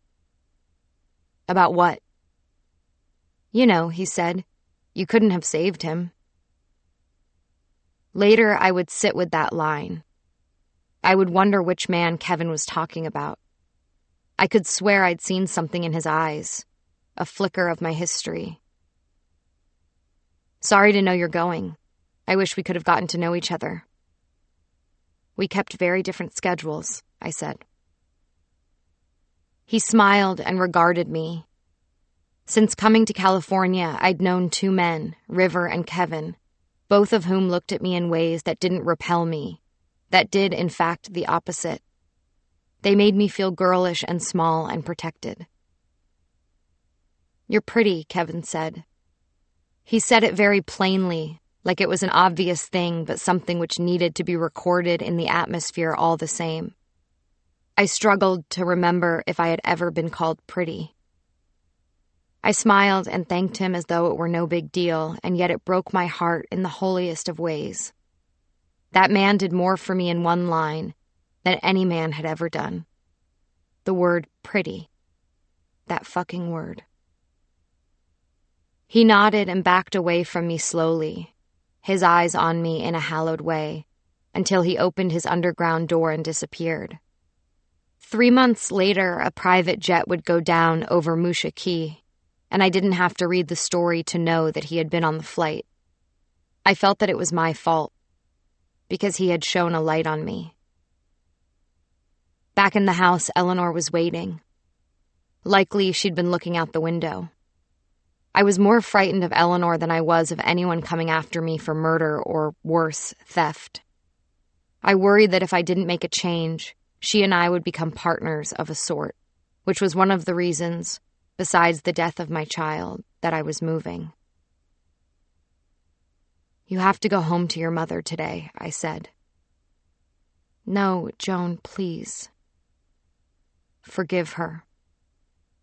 She began to convulse, saying please over and over again. I didn't know what to do, and so I took the red slip off my body. I stood essentially naked before the girl and took her into my arms, pressing her into my body as she wept. Then I pushed her back and handed my beloved dress to her. She was shocked. The only way I knew how to get people to leave was to give them things that meant something to me. I could afford to give up anything tangible, but I was scared to death to give my time or my heart. She drove her body back into my arms, and I stroked her hair and whispered in her ear, Eleanor, do you hear me? I'd give the world to have my mother back. And she was a real cunt.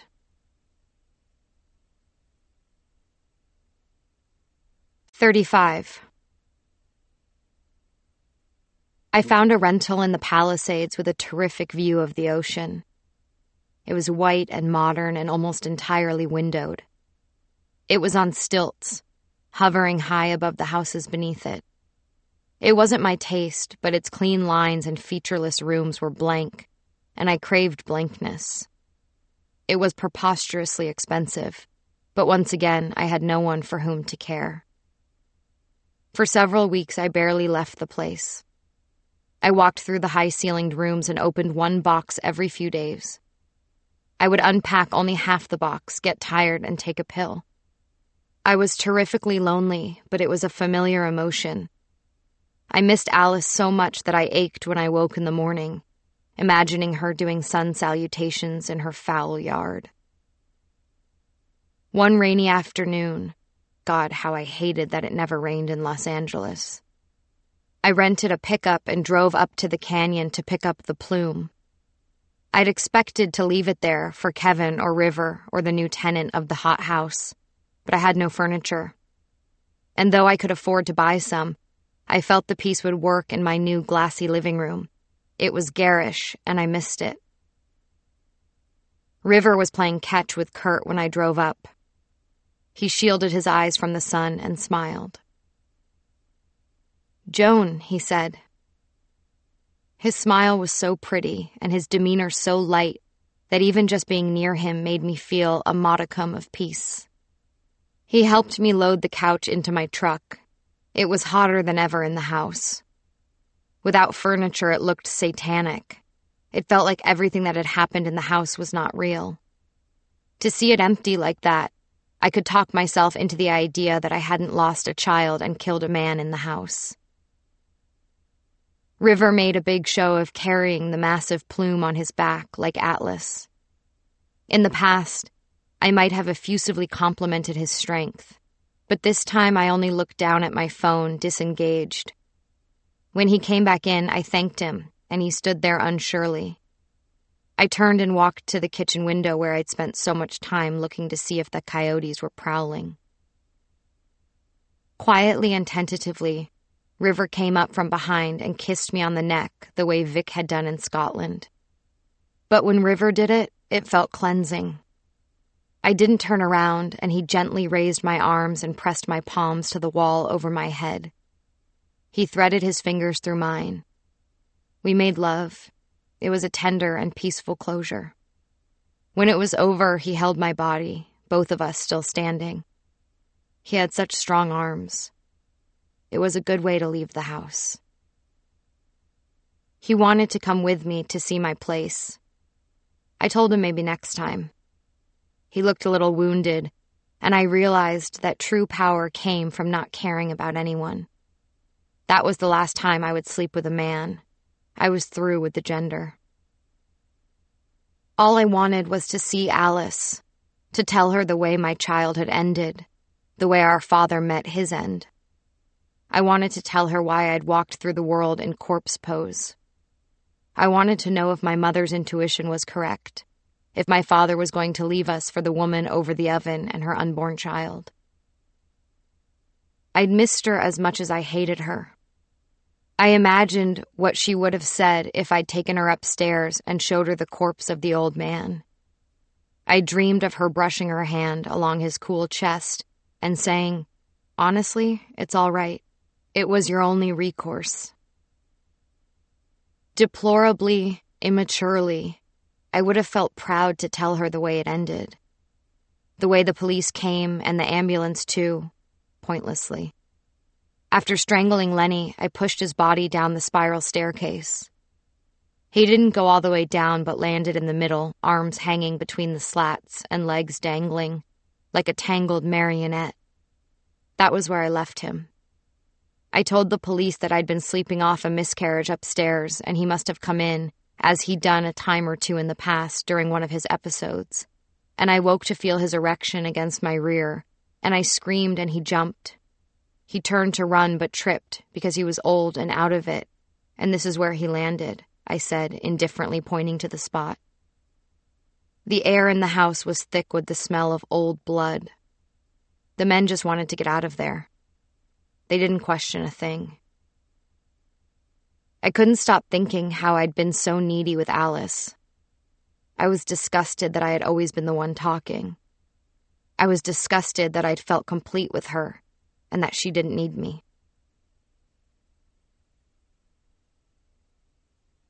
Thirty-six. Months passed, and I grew less and less human, but in a wondrous way. At least it was wondrous to me. My stomach was still sloped. I wasn't eating much, and yet I had a considerable gut. It seemed I was holding on to the fat, as I'd heard sometimes happened after a miscarriage. Then again, I had become appallingly sedentary. Days went by that I didn't comb my hair. I would never have to work again, or at least not for many years. It turned out Leonard's watch was worth not only more than his whole life, but more than those of his ancestors as well. I took the watch to an appraiser in the valley. He was so shocked when I laid it on his velvet tray that I thought he might pass out. I could have taken it elsewhere for a second opinion, but I didn't.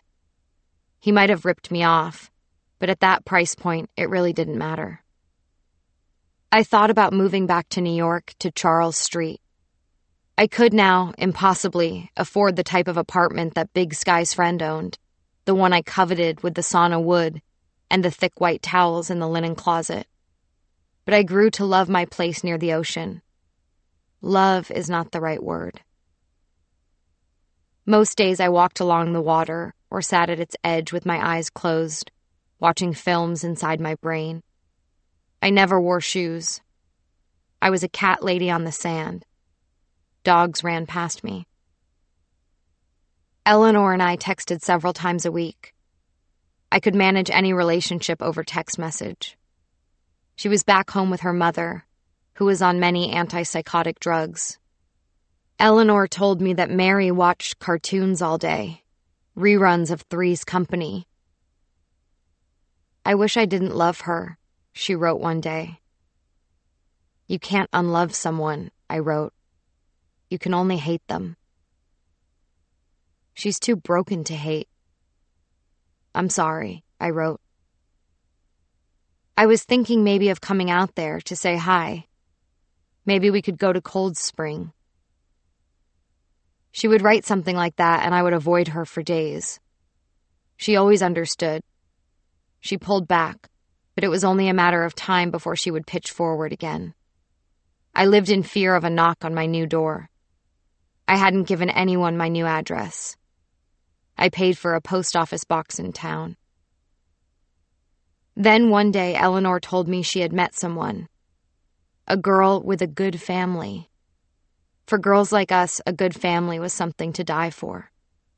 At length, she sent me a picture of herself and a woman in her late 30s outside the Freedom Tower. The two of them holding hands and looking at each other. I was so happy for her that I cried. Naturally and daily, I thought of killing myself.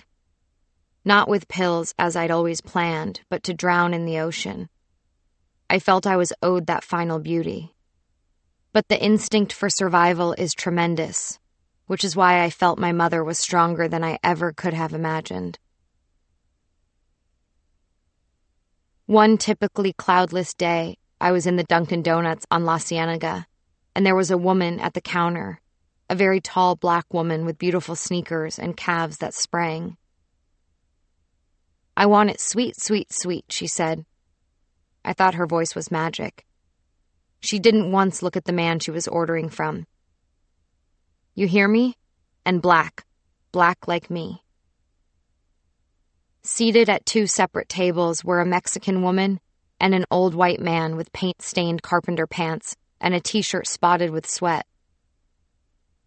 Hello, Billy, the Mexican woman said. Hey, Rosita, said the old white man. He never looked at her. You married yet?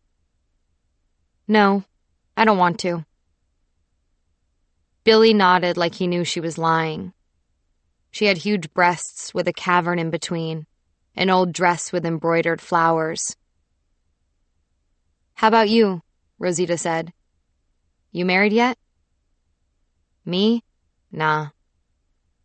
So, Rosita said, see? Why you asking me if I'm married if you ain't? Billy acted like Rosita hadn't said anything. At the counter, the black lady tested her coffee. Ain't sweet enough, she bellowed. I said sweet. It was that very moment that something hurtled into my body and tried to saw me apart from the inside. I thought I might finally die. But the pain subsided, and I could once again hear Rosita and Billy talking about how the one good thing about Los Angeles was that your mailboxes didn't get crushed by the snowplow.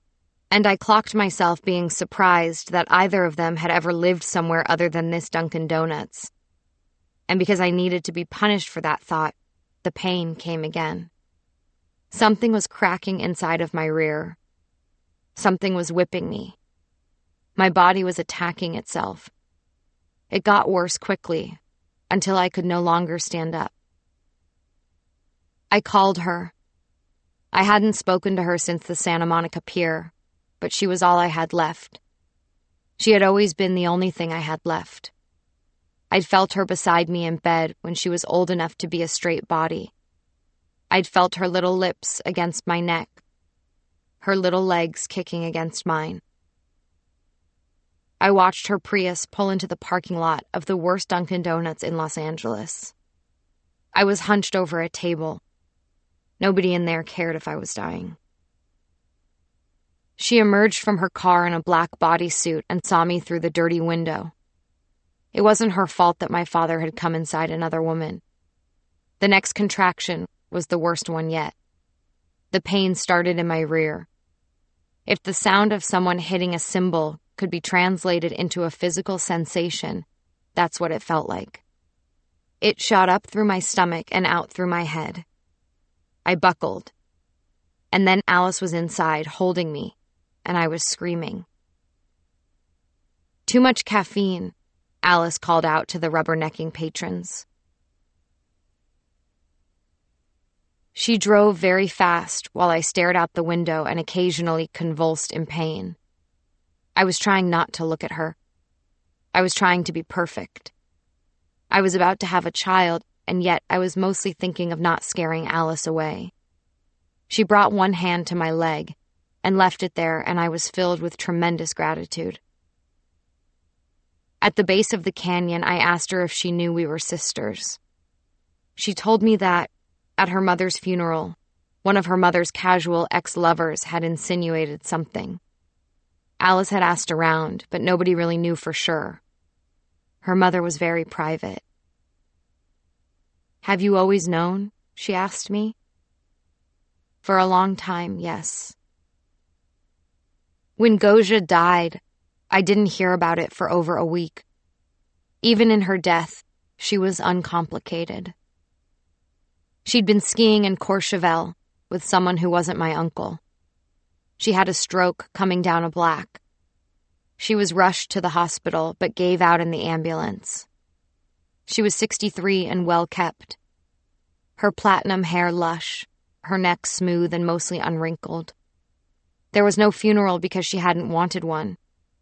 And there was no one stronger than her left standing, so nobody went against her wishes. In the end, she knew nobody wanted to make a fuss about anything. When someone was gone, there was nothing left to do. The carrying on was exhausting. The attending to tradition when you could be drinking wine and grieving in the sun. In addition to several trust documents and her own jewelry collection, Gosia had left me one other item a slip of paper in a sealed envelope. It was an airmail envelope but I don't think that meant anything. The slip of paper was crude, cut off of something larger. It was unlike Gosia, because all of her gifts, all of her gestures were grand. She didn't skimp or try to save money. The information on the slip was meant for a rainy day of sorts, and I think it was the only thing in my life that I went after at just the right time. On the outside of the envelope, she'd written, Wait until you need and inside the fold it had Alice's full name. It didn't say sister, but of course I knew. As for Alice, she knew she was conceived illegitimately. She knew her father had an affair with her mother. But at first she didn't know there was another child already. Her mother told her that her lover and his wife were childless, that the wife couldn't have children. But in addition to the ex lover's insinuation, Alice found some letters that alluded to a child. She said that the first time I went to her yoga class, she felt a strange tug. It was like magic, and it frightened her.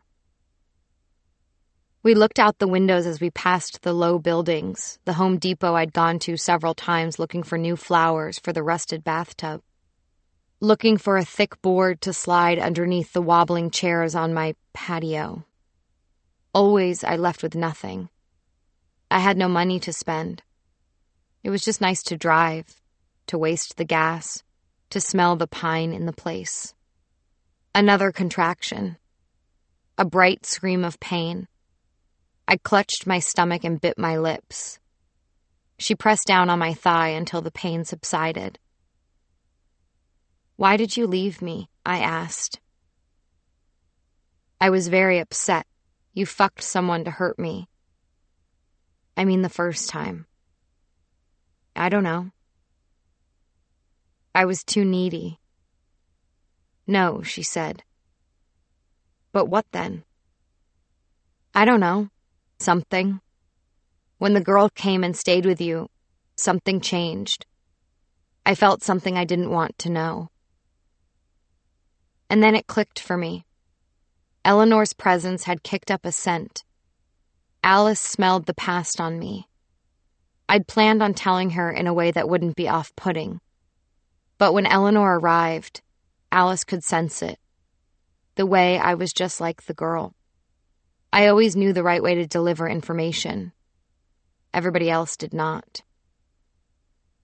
I think I know the reason, I said. What reason is that? I came to California to tell you. What? she asked. I just want to say, I felt so bad when you left. I loved, I love you. I worried she wouldn't say it back. I would have come back, but then you fucked him. That was disgusting of me. I thought I loved him, she said. But he's very stupid. We laughed. She took my hand and held it tight. She drove with her right hand on my left knee. Joan, I love you too. We looked at each other. The car almost went off the road. Another contraction split me down the back. We had so much to talk about that we didn't pay much heed to the fact that I was in labor. Do you want to know something crazy? I asked after it passed. She nodded and said, Of course she did, and I started with how Vic had cheated with someone before me. And she laughed for a long time. She said, Now do you see I was right? Then I told her I killed Lenny. I asked her please not to leave me again because of that. I told her how I did it, that it was practically an accident. After the shock wore off, she told me it sounded like a true accident and that I should think of it as such. Then she said, It's all right, Joan.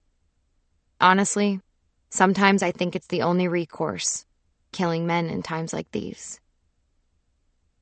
She said it destroyed her that she'd never met our father, and she wanted me to tell her all about him. Her mother had told her some. They would sit and drink PG tips and look at the cows in the pasture across the road and talk about his swagger, how he saved lives. Her mother told her how once he'd brought her soup when she was sick with a cold. He'd brought her chicken soup from the drugstore reps. He'd specifically requested they bring the best chicken soup in the world, and he arrived at her little place above the oven in a white lab coat, and she was delirious with a fever and she felt like she was in heaven and he was God. That's how society makes us look at doctors, I said. But there were also the nights our father kept her waiting. The nights he never showed up because of his wife. It was strange to think about where we'd been those nights. Had we been at Maggie's pub? Another contraction tore through my bowels. There was one night, she continued, one night in particular, my mother told me about. She'd made this soup, this pea stew. She spent the whole day. She used the basil she was growing in a little clay pot against the window. And our father never came. He never called. She smashed the pot of basil against the windowsill. Her whole hand was cut up. She told me she went to bed without cleaning it. When she woke up the next morning, she swore she would never be hurt by him again. She swore she would not pass that pain along to her child. I laid my head against the cool window. Who knew how Alice's mother might have acted had my father done to her what he did to mine? I'd come to learn, in any case, that it wasn't my mother who was weak. It was my father who was weak to his own trivial needs. It was my father who had driven my mother mad. But once again, mad is not right. The world had set me up to believe that it was women who went mad. It was simply women's pain that manifested as madness. Staring straight ahead at the road, wavy with heat, I spoke very quietly. Do you want to know how our father died? I asked. What do you mean? she said. He didn't die of cancer. How did he die then? My mother killed him. She stabbed him many times with a regular kitchen knife. And then she slit her wrists in the bathtub. It looked like every movie you've ever seen, and yet it was my mother. And our father was on the bed. He was in the pajamas I gave him for Christmas. They were wool and brown with four leaf clovers. Nobody in my family was Irish. Why? Because of your mother and you.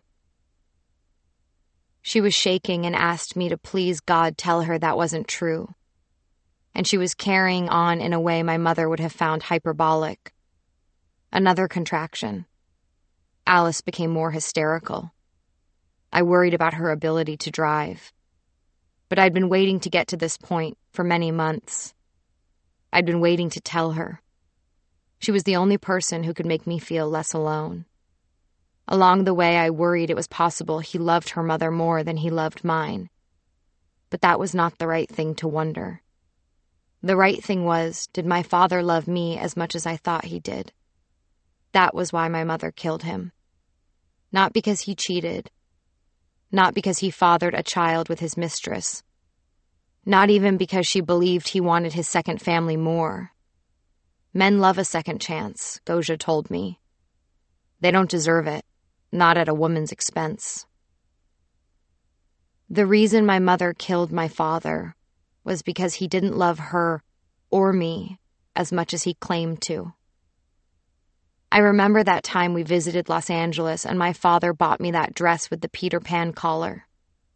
I saw it in the store and loved it, and my mother said I couldn't have it and then later that night at dinner, he passed a shopping bag across the table.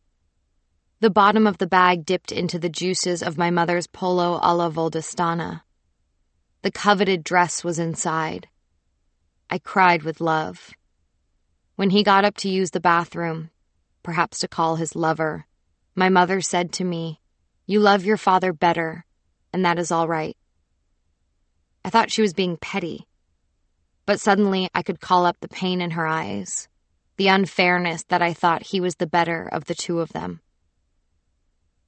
My father did not love one family more than the other.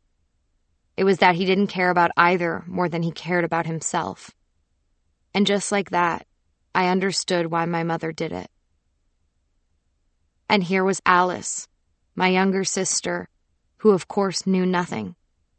I'd imbued her with a sorcerer's wisdom and she was only a child. All she knew was happiness, the gift of a mother's love that had never spoiled. I wanted to give you that. I wanted to be good. I knew at the very least that I would be better. Did she plan it? No, I said. I don't think so. I also don't think she planned on killing herself.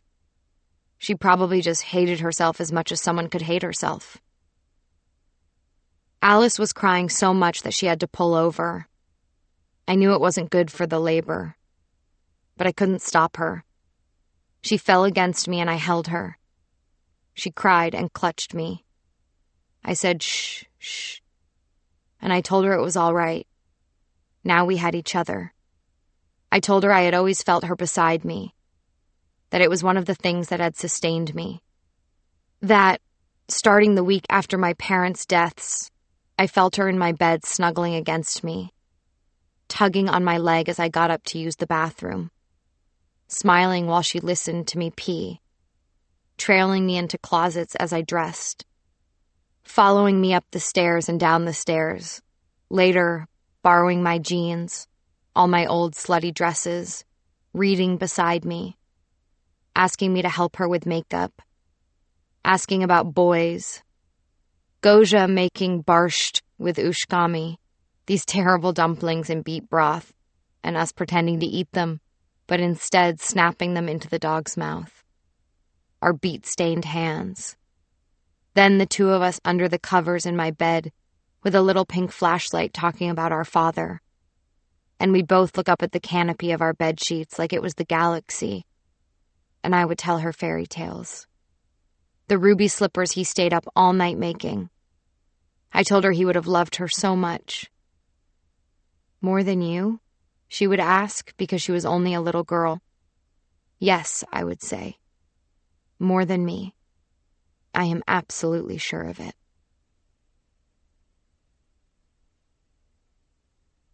Thirty-seven. I want to tell you about Big Sky's wife, who one Thanksgiving, right before all their guests arrived, dropped the carving knife on her foot and it went right through the nail of her big toe. Theatrical blood blooming across the slate. I tried to think of what my mother would have said. She would have said slate was impossible to clean, that it would always be filthy. Big Sky told me the story how he asked his wife if she thought she definitely needed to go to the hospital. He'd just had his first martini, the nice one before everyone gets there. And this was Montana, where you don't want to leave your house unless it's to go to the river or the mountain. I remember thinking, You are not a good man, thank God. But I only thought it then. It went away when he made love to me, and I didn't think of the story again until years later. In the hospital, Alice wrote herself into the intake sheet as my emergency contact. In the car on the way to the hospital, she'd asked me who the father was this time. I told her the truth. I thought she might turn from me once more and forever. But she didn't. Look at you, she said. You thought you were barren, but you could barely last a month before you got knocked up again. Slut. While we waited, I asked Alice to show me a picture of her mother. She pulled one from her wallet. Her mother, Francesca, had thick caramel hair like Alice's. She was leaning against a stone rail off the side of a Tuscan motorway in a green wool sweater and a corduroy skirt. She was not more beautiful than my mother. They were both beautiful. In triage, my stomach felt like it was going to come out of me like I was going to give birth to all my organs instead of a child. A male nurse took my blood pressure, and it became clear that the awful pain was not just part and parcel of back labor. I knew you were too young, but I never expected it to go badly. Not again. The nurse walked away to get a doctor, but no one came for minutes. Alice screamed, My sister is sick. When they finally got me into a room, the blood was gushing and the contractions were otherworldly. A mustached doctor came in, seemingly unmoved. He talked to me like I was poor. He wore a wedding ring and a college ring. He asked me who the father was. Why does it matter? I asked. He nodded and told me my child was very young, too young, but that was that. It might be okay, he said, but it might not. The contractions came for many hours, but you wouldn't come down, and I was too ill to wait. Still, they didn't want to cut you out of me. They said the longer in there, the better, like you were a piece of undercooked bread, and the heat inside of me, even just a contact warmth, was better than your coming out, exposed to the newsprint colors in the air here. I have shown you the wreckage of my relationships. I know you won't make the same mistakes. I can feel how strong you are inside of me. I want you to know you were born of a tender union, a short but kind one. It was meaningful in the bedroom, if nowhere else. And it was the first time I used a man for something I actually wanted and not for something I thought I needed. I heard one of the nurses say, It's taking too long, we might lose her. I didn't know if they were talking about me or you. They acted like it was the end of the world, your being so young. But I'd already seen the end of the world, and knew better than they did. I knew you would live. One nurse, a peaceful woman, cleaned my face with alcohol, and smiled at me like she loved me. She pressed a cold cloth over my forehead when the contractions came. Hold on, baby, she said. Hold on a little bit longer for me, baby. She had small elfin ears and a page boy haircut. When you were ready, you were so small that I barely had to push. I didn't catch you in my hands. The peaceful nurse did, while I was off somewhere in my head. I was thinking about Alice, how she would make a good mother, that she would play the right games with you. Hold your head under the bath spigot so that water didn't get into your eyes. I wasn't delicate like she was. My mother was not delicate either, only warm bodied and withholding. Your daughter, your daughter, they kept saying, look at your daughter. It was a boy, the other one. I won't call him your brother because I don't think he was. I like to think it was you. I have to think of it that way because the alternative is hell. That it was a part of you that you didn't need to bring. And that part of you, like a vestigial organ, was made to disappear. That's what my father once said of a medical bill. That's how he met Alice's mother, by the way. Alice's mother brought in a Mexican friend of hers who worked in the kitchen. The friend had a growth she needed removed from her neck. They had to work quickly, and the surgery cost in the tens of thousands. She was an illegal immigrant. I remember my father coming home that night. I was eight years old. He came through the garage, and I clapped for him. And over a dinner of pizzaiola, he told us about how two unfortunate women came in two cooks in a kitchen, and one of them had a growth, and they saved her in the nick of time, and he made the bill disappear and the other one was so grateful. She cried and cried and said, Bless you. They were each other's only friends in the world, my father said. Or America, in any case. My father is such a good man, I thought. Gosia never told me anything bad about my father, nor did she really say good things about my mother. And she rarely said anything about herself. I don't think anybody could have done a finer job than she did, given the circumstances. I was 10 years old, and she was an Austrian pessimist, childless by design. She had lovers in stone cities, and her husband, my uncle, was inconsequential. She tried to lead by example, but she also left me alone with what to make of my life. She held me when I screamed, but she didn't tell me how to feel so that a callus could form over my past. It took meeting Alice to understand the precise ways in which I'd been affected. How the night of the killings informed all that I did with men and all that I didn't do with women. My mother couldn't keep my father. Can you imagine that that had once been an actual thought in my head? Look at your daughter. There was a long period after they died when I could call them up. I could feel like they were holding me in bed. I was able to do this most easily with sleeping pills.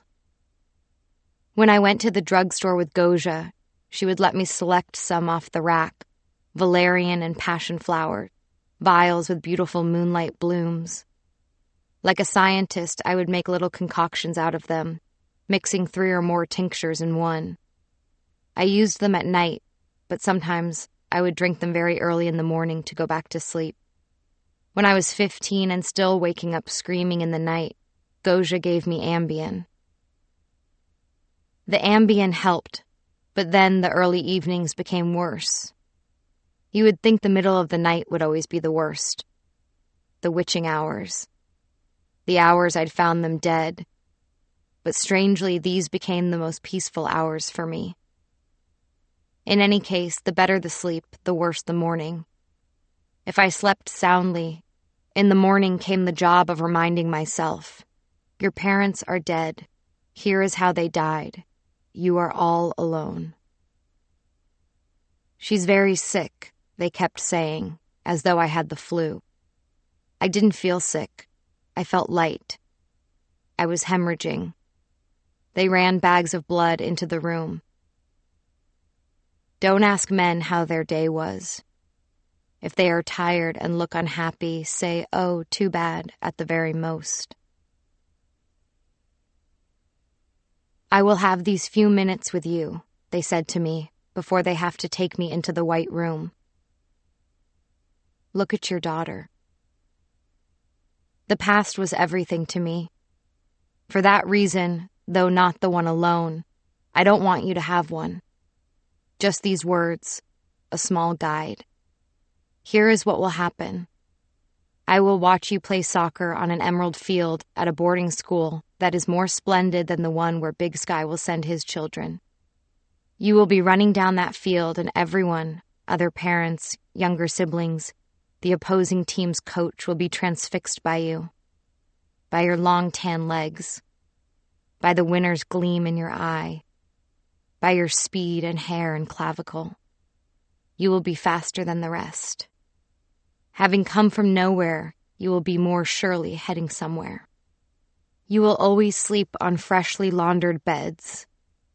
You will eat wedges of lemon cake on English country estates and drink iced tea with woolly leaves of mint. You will vacation in the best places. Not just the good names, but places even the very wealthy barely know about. You will have enough money for most of your lifetime. You won't outrun it as I did. My mother left me all her jewelry. She left it for me in her boxes of hair color, which she hid all over the house. Clairol and Wella, and some old stained boxes of Feria from Harmon Cosmetics. There were thick gold chains with crucifixes and emerald rings, ruby and platinum bracelets, and the famous 32 diamond ring, which we used to count together all the diamonds. Later, I learned they were just chips and not very clear. There were also, I remembered, the little rosebud earrings that Alice had too. I think that was the part that made me feel for my mother the most. That my father bought her and his mistress the same little rosebud earrings. Perhaps they had been on sale. Two for the price of one. The whole bounty wasn't worth too much, but she used to tell me that she'd come back from the grave and bite my feet if I sold it. I didn't sell it. You may if you wish. I don't care if you keep it or not, if you wear it around or never do. My mother was too much for me, and she didn't even live past my 10th year. I couldn't stop thinking about all of her things. All the books she read at the town pool, wimpled from the wetness of my dripping hands when I went to hug her. Romance novels with tiny print crowding the pages. The times we went to amazing savings, cartons of cheap things in dusty plastic packaging. Tulips. God, how my mother loved her tulips and her copper pots. I polished them for months after she died until the house was sold. Gosia would have let me keep them, anything I wanted, but in the end, what I wanted was all of it gone. Look at her, your daughter. They wiped you off and brought you to my breast. You felt vaguely amphibian. I didn't want to look at you yet. I wanted to savor the feeling. I wanted to delay the gratification because I knew I would keep living until I got it. They would need to take you away, put you in an incubator and heat you. They were going to take me away too. We were going in opposite directions. I want to tell you how bad that was for me, but I can't describe it. They said five minutes. Take this time. You should have this time. Finally, I looked at you, and I gasped because I saw that you were her. You were the girl in all of my dreams. You were on the Grecian seaside looking out of portholes. You were in the fast food parking lot waiting for me to come back. You were two and three and four and five. You were ten. You had been there since the beginning. And since the beginning, someone has been trying to take you away. I told the nurse closest to me that I wanted everybody out of the room, I didn't want Alice to come in, though at that point they would have let her. I'd been waiting for a long time to meet the daughter of my father's mistress. And I didn't hate her. I loved her. But this hard life of mine was not meant to lead me to Alice. I didn't come here for her. I came for you. I waited until they were all gone, and then I took your body in my hands and held you to my chest. I wanted to put you back inside of me. I ran my finger down the perfect slope of your nose and cried out the way I had after that first date with Big Sky. That primal, unlivable ecstasy. But this time the love was real. I could already see you wouldn't need much from anyone. Your mouth rooted around for seconds before your lips sealed around my nipple. Then your eyes slipped open and you looked at me. Your eyes, you have the teal eyes of a mermaid. Your face is indisputably stunning. Nobody will be able to look away from you, the way that I could not look away from you. Now that I'd seen you, I couldn't bear never having you in front of me. No matter what, at some point I will not be there. I see you in the parking lot of a fast food restaurant. You are getting out of the Dodge Stratus and cupping your hands over your eyes. You're looking for me. I know I am here and you are there, but still I strain my eyes trying to see inside the store, thinking there is no way I left you in the car. I wouldn't do that if I were there. Please go into the store, I think. Go into the store and ask for me. Tell them I'm your mother. Tell them you can't go to anyone else, even if I'm dead. You can eat some food if they give it to you, but you can't go home with any of them. I go inside your ear and whisper, Not even Alice. I have told you many things, but I have this other memory. It is the best one I have. I was five or six and sleeping in my parents' bed on the sheets with the print of the big fat cat. My mother didn't like cats, so I don't know why she bought the sheets. Probably they were on sale at Marshall's. I was sleeping in a butter yellow dress with lace trim, and I was very tan. We had just come back from Italy, where I was outside in the sun all day with the boys and the farmers and the little goats. And I suppose the most important part of this story is that I don't have an actual memory of it. All I have is a picture. My mother took the photograph with her cheap but reliable Minolta. Probably it is the early morning, and she thought I looked beautiful. I did, with my dark hair about my face and my pink lips lightly parted and my smooth cheeks. Besides the jewelry and some of her finer dresses, the shower caps and soaps from hotels, and all of the good handbags he bought her. That was the only other item I kept from her things that she kept it, that she took the photograph at all, was the thing that sustained me for so long. The past, you see, was all I had. As much as I see myself gone, I can just as clearly see us in that fast food parking lot. It's close enough that I can feel the sunshine on the macadam and inhale the orange smell of the food inside. I look over and there you are, staring at me in this way. I can't believe you're really there. You're more real than I dreamed you. And you're looking at me like I'm your mother. We will enter the drive through and you'll whisper your order to me. I'll add two chocolate shakes and a box of fries to share. Then we'll park. You'll have my mother's golden waves and my father's astonishing blue eyes. We will drop shredded lettuce into the seams of our seats and laugh, and you will tell me to chew with my mouth closed, because suddenly I reverted to one of my mother's peasant habits. We will have money to live well, and yet we will eat dirty things in dirty cars. We will never lie to each other.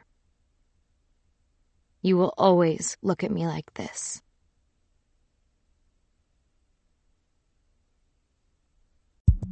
Animal, a novel, was written by Lisa Taddeo and read by Emma Roberts. It was recorded by Stephen George at the Invisible Studios in West Hollywood. Editing, mix, and post-production by Glencorporated. Tiffany Ferrari was the associate producer. Animal was produced and directed by Erica Weintraub. This has been a presentation of Simon & Schuster Audio.